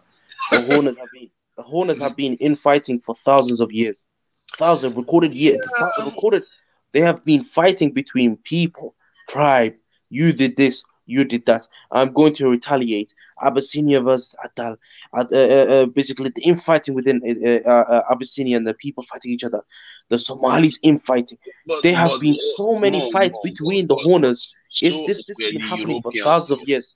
So were the Europeans fighting each other. I think the, what is making it now um, relevant and um, affecting the lives of the Honors today is because of the Suez Canal. If you look at the 18th century with the deals that were being signed by the leaders in that region, it's all linked to the Suez Canal being built because it was strategically changing the focus of the Europeans. So that is what is affecting what is going on on the ground. And if you look at it, the nations even, it's almost perfectly designed to keep the horn in check. In the, the, the map, if you look at it, because it, it, Eritrea is right there, blocking Ethiopia from the sea, because Ethiopia would be a lot stronger if they were they had access to the sea. Somalia that had that has access to the sea with a reasonable population, they put them into a civil war. And the one that seems to be a little bit freer, um, which is um, uh, Djibouti, is basically a supermarket for military bases. You see that the region, uh, there's no chance. They didn't give it. It's a perfectly designed system to keep that region the way it is. It's like Afghanistan. If any area is that very strategic, they make it a nightmare in that region. And But this is tonight, what you Joe, have- th- well, can I ask you a question? The Suez Canal is blocking trade to, to the U.S., right? Correct? Is that what you're saying? um, no, it's allowing blocking trade to trade go to- flow into the uh, to into Europe from the east. Oh, okay. So But we yeah, shouldn't be makes- using the European markets anyway, though. No, it's not because for you. the It's natural not for you. resources. It's for them. It's not for you. It's Yeah. for them. It's for the Eighty Europeans. percent of the Europeans, basically, eighty percent of the Europeans, oil, gas, or whatever, comes through that canal. And if that canal was blocked off, they would starve within weeks. Exactly. Within weeks, Europe would collapse. Within weeks. It'd be a That's how much they big need it. for them. So this is why Just to- on has to be kept, To be Niger, just to help you out, the biggest trade trade volume in the world is across the Eurasian plain, and more specifically, it's between Far East Asia and Western Europe. And you can't you can't just use land to go from Far East Asia to Western Europe. It's more expensive. So That's the reason. And, through- and plus, and plus is much more difficult. So that's Yeah, the reason why they need the canal. Yeah, all of it goes through the Suez Canal. So pretty much Europe, Western Europe, and China, Japan, and so on, they all trade through the Suez Canal. So if that goes, or if that is destabilized for any moment, their trade goes. They will goes collapse. down. I mean, look at Japan. I mean, you guys are focused on China having its first military base there. Even Japan has a military base in Djibouti, bro. that that is you can't make that up, can you? I'm telling you, man. Af- African countries need to start opening military bases there, like South Africa, Nigeria. Let's let's all start having military bases there because it's ridiculous now. Even Japan that was nuked has a military base. You know, Japan is not supposed to be allowed to go to war, and they have a military base there. Unbelievable. That's the problem with us, man. See, um, I was gonna also point out. Mo, think about you, it this way, right? check? Uh, even Germany is now thinking about opening a military base. Oh somewhere, my and God, on not their, on Germany short list is your country as well. Oh, he's. I'm telling you, man. Abdullah Umar, he's actually pushing the. He's he's he's, he's taking the mic if he allows Germany to like. Cause I'm, I was already fuming when they added Japan, and I mean, what more could be said? Like, think about it this way, right? Um, if like, see, this is the problem, right? If Djibouti kicked out all of the military bases, right, which is again a false stretch, but let's just say it did happen. I mean, and they started take, taking control of the um, basically the the the Red Sea. I mean, again, it would be again one of the most powerful countries in our. Already, it would be one of the most powerful countries in Africa because it has a a very good GPD, uh, GD, uh, GDP. It has a modern army, no military bases on it, and is in one of the most strategical positions in the world. Again, that's the reason why they cannot have Djibouti without military bases. They need some sort of check on it, if you know what I mean. But then Djibouti also made it a check on America because America, when it had its base there, guess what? the Djibouti, the, the uh, he didn't he, he didn't want just America there because America would be too much of a problem. So what he did is he invited Russia and China. So you see now there's also there's some sort of counterbalance.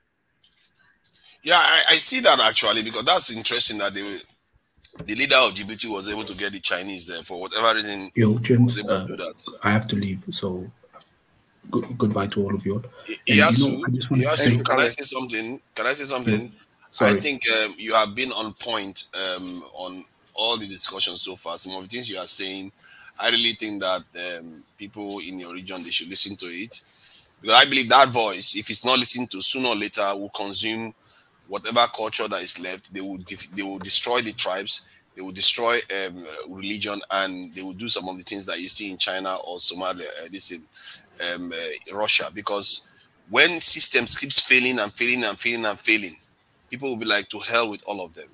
Some of the things you are saying is is, is a harbinger of things to come because you are saying get rid of all these things. Stop telling your children not to do this. Stop. That is how these these things change. Before you know it, you like to you know plague on both of your houses. I don't care who is who. You people have wrecked us long enough. Anybody that stand, stands in my way, they will be killed. And this is how it happens. And millions will be killed, but they will create a single uh, this in uh, nationhood in that region. So let's hope it doesn't get there.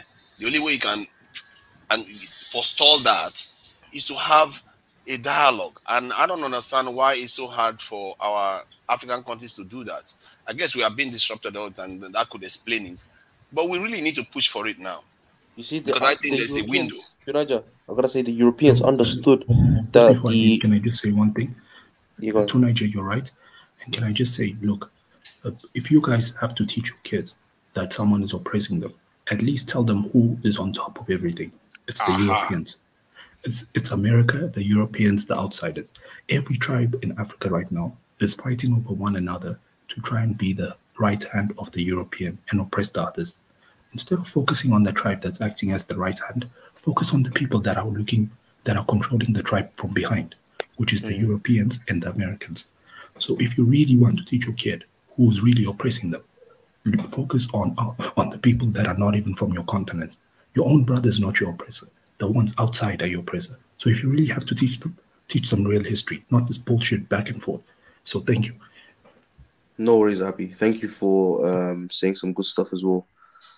Um, I, I mean, I was gonna also point out this is the problem, right? As Abby pointed out, the Tigray is teaching basically poison to um to the to the younger generation, which is again gonna also be bred into the generation that comes after them. I mean, 150 years we will rule. That's bollocks. And then they said that we're gonna rule for 150 years. I mean, the Tigray had a massive grip, or again, not the Tigray because not the tribe, but the, the, the TPLF have had a massive grip within Ethiopia. I mean, they were controlling the government for decades, decades. And um, when the TPLF was removed because of Abiy's actions and they were kicked out, they restarted a whole uh, uh, revolution to get back their um, to get back the Ethiopian government. They even uh, what's it called went as far as to call the Ethiopian um, government uh, what's it called uh, uh, basically raise a holy war against them because they lost power. I mean, these guys have been stacking up weapons and military, uh, basically weapons. They've been stacking up uh, uh, military, uh, um, uh, what's it called, military vehicles. They've been standing, uh, stacking up wherever they needed, just in case things like this happen. And that's the reason why they're able to fight back so heavy because of all the stored weaponry and everything they've been doing now through the decades. I mean, the TPLF have to be one of the biggest poisons in the Horn, alongside Al Shabaab. Those crooked guys in, in in Somalia, these people, the Al Shabaab. The funny thing is, Al Shabaab has very few minor uh, major tribes. It has very few members of the major tribes. That's the funny thing about Al Shabaab. It has the minority tribes, but never the very few of the majority tribes. So that's that's one thing that everybody in Somalis or the Somalis have cropped on with the, the Al Shabaab. Um, and how can they call themselves? How can they call themselves? How can they call themselves Al Shabaab, meaning the lions or the tigers? They're not lions or tigers. They're cowards. They kill themselves. They bomb them. They, they they suicide bomb themselves. At least the TPLF are coming at you face forward. These guys are cowards. That's what I have to say about them. But in terms of in terms of the horn, we need to fix the situation. We need to fix the situation because it's not it's not beneficial for any of us. It's not beneficial for Africa at all. Like it's not beneficial for any African. We cannot have anybody overseeing our actions because we're in the most strategical position in the world, uh, in, in terms of like in Africa. We have people destabilize, destabilizing our country in the name of their prosper in the name uh, in the name of their country prospering, and it's crazy to see, man. But the, the horn needs to f- uh, fix the situation. I mean, this is the problem because again, this this is this is what my observation are like. Again, what I what I need from Somalis is again this guy to be this guy's got a four year term and he's got a major backing in Somalia, and that's the problem. When he steps down after four years, there needs to be a change. They need that four point. They, Somalis have four years to get rid of that four point five system and give the people the voting right. So hopefully the Somalis can fix that situation, and hopefully the Habeshas can get the Habeshas can get rid of the the TPLF before America goes on their holy crusade of entering their country and destabilizing their government because that's what America does. Every time they say that they're gonna go in there with their democracy, the country doesn't survive.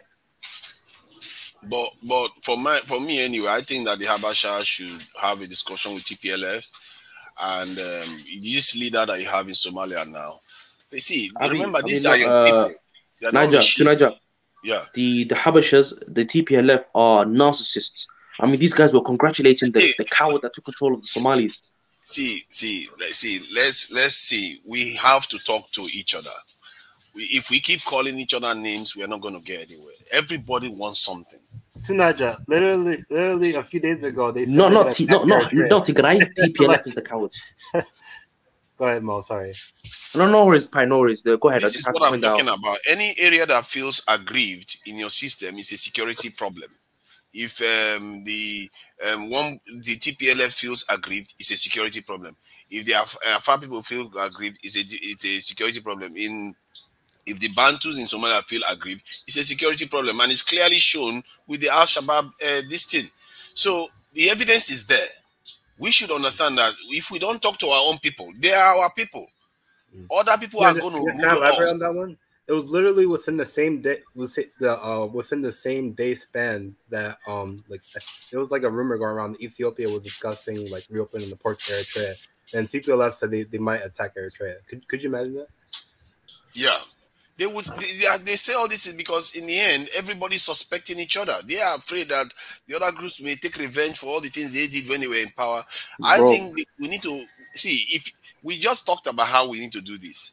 And the next second you're calling this one cowards and all the rest. I kind of, I kind of, I kind of, yeah.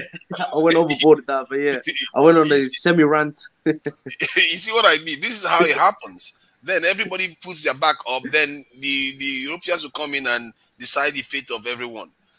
We have to approach each other and understand what, what they need, and you let them know what you need, and you guys find a common ground. You'll be surprised how the co- common ground you guys can find.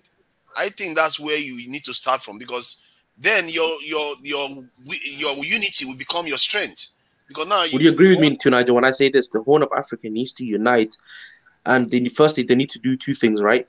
The first thing they need to do is absolutely eradicate um, the TPLF and Al Shabaab, leave no traces of them, absolutely wipe them with the existence of the face of the earth. That's You task number one. See that, see that kind of talk is is not going to get you anywhere. You can't. No, no, because you can't ask for something that you can't get. The only way you can get that if you destroy everything. You have to talk to them. Find I'm kind of going on a semi rant. Sorry, Yep. I was gonna say to, the, to the guys on the panel, uh, you're gonna have to excuse me, man. I'm, I'm going on a semi rant because the more I talk about what's happening in the situation, the more I get fed up because of um, the the actions that these guys are taking up uh, up against us and how they're destabilizing the Horn, and how this how this can affect the Africans within the continent because we're inviting this bullshit into the continent. Um, so you could uh, if you'd excuse me on my uh my little rants today, but yeah. The, the Al Uh, uh, uh, okay, go uh, ahead. Go ahead. Uh, Mo, um, the, uh, and everyone, um, I, I'm just gonna pause you guys. Uh, Seniti uh, she's here, and uh, I know she she brings fire as well, and uh, I know she she she has a lot to say about the horn. Uh, Seniti, welcome. Hi, hi everybody. Thank you so much, Thank you. Appreciate you, all of you. I was listening in. Um, where do we start? when, it comes to, when it comes to East Africa, right? Um, uh, it's just overall like uh, I, it, it's frustrating because I see, you know, if I was going to start, because we're focusing on like the East Africa, Ethiopia, Eritrea, Ethiopia, right? I mean, uh, Somalia. So I, I like what's going on between, um, I guess, Somaliland. I shouldn't say Somali because it's all one, but they, they are considering putting themselves as Somaliland. I think they're going somewhere, right? Those guys, even though they're really Somalia, right? So why can't uh, my thing is why can't the other side of Somalia, right? That's not that Al Shabaab is basically controlling. Why can't Not controlling. Side? I would, I would, I wouldn't say controlling. What the, Well, mm, yeah, I know it's not, not really controlling, but really they are controlling the citizen, right? They are the one that's and they're being funded. We know who they're being funded, right? no, they're hiding. I'll, I'll explain why. They're hiding uh, among the, the civilians. So basically, they're um, they're pretending to be part of the civilians. So they're basically hiding among the civilians. They're cowards. Um, they're not they're not, they're not fighting in a uh, in a position where they're showing their faces. They're hiding behind the shadows, and that's what they're doing. But but the thing is, okay, they, yeah, they're hiding behind the shadow of the citizens. But who, who these people, right? They're uh, they're Somalians. So one thing is, it, it's not our culture to bomb people. Like it's you know this is like, you know like this is what I don't get. Like how are they gonna bomb their own people? Oh, And I know they're getting paid. You know, a lot of the Arab countries, um, Kuwait and all, and, and, and Sister, you know, to interrupt. Where are you from, if I may ask? me Er- Eritrea. Oh, Eritrea. Okay. Um, so you have to understand the situation in the with this uh, with Somalia. It's not it's not the Somalis. It's the it's few Somalis, yes, but it's the very minority tribes. It's the uh again. There's a lot of mixture within the Al Shabaab. So it's the Yibir clan, which is a very minority clan. The Somali Bantus. There's there's like there's a lot of small minorities that are trying to take power I, basically. I understand, but who's funding them? You see, that's it doesn't even matter all these tiny little clans that's happening, right? The thing is, they're being funded from outside. You got to look at the bigger picture, right? So the thing is, do do the Somalians know this is happening? Or who's who's the ones who is funding these small clans? Americans. That's also and Arabs, right? Yeah. the Arabs are the one which um, also you you know Somalia are doing business with at the same time. No, no, it's, it's not So the Arabs, it's hand- the Saudis. Saudis So- are the ones that um they don't want any competition. Um, so the Saudis are trying to eliminate the horn because the horn can match same them in me, oil and right? resources. Yeah, I get what you're saying. Somal- whether it's Saudi Arabia, whether whether it's Kuwait, whether it's U UAE, they're all the same. It doesn't matter, right? They're all Arabs. They're all they all they have the same uh, goals to keep us down as a whole in Africa. So we got to separate ourselves from those people because they don't they're they're not there to help you. And you see what's going on in the last. They're not there to help the people of Somalia, right? If they were, then they would eliminate or help to eliminate Al Shabaab. Al Shabaab is funded by them. If America is also part of um, destroying Somalia, why are these governments? Why do they keep supporting these governments or uh, that are like, you know, saying okay, like I, I think that the, the the president or prime minister, I don't know the proper term, but who just came into power said, let's bring back the Americans, right? Did he not say that? Wow, did you say that? Yeah. that? So, so Yeah, within 24 like, hours, yeah. like like Wow. you know like where's the al shabaab to bomb this guy seriously you know what i mean like what what i don't i just don't understand how are they supporting this what amount of money is is is is brainwashing you to do this they're There's the ones one that supporting destroys it, sister. Sister, you know about the 4.5 system, right? I understand. Echo, You know, way. it's, not even, it's, not, it's, not, it's not even it's not even the people like voting for this. It's a bunch of men sitting at a table making the decision. yeah, well said, yeah, sister. fact, fact, right?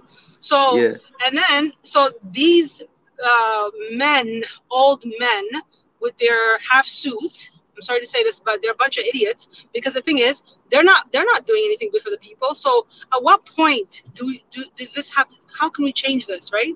When do the people get involved, like the young people? You know, again, like how how how how much more can Somalia take? How much more death? How much more? Because the thing is, the Americas uh, or the Arabs, they're not there just again. We know the reason why they're there. We know why they're dividing. They- they- You know, it's it's creating chaos. So Somalia gets never will never get peace as long as those people their hands are in it. Sister, it's the Right. same with the situation that's happening right now with the dam uh, in Ethiopia and how the and how the the freeway, um, the um, Egyptians the Egyptian- are yeah, my queen by the way. Oh yeah, how the Egyptians and basically want the the dam. They they they're willing to do anything at any cost to get Ethiopia to be in such a low state that they have control of that. I mean, they're even talking to countries like Djibouti, which again I call uh, the treacherous state, and uh, they're talking to Djibouti on how they can work together and basically get Ethiopia out of Ethiopia situation, out of the situation where they have full control of the dam. Yeah, but that's not going to happen because already Ethiopia has taken control. Like, it, we, you know, that they tried, they tried to d- dismantle. They tried to use the TPLF to never, you know what I mean, to to so we can continue being, you know, um, ongoing, uh, like just not no development, right? So so so we know that's already changing. That's that you know they tried to do that. The truth came out. A lot of things happened, but so you can't really com- compare Somalia with Ethiopia, even though there's a lot of unrest in Ethiopia. Um, things are happening there. You know what I mean? Also, we have different cultures. They have different uh, various of religion, mostly Christian, Muslim, but at least um, things Sister, are progressing. wow. Things are I was gonna progressing, say, whether we like it or not, right? They're I say, progressing. they they they're both in bad states. They're both in very bad, very very bad situations. I could say Somalia is a bit worse, yes, agreed, but Ethiopia is not far behind. Ethiopia is not far behind, and the reason why I say that is the TPLF are doing heavy damage. The Ethiopian government is split. You have people like the Orom, Oromos that won Oromia. You have now the the Afars that won their regions. That we have the Hararis that almost the, the region is almost gone. You have basically so many split tribes in Ethiopia that want their own sections. Sister, they're not far Yeah. behind. Ethiopia's in a mess. Ethiopia's in a mess. It is in a mess. The reason why it's not as it's definitely not close as Somalia is, definitely not. But with with with Ethiopia, remember the TPLF has been in power for the last 30 plus years, right? So in those 30 years, the damage they've done is divide the country, you know, uh, divided by tribe, you know, you know, also give take land from one tribe to and add give it to another one. Uh, take from the Oromo and, and then they would take the green land, the, the, the Tigrays, right? So they've been doing this. They have on their on their IDs what tribe it is you're supposed to be or whatnot. Like how much division can you can you create? So they they've been doing this for the last 30 years, right?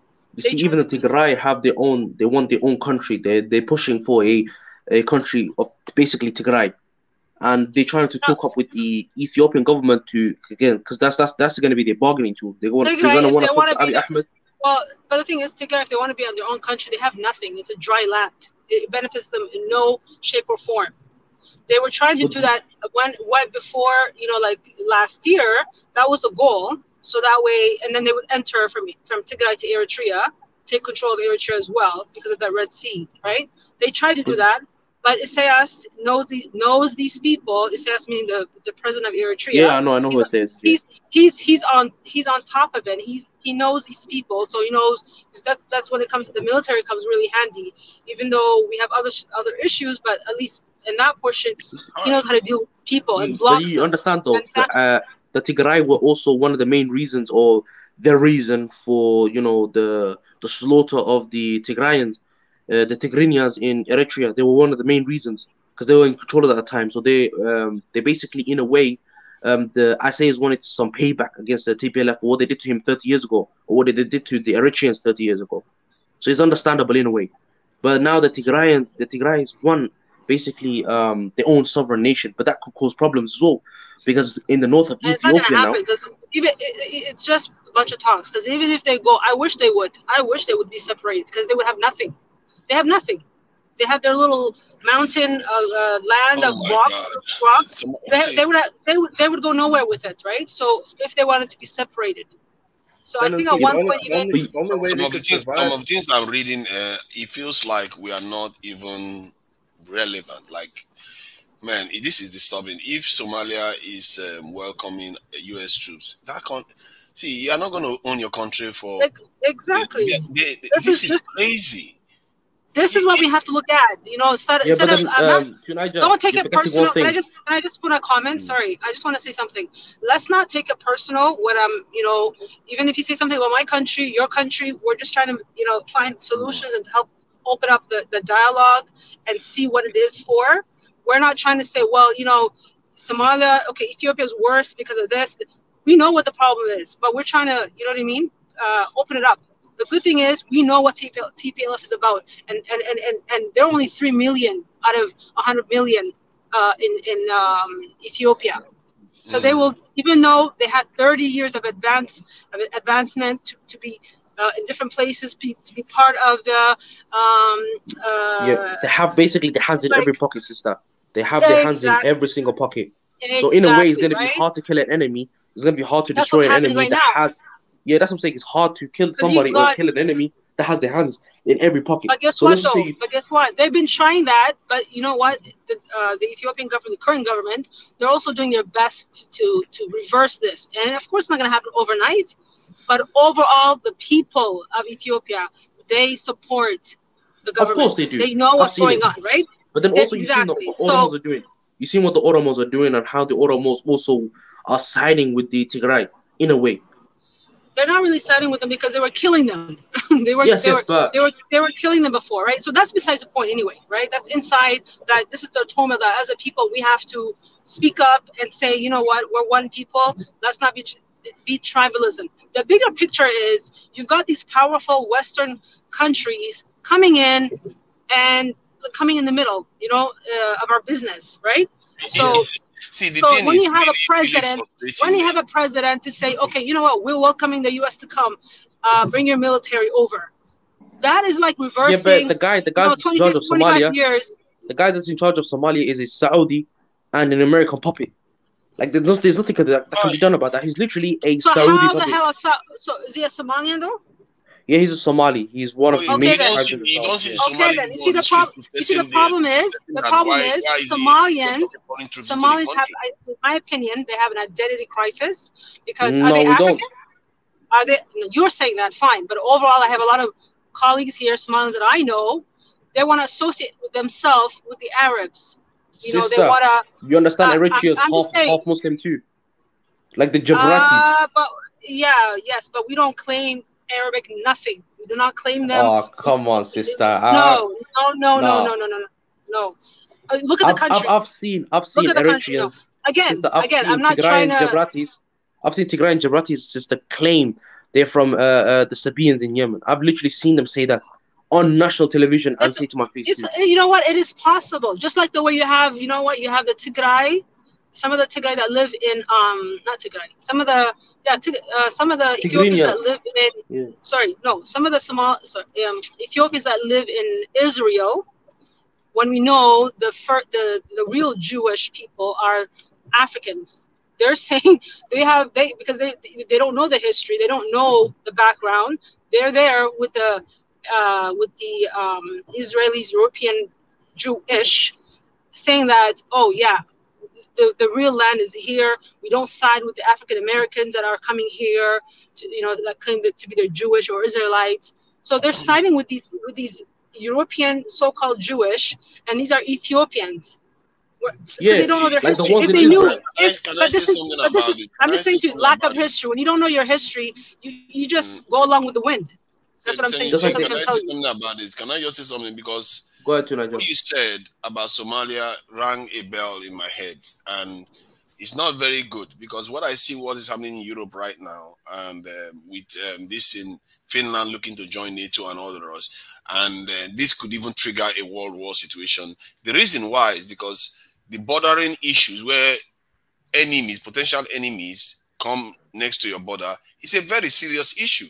Now, before Djibouti was the country and Eritrea is not occupied by Americans. Djibouti is the country where uh, this is Somalia can easily be compromised or Ethiopia can be compromised from. Now they have a whole Somalia to work with them. Now they have they will almost they are surrounding and now almost looking to encircle um, uh, this in Ethiopia at least a quarter of Ethiopia's border. They have access to it now through uh, Somalia. That is so Ethiopia is and that dam that is being built. You guys don't see what is happening here. These are the kind of moves they make. They are going to tarnish that. They are going to destroy that region again, and they are making. They are using one stone to kill two birds. While they are occupying grounds, they are taking ground away from the Chinese. That that is the country that is building inside Ethiopia. All those uh, re recent uh, developments that you see in Ethiopia was by the Chinese. They are Yeah, the encircling Chinese people here. won the dam. The Chinese also want to please the Egyptians because they control the canals. So it's only mutual beneficial. Yeah. Every country is against Ethiopia. Every country because they won the canal and E- Egypt controls the canal. So now Egypt's gonna tell them, okay, then secure my waters. And then who's who's who's uh, um, who's gonna go after Ethiopia? Basically, every country in the world. because Sudan is on the other side. They are almost encircling Ethiopia right now. I actually read somewhere. Whether Somalia Sinaja, president is thinking. I don't, I don't know if you heard, but just recently I read that uh, South Sudan was actually going to get electricity from Ethiopia, and that's what we want to see happening. You see, they already they, they had a talks to to get electricity from Ethiopia to South Sudan, and that's what we want to see happening, right? So you know, E- Egypt does not own the canal. They don't own. It's not theirs, right? So they don't. They can say all they want because the U.S. backs them up. But at the end of the day, uh, Ethiopia stand stood very strong. If I was Ethiopia, I would be recruiting look where like crazy. right. If I was Ethiopia, I would be strengthening my. out. That's it's going to be more than a million standing army. Army. Right now. This is what they are Tunaja, circling Ethiopia, uh, Ethiopia right now. Tunaja, can, can I can I speak? a little Look, look, I was gonna point out as well. You have to understand the the Arab League also. Egypt is a big player in the Arab League, and um, you see some of the Arab League countries also are surrounding, um, basically Ethiopia. You have Sudan surrounding it from the north. You have e, uh, e, uh, Djibouti blocking the access to water, and Somalia now. Somalia was again, he wasn't. Somalia was having issues with the Arab League. He was not listening to it. It was it was becoming a menace, and now all of a sudden, a pro-Saudi clown has been elected. Um, basically, you have Egypt on the north, and Somalia was acting up. You know, Somalia was literally uh, Saudi was uh, even stating that the Somalia was not taking Saudi's side, and Somalia was literally saying, "Nope, we're not taking your side." Somalia was starting to make noise and uh, saying that they wanted to also push back on their own rhetoric, and then out of nowhere, a you see this a pro-Saudi guy got elected. You see what's happening there, and um, a pro a pro Saudi guy got elected who's who's good friends with the royal family over there. And it's, it's just it makes to to every to it doesn't matter if you have half a brain, it should make sense to you. Um, Ethiopia is the next target. It should make sense to you that Ethiopia is the next target. It really angers me. This stuff really angers me. Somebody saying I'm angry. Why shouldn't I be angry? I, I'm watching history repeat itself. They are trying to encircle some uh, Ethiopia and strangle it until they have somebody that they like in, pla- in place in Ethiopia. They like the, the way they had the Tigrayans uh, in uh, in office before. And man, I, I can't believe I'm living through this. It's just unbelievable. Eh, Our leaders welcoming foreign people into our territories. It's unbelievable. Just And, I got a and, question though. Somalia, Where's the Somalia African very. Union? It's, it, Where's the Exactly. African Union It's just, this? it's just this sort of thing is kind of stuff that we should be alarmed by. Thi- This is why Russia is at war right now. They've not Where's invaded African Russia. Union? Where is the African Union? I want to know where is the African Union? You're supposed to be a union, right? You're supposed to be a, a, a continent united. So where are you? Where is the leaders of the They African don't Union? listen. They don't listen to African Union because African Union is against, has a policy against these military bases. But it just America just comes into the countries and just make the leaders give them the land.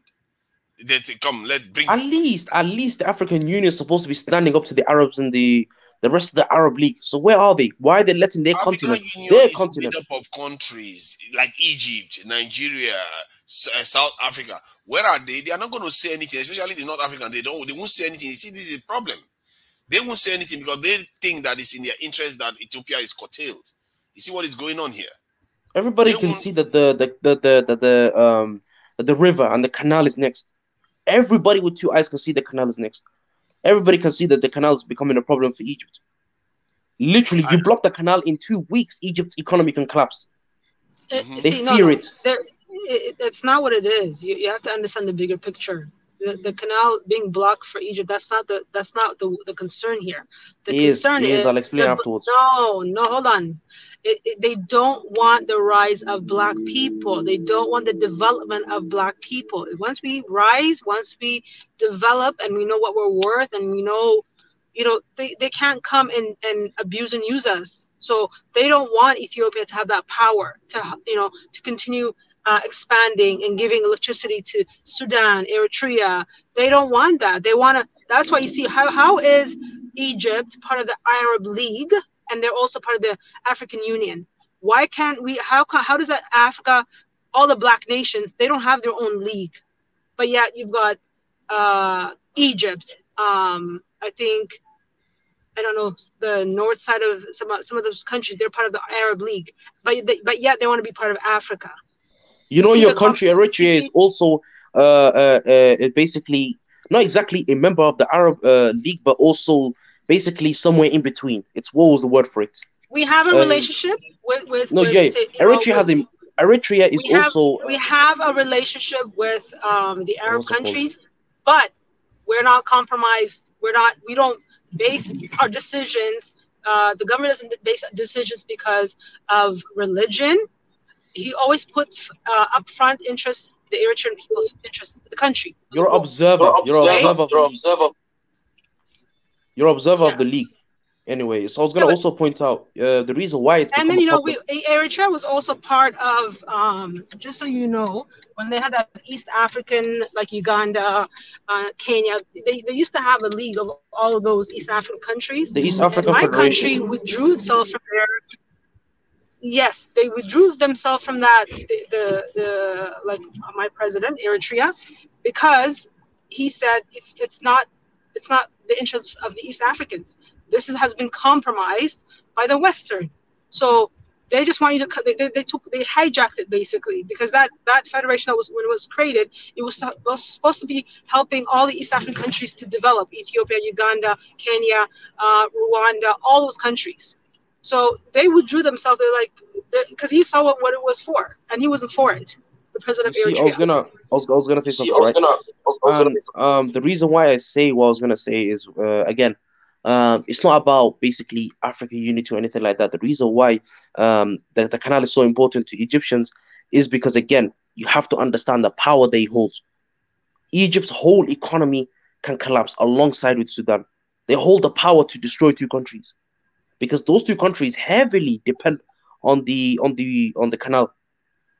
And Egypt does not like being on basically does not like having such a weakness, especially controlled by a country which it considers the enemy. And that's the reason why Egypt's making all this noise in the Arab League. That's the reason why Egypt inviting Djibouti to basically somehow plot a way to take out uh, the, the canal. You, have to understand and see the bigger picture. The canal can eat. The canal is a massive problem for Egypt. And let's just say two countries went to war.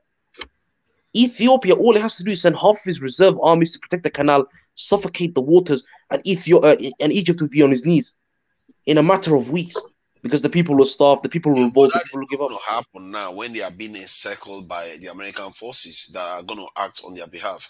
See, the, the, this the, they are moving chess pieces here, and I feel like we are just watching history looking to repeat itself. And I, this Somali one, this lady just brought up, as uh, Sinuti just mentioned, really alarms me because this is exactly why they are fighting Europe. You can't keep having you know potential enemies next to your countries. If you keep having Tunaja, you the previous president of Somalia, the previous president of Somalia was anti-Arab League. He was a guy that wanted to, uh, in a way, to bring the, the the country of Somalia back to where he was. He was kind of buying military weapons. He was building up the military. He was doing a lot of low-key stuff under the radar. He, even though I didn't agree with some of the things he was doing, I can also see some of the good things that he was doing. And um, he was also rejecting some of the proposals from the Arab League that, you know, to make heavy. I mean, they, they offered the, the Somalis, um, the Arab League uh, or the Saudis offered Somalis a lot of money and they offered them to build a lot of buildings and they even offered them the island of Socotra, which is disputed between the Somalis and the Yemenis. But they offered them the island to send their military to send their military into Yemen and to fight. But then he you- refused. Let me tell you this. Let me tell you this. And then We that that listen, Tunaja, listen this, listen this, listen to this. And that sent that, that statement where he said no literally proved that the um that the that president was going to be a problem for the Saudis. But then out of nowhere, a pro-Saudi clown was elected. Yeah, because people are still suspecting each other. You people see, you have all you need to do whatever you need. You know, we don't even need the Saudis. We don't need any of them. If you, your people there in your country, you know, we forget we are the ones creating the problem because we keep fighting each other. You don't see Saudis coming to Somalia and telling them, you know what, eh, you know, the Saudi, this prince is uh, oppressing me. Can you help me so that I can bring them down? You don't see them coming to do that because they are all collected and they keep their people in check. But Somalis, one guy from one tribe can just easily go and sell the other one out. No, no, we don't sell each other. We don't sell each other. That's one Yeah, thing. You don't. is You it not somebody that signed up with the Americans now to come into the country? Are you telling No, me no, no. I'm talking about now. No, no, no. Look, in, in on. I'm talking talking about like one uh, Somali uh, guy. No, it's a tribal dispute to Niger. It's not about me selling. No, it's not. It's none of that. You're not gonna see Somali physically. No, you're gonna see. No, no, I'm uh, not saying selling. I'm dispute. saying, but it doesn't matter. Is the end you want to get an advantage over the other Somali? That's where the problem is. But tonight, Joe, what's the solution? You guys been, been talking about the problems like for hours now. Yeah, the solution. That's what I've, I've talked about the solution. I said you have to have a conversation within the country, honestly, about what all the groups that have that feel marginalized and what all the groups that feel like the other group is not being fair to them. Resolve the issues among yourself and decide that okay, our fate is linked within uh, our country and make decision based on the country. Don't rely on anybody. Don't even rely on African Union. Don't rely on next door neighbor. Rely on yourselves. But why is the African okay, Union not ask taking you a action? question? Yeah, go ahead, brother. Okay, d- did you know that in Somaliland they're they're currently sending a lot of like like uh students where I am like to learn about like agriculture, like health, like nuclear technology, engineering. What if they sent them in mass and brought them to a place like for example, I don't know if you know, but in Ethiopia and Kenya right now they have a lot of nuclear energy and geothermal energy projects. In fact, th- there's this kind of like arms race between Russia and China of like who can share like the uh, nuclear like energy and geothermal energy technology. What if there was like a place in uh, like uh, Ogaden, like in Ethiopia, where there's a diaspora community? Because I, was- I was talking about, we're talking about this. Um, in Somali Galbeed in Ethiopia, they have the most diverse amount of clans. So if they if they were to like band together, like fund a community project along with the like the state government, uh, the community and the diaspora to like get a nuclear project into Somali Galbeed, like nuclear energy, and then sell it to different regions, they could use that to like build like a security force along with like Eritreans and Ethiopians that are not necessarily secessionists that are unionists to be able to stabilize regions, like to be able to make their own first aid, to be able to like make their own security drones, to be able to bring the technology that's in Taiwan. Because a lot of Somalilanders they come to Taiwan to study like technology, like health, those kind of stuff. What if there was a community like that? Do you think that would be beneficial? Because I think a lot of us we complain from it from uh like outside because we're in diaspora. But if we had a place where we could be able to get together to talk about these kind of issues, we could be able to move on it instead of just talking about it. Like so, my my my uh question like basically was like, what if there was a, what if there was a place where these people are they going for these like these highly technical jobs that don't exist? What if that existed in Ethiopia? Do you think that would be a good thing? Would that be some place where you want to live if it exists? Um, yes, and I'll explain it into uh into a term. Uh, basically with the nuclear, are you, you you mainly focusing on the the question about the nuclear um, basically having nuclear arms within. Uh, No, not um, nuclear arms. Nuclear arms. The, the easiest way to get nuclear arms would be from North Korea or Pakistan. What I'm, what I'm saying is basically in North Africa and East Africa, China and Russia, they're competing against each other to supply nuclear materials to develop nuclear energy, like nuclear energy projects. Yeah. Nuclear energy is one like it's one of the most like a cleanest about energies, and it could if we send these type of students to um because I don't know if you know this, but I feel like a lot of the projects that we do with China, uh, because we're not sharing this kind of information with people on the ground, we hold it to ourselves. Pretty why, pretty much why I talk here. Um, basically, there we don't have like there's no bulletproof cars. China they could easily supply bulletproof cars. Uh, Yeah. China they have they have a lot of um, they're the number one they have number one, number two, and number three university in mining, technology, and engineering. So if you send your students to study instead of sending them because they send some Somalis there to like uh, sell Yeah, like yeah, I know, food. I know. Like, but it's Somali food. Like, send your students instead of sending them to sell some food. Send your students there for the mining and mining and To learn about that, yeah. so that they can start their own mining engineering technology in the Horn, so that when Yeah. they when they get these type of uh, gold, diamond, bauxite, stuff like that, they can be able to know how to refine it, start their own type of uh, refinement, so that they can Bringing make- income into the Horn. yeah, yeah, making real income, not just like the the oil, because like the oil, they only make a few billion off the oil in, the, the, uh, in Ethiopia, and it's not given to the people. That's in- another thing. There's massive oil. There's massive oil reserves in the Horn, and the Saudis are keeping a close eye because they're gonna run out soon. So they're gonna try to use the Horn as their new oil. Uh, um, because again, why do you think the Saudi prince is pushing this 2030 um, city of dreams that he's trying to make? Because he knows the oil has a limit on it. It's going to run out soon. And I don't I don't know if you know this, but Somalia they also one of the highest uh, ranked in wind energy potential. So Yeah, if Somalia, yeah, was- yeah, yeah. if Somalia was stable, boy, you guys could just build a bunch of wind windmills, power like twenty to thirty percent of your uh, country just based on wind energy alone. Because I feel like the oil and gas is pretty much a waste of time. Like we're trying to replicate what's already happened in the, like the 1950s, 1960s. So what I'm saying, if they're gonna just And uranium. One Yeah, third of the world's re- re- uh, uranium is in Somalia. Yeah, and Namib- Namibia, they're the fifth ranked in uh, uranium as well. But they've been they've done a great job of keeping the Americans, Chinese, and Russians away from it. Like they have a lot of highly uh, skilled individuals individuals there. So my, my point was basically Wherever saying- there's natural resources, you can expect an American there. yeah, pretty much. So my point was actually saying is that we should be sending them for the right things instead of because a lot of a lot of the type of like jobs that they and like uh, studies that they get sent for is has nothing to do with what they could be used what could be useful to them in the continent. But at least what I've seen from the Somalilanders is they're sending their kids for stuff that's important and that'll actually like for example like water con- conservation, soil conservation. There's droughts going on in Ethiopia. If someone they started a company there, like I'm looking at the scholarship list. If someone started a company there, they could buy some UA like UAE uh, cloud seeding technology to help with the droughts that is going to affect the horn in the next few years. So we need to be focusing on stuff like that. Because I felt like I've tried to stay silent, but I felt like the, the whole four hours had been just like a pity party, in my opinion. So I try to stay out of it. But go ahead. No, no. Um, it was it was actually a decent discussion. Um, with add something to this. I think you go ahead. I've been saying the, we that region needs to be looking more like Eritrea because look at look at let me read a transcript from from Africom what they said. They said fifth as the guy was making a point about Africa.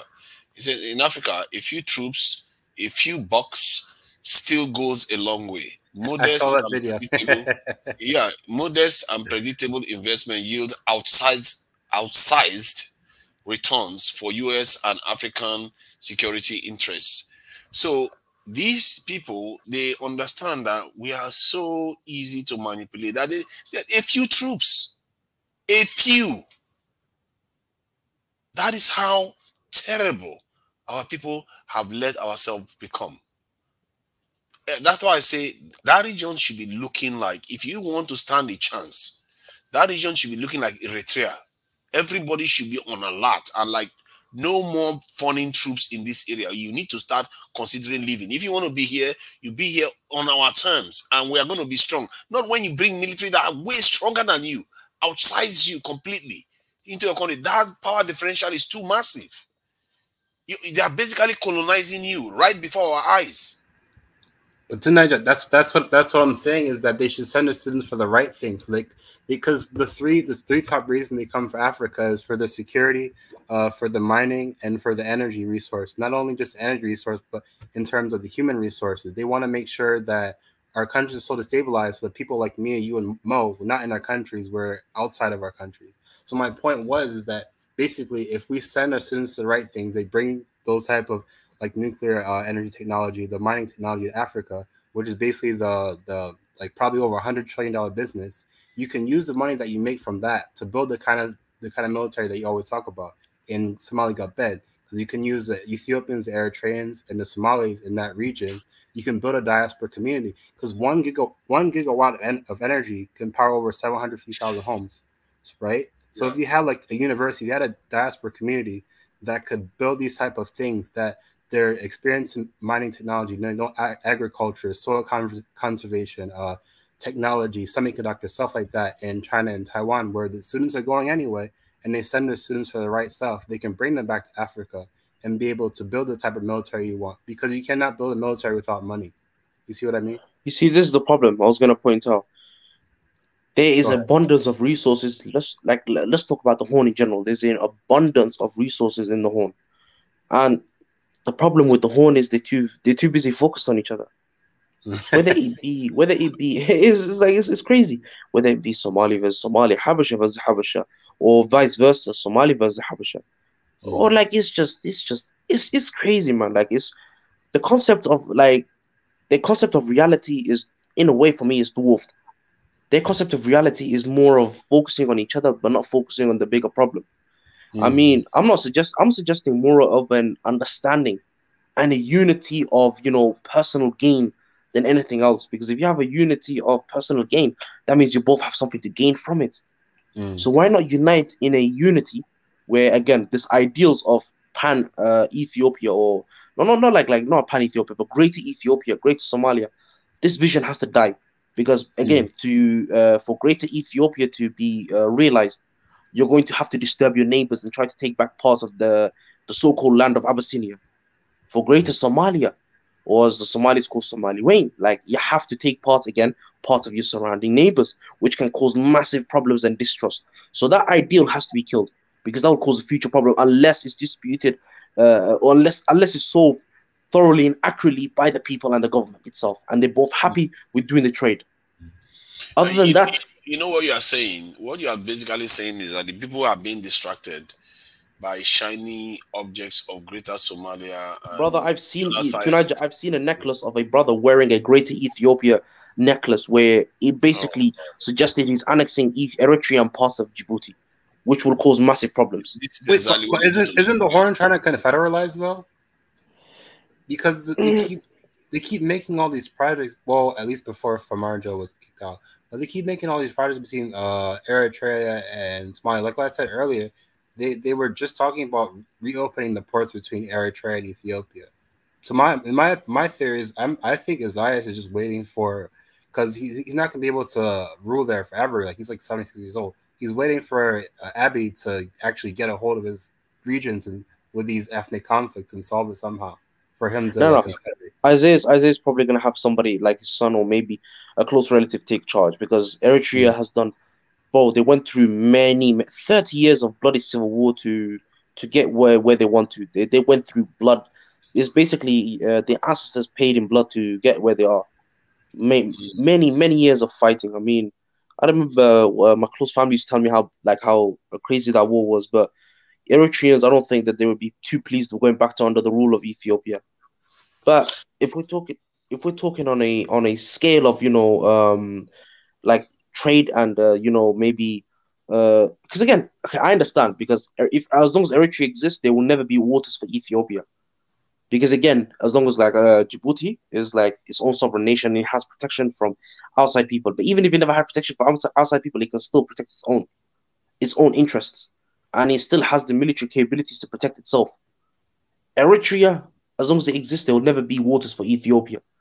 And Somalia is already facing its own problems. So if you're looking at it from a perspective of you know, maybe Ethiopia is the hope, it's not because it's landlocked. And even okay, I understand. Uh, well, uh, uh, even if it's even if it's even if it's like you know even if it sorts itself out, it's still always gonna lack the the the waters, and water is a massive plague. If you control some sort of water, you have a massive role, especially if uh, if you have control of the horn and the water. But yeah, it's just Why my is point. Ethiopia not acting as if they are? See, my concern is that the president of Ethiopia is moving too sluggishly, and the, the way they behave, I don't, I don't understand our leaders. I don't know what they are dreaming, what they see. How is it that there is no sense of urgency? Why is it that our people are like this? there's fires everywhere in Ethiopia right. There's way too many problems on this plate. brother. Tunaji, you're not understanding the concept of how bad Ethiopia is right now. There is problems in every region. If you look at the south of Ethiopia, the Oromos won their own nation. conference. Call a sovereign conference. Let everybody come together. See, Every they can't because I'll explain why to Niger. The south Orom Oromos want their Oromia, their own land. They've always been dreaming about this Oromia for centuries. And then up to the north, or up to the north north uh, east, you have the Hararis. And the Hararis are basically to me a dying species because everybody is stealing their land. You have the Hararis that are basically going to every region in Ethiopia because their land is being taken by the expanding Afars and the Oromos. You have the Afars that are expanding out from e, uh, e uh, what's it called, northern Djibouti, to southern Eritrea, to western Ethiopia. That little triangle is this. They have basically a piece of every nation, and they're expanding heavily too. You have the Amharas. our leaders is that Yeah, you have the tell you this. Amharas. You have the Amharas, no, brother. You have the Amharas where every hmm. single tribe in Ethiopia hates for some reason. I You think have the the problem Gurage. our leaders is that you see, it's not Brother, you have the do. Gurage. You have the Gurage See, where I from. just Abi, listen all the words. I've seen that in Nigeria too. The problem with our leaders is that they are not talking to their people like their people. They are not talking to their people like the people that they've lived next door to for thousands of years. They keep talking like, oh, I'm your leader, or you, you, you, your, your belief. I don't believe in your nation. You let them. If you talk to them like people you have been living next door to for thousands of years, yeah, you let them understand. If you want your nation, technically you do have your nation. What is your grievances for being part of Ethiopia? Because if you are so keen on breaking up from Ethiopia and then so many tribes, so many problems. Union, why are you so That's keen on signing up with African Union, but you don't want to sign up with somebody that is right next door to you? Brother, that's You the problem. have to- So many tribes, so many problems. See, I don't care about see, the problems. Don't matter if you talk to the people and let them remember whom they truly are, and let them look at themselves. What is happening to their country while they are doing these things? Show them some of all these documents that the people are laughing at us about. Telling them that look at how easy people can be manipulated. They, they paint a dream for you that you will never have. You see the Kurdi- Kurdish people in Iraq. That's what they used to think that they're going to have their own nation. They literally fought side by side with US soldiers. In the end, after US soldiers got what they want, they left them and to their fate. You, they keep lying to our people with Biafra. They did that with Biafra. They did that with um, uh, this in uh, Oduduwa. They are doing that with uh, these um, uh, Oromo people that you're going to get. You're not going to get anything. The only thing that is going to happen is that both of the country will start fighting each other. And then who who runs the show? We repeat the same mistakes of our forefathers. This will never end if we don't cut it out. Sooner or later, our leaders need to start talking properly. That Ethiopian president, I just feel like he's not doing a good enough job. He's doing his best, but maybe he too has his own biases. That's why he's not coming across well to the other tribes. Because it's one thing to have other tribes have leaders that are, you know, very tribalistic and want, you know, they hate the the central government and all the rest of it. It's another thing for the people to listen to this um, uh, um, Ethiopian president and feel like, you know what, he's saying the kind of things I want to hear. I don't care what my leaders are telling me. He's telling me, look at our lives. This fight we are fighting, we're not getting anywhere, and we are going to get what we want. If you're going to get a level of autonomy, only security and foreign policy and all those areas that are controlled from the center, then what is the problem? I just feel like if he starts talking to the people like his people, not seeing them like, oh, you want to break up the Brother, what's the African Union doing to help cool the situation off? Because again, the African whole Union is too weak to do anything. The biggest strength you can have is from your own home. I believe that is where the, he needs to focus. Because if you start telling them that and telling them, you know what, every region, send your people into the military, send them to come and protect your land. But Because one of the things that they do want to fight for someone they, they think there's is oper- like they've been brainwashed to think it's an occupying force. Why would they fight for the military? exactly okay. You see my point. When you that, when, that's that's how the TPLF that's how the TPLF uh, gained so much ground in the first place. Because over ninety percent of TPLF were the generals, the NCO, the high rank officials. But that's my problem. That's why I'm saying you want to avoid because if you bring, you say every single region bring a proportionate amount of uh, military um, officials to be reco- uh, re- recruited into the military. What will happen is that they will rise up the rank like every other group. You have a proper representation into the military. You have a proper representation into the um, uh, this in the the political system. If you have that, if you make that kind of uh, overture to the other groups, they will feel like they are part of a family. This thing whereby hmm. one person gets into power and they feel like, oh, you know what, my Oromo people are going to back me up. That's going to be the base of my power. You, you mean like you mean like force them together like what happened with Eri- oh sorry for cutting. You mean like forcing them together like what happened with Eritrea, like with the conscript- oh, conscription? See, Oh, you Eritrea, and I'm not even talking about the Eritrea one because if you try to do that with the Eritrea one, you're going to fail because the other groups are already got their guns point and suspicious of you. You can't do Oh. that. And if you try to do that, the, there are foreign forces all around the country that will sabotage it. If you, if any African country goes to war today, you saw what happened with Ethiopia. They tried to manipulate it already, If- and Ethiopians were uh, this thing clocked onto it very quickly and reacted very quickly. Otherwise, maybe uh, uh, this president would have been out of office by now. So you have to use a different tactics. You have to use a more conciliatory tactics and say, you know what, you want um, um share in the military, you come in. You won't share in the political system, you come in. All your grievances, if you resolve them without any fear, when your only focus is making Ethiopia a strong country, you I believe they will support you. Every other group will start, even though you have stupid leaders that are telling them not to listen, they will not listen to them. Because the, the leaders, what have they given to them? The leaders have not done anything for their people. Their people are still suffering. If you mm. paint a picture that they feel is better than what their leaders are offering to them, even the leaders will, will bend. If they don't bend, they will remove them. Because that is what people, that's how people react when they see an opportunity that is going to make their lives better. And I believe that this Ethiopian president is not doing a very good job of it. He, I think he tries, but I don't think, I think he's, he also has that uh, poison of tribalism in his system or that poison of feeling like, oh, my own group is the one that's going to back me up, or some kind of clique in the country is going to. No, focus on the people. I believe that if he focuses on the people, he can call for a million man army and he will see the, he will see them, they all march out to defend the country. Your country is in your hand. You have the power to change the history of that country if the people, if the leader just do, does the right thing. And I don't know how he how you can change your mind. I don't know. But I just feel like he should be doing more because when he when the war started, that's when he started calling people to come and join the military. Who does that? You waited until the war started. What stuck with me is what you said last time. Come and fight for the country. What you st- what you said last time to Niger actually, you know, it kind of got me thinking when you said again, uh, where where you said in the previous statement, we said the Horn is one of the oldest regions, but yet it's always uh, uh, uh basically uh, it's it's in the, it's one of the oldest regions. But look at the situation that it is in now. I remember yeah. you saying something along those lines uh, a while back ago.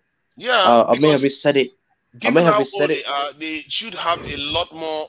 They should understand themselves more than any group. When you think about it, they've been at that, that religion for a very long time.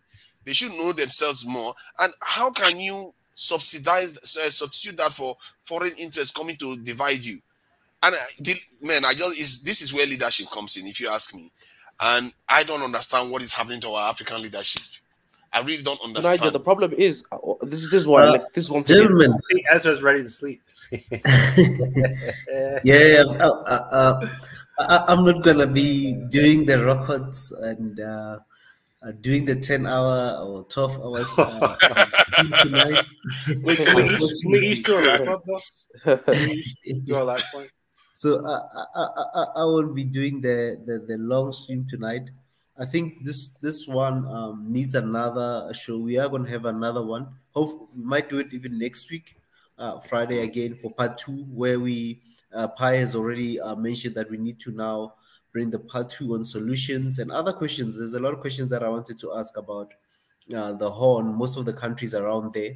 Uh, but obviously, we had a lot of people, a lot of insight being shared um, and we could not get to them. But uh, I want us next time to focus more on the potentials of uh, the Horn of Africa, the mineral potential that is uh, untapped minerals that is in the in the ground, in the sea, uh, and around that region as a whole, and ways that we can uh, what I mean solutions, come up with solutions to develop the Horn and make sure that it reaches its full potential and um, yeah, and I think that's the main focus now. Um, and I think today we we, we were all venting so much about uh, this leadership not being good for this and this one being this labeling and all that stuff. But I think now we need to come up with ways that we think will work for our society and uh, as uh, on Africa and more specifically uh, on the Horn, and um, that's where we should be putting more our energy on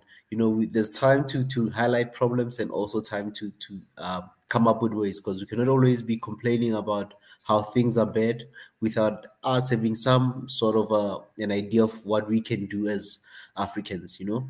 So i want us in the the, the coming um, part two of this conversation that we, we focus more on solutions um, and way and things that maybe they are happening the good things that are happening in those places as well. Not just solutions but the good things that are happening in those places because it, despite all the challenges despite all the problems that we are having we still have people who, who are out there who are working hard who are making a lot of difference in those societies so it's not all uh, bad it's not all uh, I mean, how do I put this? It's not like we we, we can't. Uh, nothing is going on. There are people who are doing certain things there, regardless of the challenges that are out there. So I want us to focus on that that as all the, well. all the all the good things they are doing is about to be is about to come to naught. Given the the yeah uh, all the good they've done is about to be wiped out. Given what I just heard from uh, Siniti about uh, Americans coming into Somalia again now, it's just mm, history. But trying Tunaj- to that's, that's why I have to come south and become general of Nigeria. Become the supreme. Hey, man, I, if I was a general, I would be uh, so paranoid like crazy, man. Like, Two Niger should run for the African Union president. why are we not paranoid? What is wrong with us? What does it take Yeah. for us to be paranoid? Tiny Finland. Jesus Christ. Uh, the problem uh, is uh, our countries are being run by people that don't give a damn. right. We, we're down to two leaders that are, that are independent. Three, if you consider Barbados. That's And even if the younger countries. ones, yeah, you're right, Pi. Even if the younger ones want to take control of the country and actually move, move it, pro- like move it forward, like look, look something along the sides of the the Chinese Revolution, where they moved past the hundred years of shame. They even called it the century of shame because they want people to remember how China was when the European colonialists and all of the other countries were exploiting the hell out of it. When the people were addicted to opium, and now look at it. I, mean, I you're think, telling I me think you, need Africans to, can't you, do need, that. you need to have that kind of name for this era, this era that came before now. I think people because if you have a name for it, you are now you have not grouped it and say, you know what, this is We our call it the the yeah, 300 years shame so. of Africa. Exactly, something like that, so that people will understand what is you are contextualizing the problem that we have been facing, and you are giving them a way out. I think that might be something that you know, language matters. You know, all these things. I, it's just for me. I'm just a little bit alarmed, and when I look at the documents that they write about us, it's just so shameful. It's really shameful. It's really I, we really need to really hold our head and wonder how is this keep how, how does this keep happening over and over? And we are not here. I'm I'm in the UK here, mounting off all over the place, and these people are on the ground doing the business. All the only people that have consciousness of all these things, most of the people that have the consciousness are not on the ground. That is a problem. If we But are on the ground, most of us were in, in our countries, we'll be able to be changing minds every single day. Even if you went to Nigeria to Nigeria and you wanted to change the system that's going on into uh, in Nigeria and try to make it as fair as possible, there's going to be people that are going to stand against you. The thieves that are benefiting from the the division in Nigeria will come in front of you because you're going to be interrupting their cash flow. Oh no, you you see what I'm discussing here doesn't have anything to take money from them. They are going to make more money even. It's like just have you seen? I'll just remind them. You see um, uh, Jeff Bezos or Elon Musk. Yeah. You are not taking money from them. This is an easy argument. You are you go to the military, tell them, oh, you want more guns? We give you more guns. Everybody in will get order, more. in order for Nigeria to be independent, yeah, they would have to stop trading with Europe because over 20% of the trade is with Europe. So if anything happened, Yeah. they could just cut off the money flow. That's the problem. And plus, Nigeria is part of the um the Commonwealth, so you technically answer to the UK. Oh no, no, no. That don't that one is not. I, I think we don't even need the Commonwealth to be, to answer to the UK. We answer to the UK without the Commonwealth. we, don't, we, don't, we don't need the Commonwealth to answer to the UK. You think you think the French need any kind of Commonwealth to answer to the French? They are me- look at Somalia. Somalia is a Muslim country calling for a hidden uh, military to come into their country. This is madness.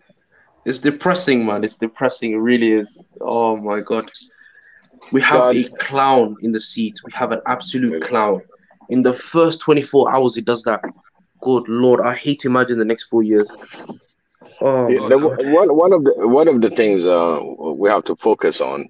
You know, yesterday we just brushed off, and uh, I did a quite a, uh different research, and I'm going to bring it to uh, Diaspora Talk tomorrow. Is the uh, the change, the change that we want? What is the old change that we need to change, and what is the neutral zone because people don't want to have change? After the neutral zone, now you begin to accept a process. So we are talking all our problems, which is good. We got the, the past, understand, and what is the new strategy? What is the old way, and what's going to be the new way? So we're gonna have to decipher it phase by phase. What is the first thing we want for this change? The change on the ground. Easy, easy change. These are the key key topics that I'm gonna bring in tomorrow. And these changes, if they're not focused, laser focused, and the panelists, the commentators are not in the same zone. You don't expect everybody to 100% to, to be in the same thing. So it's the beginning of change of the old, and then we'll have people that's going to be in the neutral zone. Basically, they're revolting, they they they kind of not accepting. Uh, maybe there's a lot of uh, of that that's going on, and then the beginning. Once we said, okay, this is what we focused on. Do we agree? Do we have you know the panel in our in our uh, panel we don't need to to have a, a gazillion people to make a, a the difference. So we need to identify things that are very important for the change. What do we need? There's a lot of things that we, we can change but we need to prioritize from the bottom up. What is the change we want? We have to be focused. Right now for me there was an opportunity for Eritrea, Ethiopia, Somalia, Djibouti to form a military. Mm. Okay. And that got cut short. It's, I mean, it's still there. Okay. But now that they know, there won't be no empire that's going to be in there. There won't be a, a chance for the eagle to land. You understand? So already they're planning now, they got the opportunity within 24 hours. That that shows you where the money came from. Because there's no government that can react in 24 hours and show it in action. Mm. These The are the things that we have to. These are the things that we have to be very careful, because now it's just a week, and once they come in, there will be another issue. Because on the ground i'm pretty sure they they kind of shocked. Because when you come in and i'm gonna do this i'm gonna do that that means they are overriding your constitution. Hmm. Your right of living. Because who dies? Somalian. Not american. It's gonna be somalian so why should I have that kind of mentality? Why is it the key? What is the change right there? The first change, no foreign legion. It should be all African by African. These are the change, acceptance of another legion that comes on on the his, his own interest and literally occupy a space, a land where an- another Somalian can live. But it's occupation. If you got a whole army of 500 coming in, it's occupation. So we have to identify why this occupation happens. In 24 hours, it was just, uh, it was shocking for me. And now you understand the Ethiopians struggling to get rid of the TPLF. Now they're closer than ever. So that is a threat for the Horn. These are the things that we have to really look and being ready to really say no. These are the things that we have to really understand the policy because US policy never change. The president change. Give it 10 years. All these people right there on top, the one that always have something against it before they pass it in. Oh, sorry to check, pass it on. I gotta go. Uh, but yeah, thank you, uh, guys, for inviting me in the panel. Um, it's been a good talk. Um, we discussed um the the craziness of the horn, um, and how tribal it can get, and uh, hopefully, hopefully, because there's only hope right now at this moment of time, because you know we've got basically crazy people as leaders. Um, we can eventually move forward from this process. Um, I mean, you guys need to keep the horn in your prayers, man. That's But what yeah, I'm saying. um, next next time we should talk about solutions. You're welcome to come back. Yeah, hundred percent. I'll be back. Um, you just Yeah. you guys need to uh just tell me the date. Uh, on um, I already got the the Swahili Nation brother on WhatsApp, so you Hmm. can notify me on the dates. But yeah, it was an interesting talk. That's what I gotta say. Um, Hey, yeah. Join me Thank- tomorrow if you can. It's gonna be diaspora talk, so Uh, it's gonna be a diaspora talks the on. YouTube. Yes, Okay, no problem. Uh, it'll be we'll notify it on the uh, WhatsApp itself. So I'll be sending uh, some of the links Thank you. because uh, uh, we're we'll gonna there be talking about you know the relation between the diaspora and whatever that we have on land and what the changes that we want. That's my uh, highlight tomorrow. No problem. Thank you guys for having me. Yeah, Thank you, Thank you. one one of the things that. I want you to know more when you said hope, I think uh, we have to understand that the stuff is in our hands. We shouldn't necessarily hope. We have control over it. And I believe that when we start believing that we have control over it, we will not need to hope anymore. Yep, it's within your Hopefully. hand. Hopefully. Mm. It's ours. Yeah. It's ours to, to control, not hope that they we, we succeed against them. We can succeed if we just do what we need to do. No it's not even that hard when you think about it, really. It's weird. It's not even that hard because other people did it, and now you begin to respect how other people were able to pull something relatively It's not simple hard. off. When we think about it, it's not hard. But the problem is there's snakes, there's there's snakes in the grass, there's people that are benefiting from the chaos of our countries that are actually our countrymen. There are people like that. There are people like that with hidden and protected by the outsiders and given lots of cash and influence influence to basically ruin the country. And those people are going to be the hardest to get at because they have the backing of the whole tribe saying that we're doing this for the country, we're doing this for my tribe, and nobody can go up against them because you're fighting a whole tribe. You see, this can be a problem, if I may say so. No, you- you see, it's language. I think it's language and your belief. If you like you now, you believe. If to be fair, you were calling some people cowards today, so I don't know. But if you believe that, yeah, if you believe, truly believe, you need to bring your people together. You don't even have to guess. Once you talk, they will hear you, because everybody will be listening. They will be gauging. Oh, what is he saying? Does he sound like one of those crazies that want to take advantage of? They will hear you. And if they know that you are pointing the fingers at some other threat that is greater, they will people will listen. That is what I know. Because everybody knows how to listen to people. They are not stupid. They will hear you and know that you are trying to do the right thing, and then they will listen, they will follow you. This is not rocket science. Everybody, all the other nations that did it, this is how they did it. They just say enough is enough. Come together, our people, let's fight this bigger threat. And that was it. Even if there are divisions, there will be some people that will be divided. It's not going to matter because the ma- the majority of the population they will be so psyched that they will be willing to kill millions just to get it done. Abs- See, if you look at the history of Soviet Union and um, uh, this in um, uh, what they call it, China, that should Yeah. what is that should tell you this one will be so psyched that they don't care what they destroy to get what they want. Hundred percent. Thank you guys anyway for having me. Thank you, family. Uh, thank you guys for, for for joining us tonight, and uh, it was really uh, a pleasure seeing uh, Tunaija, Leach, uh, Dr. K, Biggie, Prof. Ezra, uh, Pi, um, Mo, uh, Warsame, um, Zakir. Thank you very much, family, for all those who've joined us tonight. And His Excellency Mika, he was here as well earlier. Thank you, thank you for joining us, and thank you for for for being the guardian of Africa and uh, the guardian of uh, people of color all over the world.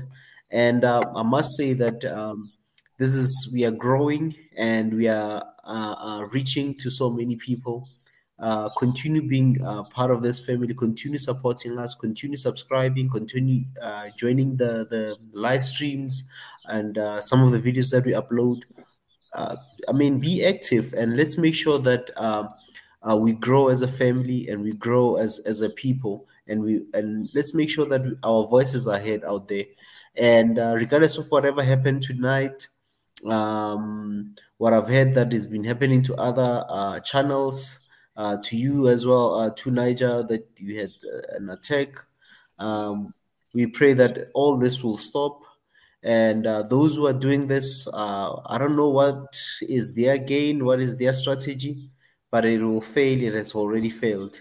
It will not. It will never. You can never rise uh, uh, uh by disrupting a movement. It's like you standing in a train station uh, and trying to stop a moving train. You will get crushed.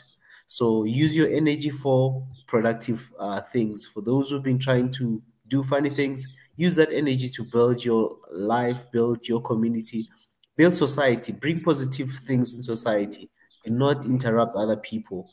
You don't grow by interrupting other people. You grow by building something for yourself, for your family, and the world. Because the world needs solutions. We don't need uh, people that are, are are really negative and trying to destroy others. Yeah. No one has ever built anything by destroying others. They always go down. So for those who've been doing that, I, I, I just encourage you, brothers and sisters, let's build, let's build, let's build. Let us be an inspiration to others. And some of the things that we do today, it's not for us only, it's for the generations to come. Generations that will come after us, they will ask us, What have we done in our lifetime? What have we done as society in this day and age? You've got the tools, let's utilize them to make an impact. Let's utilize them to uh, make sure that our so societies get better, our societies grows, our societies uh, uh, are impacted and are really active in those uh, platforms. All these platforms that we have here is for us to uplift ourselves. Let us not waste time in negative energies and trying to destroy others, but let's get inspired. Which means if somebody, if those people are watching to Niger on this show, which means they do love what he's doing, but they don't know how to get his attention. Just come and, and say, you know what, brothers, I love how, how you do things. i love to be part of the movement. Oh, I'm, I don't really like what you're doing, but I'd love to do something different. Just guide me on how I can do uh, this thing, uh, this YouTube thing, whatever. People are, are out there, they can even teach you. You can even watch other videos of other people who can even show you how to do it. We don't have to have the same content, but do something really constructive in these platforms. And just, let's make just, sure that just wanted to highlight this statement by Mm. uh, Pro Woman J. He says, "Let's take power by choice, not chance and hope." And Mm. uh, I think that is a very poignant statement uh, that we need to understand and absorb, uh, because that is how you make change. You, you, you don't hope for it; you make it happen because you Mm. chose. Thank you very much, uh, you. Pro Woman. Had a nice statement. Uh, also agree with that statement. So thank you very much, and do not forget tomorrow, uh, 9 p.m. East African time. Biggie will be here uh, with the diaspora talk. So join us again. We are live again tomorrow. We are live again. In fact, today, uh, for some of us who are already in Africa or Central Africa, it's already uh, uh, a Saturday morning. I know Biggie, it's still an afternoon for you there in the US, uh, but we're already on a Saturday uh, morning. so tomorrow, uh, for those who are still in America, that will be your tomorrow. But for us, this evening, we'll be having a live stream with our host, Biggie, the Diaspora Talk. Uh, Biggie, what are you discussing again? Uh, you kind of mentioned it, but uh, can you just repeat that again? The conversation uh, for, for, for your show? Yeah, tomorrow uh, we're going to be discussing about the uh, changes and the effect uh, and uh, relation, uh, why the engagement is slow through the diaspora versus the African ground level, what's been worked, what's it's about change, you know, how we can we can accept this change and for that change, what needs to be changed. That's going to be the uh, main main topic. Uh, in fact, uh, just give me a, a second. I'll give you a little bit of flavor of it. Um, give me a second. I just got home myself, so I'm on a cell phone. I, I hope it's not going to cut off. Uh, there was a thing that I um, prepared, uh, probably work it uh, with uh, Mika tomorrow. Uh, uh, th- this is how it goes. Africa wants change. Okay. Life is a series of natural, spontaneous change. Don't resist them. That only creates sorrow. Let reality be reality. Let things flow naturally forward in whatever way they like. That was Lao Tzu that said that. and for me, stay united, stay strong. Don't falter. That's the thing. We falter a lot. So this is just a little bit of a highlight what I'm going to bring in tomorrow, and uh, hopefully everybody that is on the on the panel and everybody that's going to be on the comment section join me tomorrow. It's going to be a very interesting uh, topic, and it, uh, it, it, took me a while to put it together, but uh, hopefully uh, this will clear up our direction for the change. Thank you. Thank you very much, uh, Biggie. Uh, join Biggie tomorrow or to or this evening, depending on where you are, for the diaspora talk. Um, and uh, another thing, just to thank everybody who joined us tonight, uh, all the comments, all the, uh, I mean, the the likes, uh, the, all the interaction. We really appreciate each and every one of you, and we love you. And uh, continue supporting us, continue supporting the movement and continue subscribing since we have another channel called One Africa. Okay, that's our sister channel to Swahili Nation. So please uh, uh, subscribe to that channel. Uh, as His Excellency has already said that in the coming uh, months, we'll be doing more of the live streams there on the One Africa channel. But currently, we're running both on, on Swahili Nation and uh, One Africa channel. So subscribe if you're a subscriber of Swahili Nation, be a subscriber of One Africa um, and let's grow let's make sure that these two channels uh, uh, really push the good numbers in terms of uh, the looking at okay swahili nation has already has a lot of subscribers already but let's push one africa as well to be on par with with, with swahili nation and um, again um, join us every night um, tomorrow is the diaspora talk uh, sunday 9 p.m east african time is the Hidden Hand with Mundatezi. Monday, it's His Excellency Mika. He'll be here with the conversations with different uh, stakeholders, different uh, influential people in society. And Tuesdays, uh, we've got our sister Tenzin with African traditions. Um, I know uh, Tenzin also broke a record this week. Uh, this week, and uh, the following day was on Wednesday. It's Professor Ezra he has the, the longest record now on, on Swahili Nation in terms of the live stream, over 12 hours. Uh, we broke two records uh, this uh, week, uh, Biggie. Tenzin on Tuesday was 11 hours, almost 12 hours. The following day, we thought we were going to relax on, a, on, on, on Tenzin, holding it down. And then Prof. Ezra just broke the record with over 12 hours. And um, then on Wednesday, on Wednesday, it's Professor Ezra with the Education in the 21st Century. 9 p.m. as well, East African time. Thursday, we've got two shows. One in uh, um, the Swahili sessions, uh, 5 p.m. East African time, with our host Paul Justin. You want to learn Swahili, you want to interact in Swahili, please join that conversation. And I'll really love to, to invite a lot of people to join that conversation, to ask questions in Swahili or ask questions in English, and then uh, our host Paul can translate and even answer you guys. So it's time to learn Swahili every Wednesday, 5, every Thursday, 5 p.m. Uh, East African time.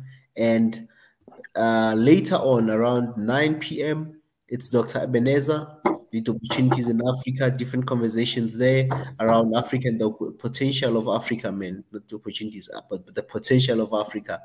And then on Friday, it's myself, uh, we're gonna have different things. Uh, you know, normally on a Friday it's the the relaxed uh, weekly recap where we recap of everything, announcements, all those things. But uh, as I've asked the family that come up with a name, I, would love to give you a chance to to to to give us a name. We're gonna have a show. We're gonna have different shows on Fridays. It will be the the, the weekly recap, obviously announcement, things that happen in the week, and then we'll have like our our a stream, a full stream where we can discuss anything and everything. And then, yeah, that's it uh, for us for tonight. And thank you for all the participants. Um, thank you for the people of uh, of the uh, the people who live in the Horn of Africa or people who who are, who are coming from that region. It was really uh, nice and really great to to uh, learn so much about the region and so many insight that different people shared tonight. And I'm sure there's a lot of questions that we need to cover. We will have another part two session uh, regarding this topic on the Horn of Africa, and I'm sure we'll most of the things will be covered then and solutions for us because we don't just believe in talking about the issues only, but also highlighting solutions as society that we need or that we think we can implement to make sure that our society moves forward. So, with that being said, uh, from myself and Biggie and the whole team, um, it's gonna be shalom. But before I do my shalom, uh, I would love to invite everyone in prayer. I'll close in prayer. Thank you, Abba Father, for this night. Thank you for us as brothers and sisters that we've met. We've discussed different issues. We thank you for this time that you've given us, Heavenly Father. In Jesus' mighty name, as we go in different places, protect us until we meet again. In Jesus' mighty name, amen. I mean, uh, just want to add Marie Antoinette, Kaku, Kuku, Dr. Zadeka, and also Mika. Uh, we pray for all of you. Uh, may Xavier bless you, protect you, and um, be who you are in health, in everything that you lack. And I also pass the blessing to the rest of my African brothers and sisters. May peace be upon you. May Xavier bless you all. Amen. Amen. Amen. There we go. It's a wrap. It's a It's a wrap. wrap. and, and just to answer kind soul, we were not hacked today, and no one can hack us. so, Yeah. but uh, it's a wrap for tonight. Let's meet again tomorrow, 9 p.m. Diaspora Talk. Thank you. Appreciate it, uh, Pastor Ezra. Great show. Everybody that came in also, again, uh, thank you very much for making it a great show. Thank you. Oh, Biggie, by the way, before we say shalom, I know we, we can start something here. Uh, our friend uh, Sam, Uh-huh.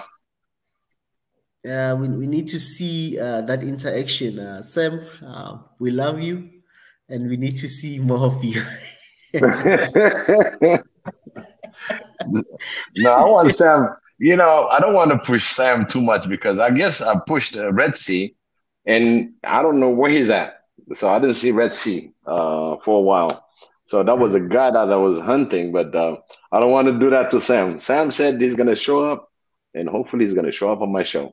I always the door is open. The door is open, my brother. Hmm. Sam, you've got the invite is open. The big invite. The door is open. Big is inviting you tomorrow. Join. Absolutely, absolutely,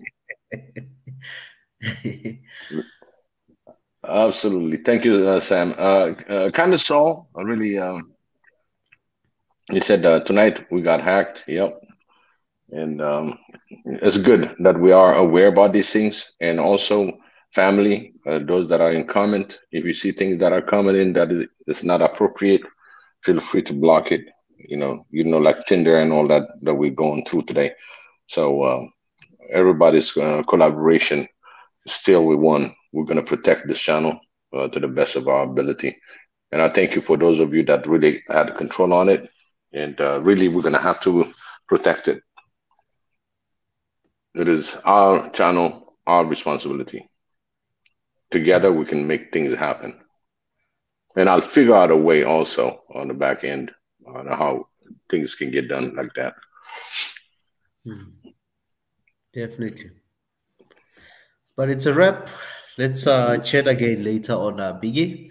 You Thank got you, it. family. Good night, good evening, good morning. Yep. Good morning stays on you now. Good morning.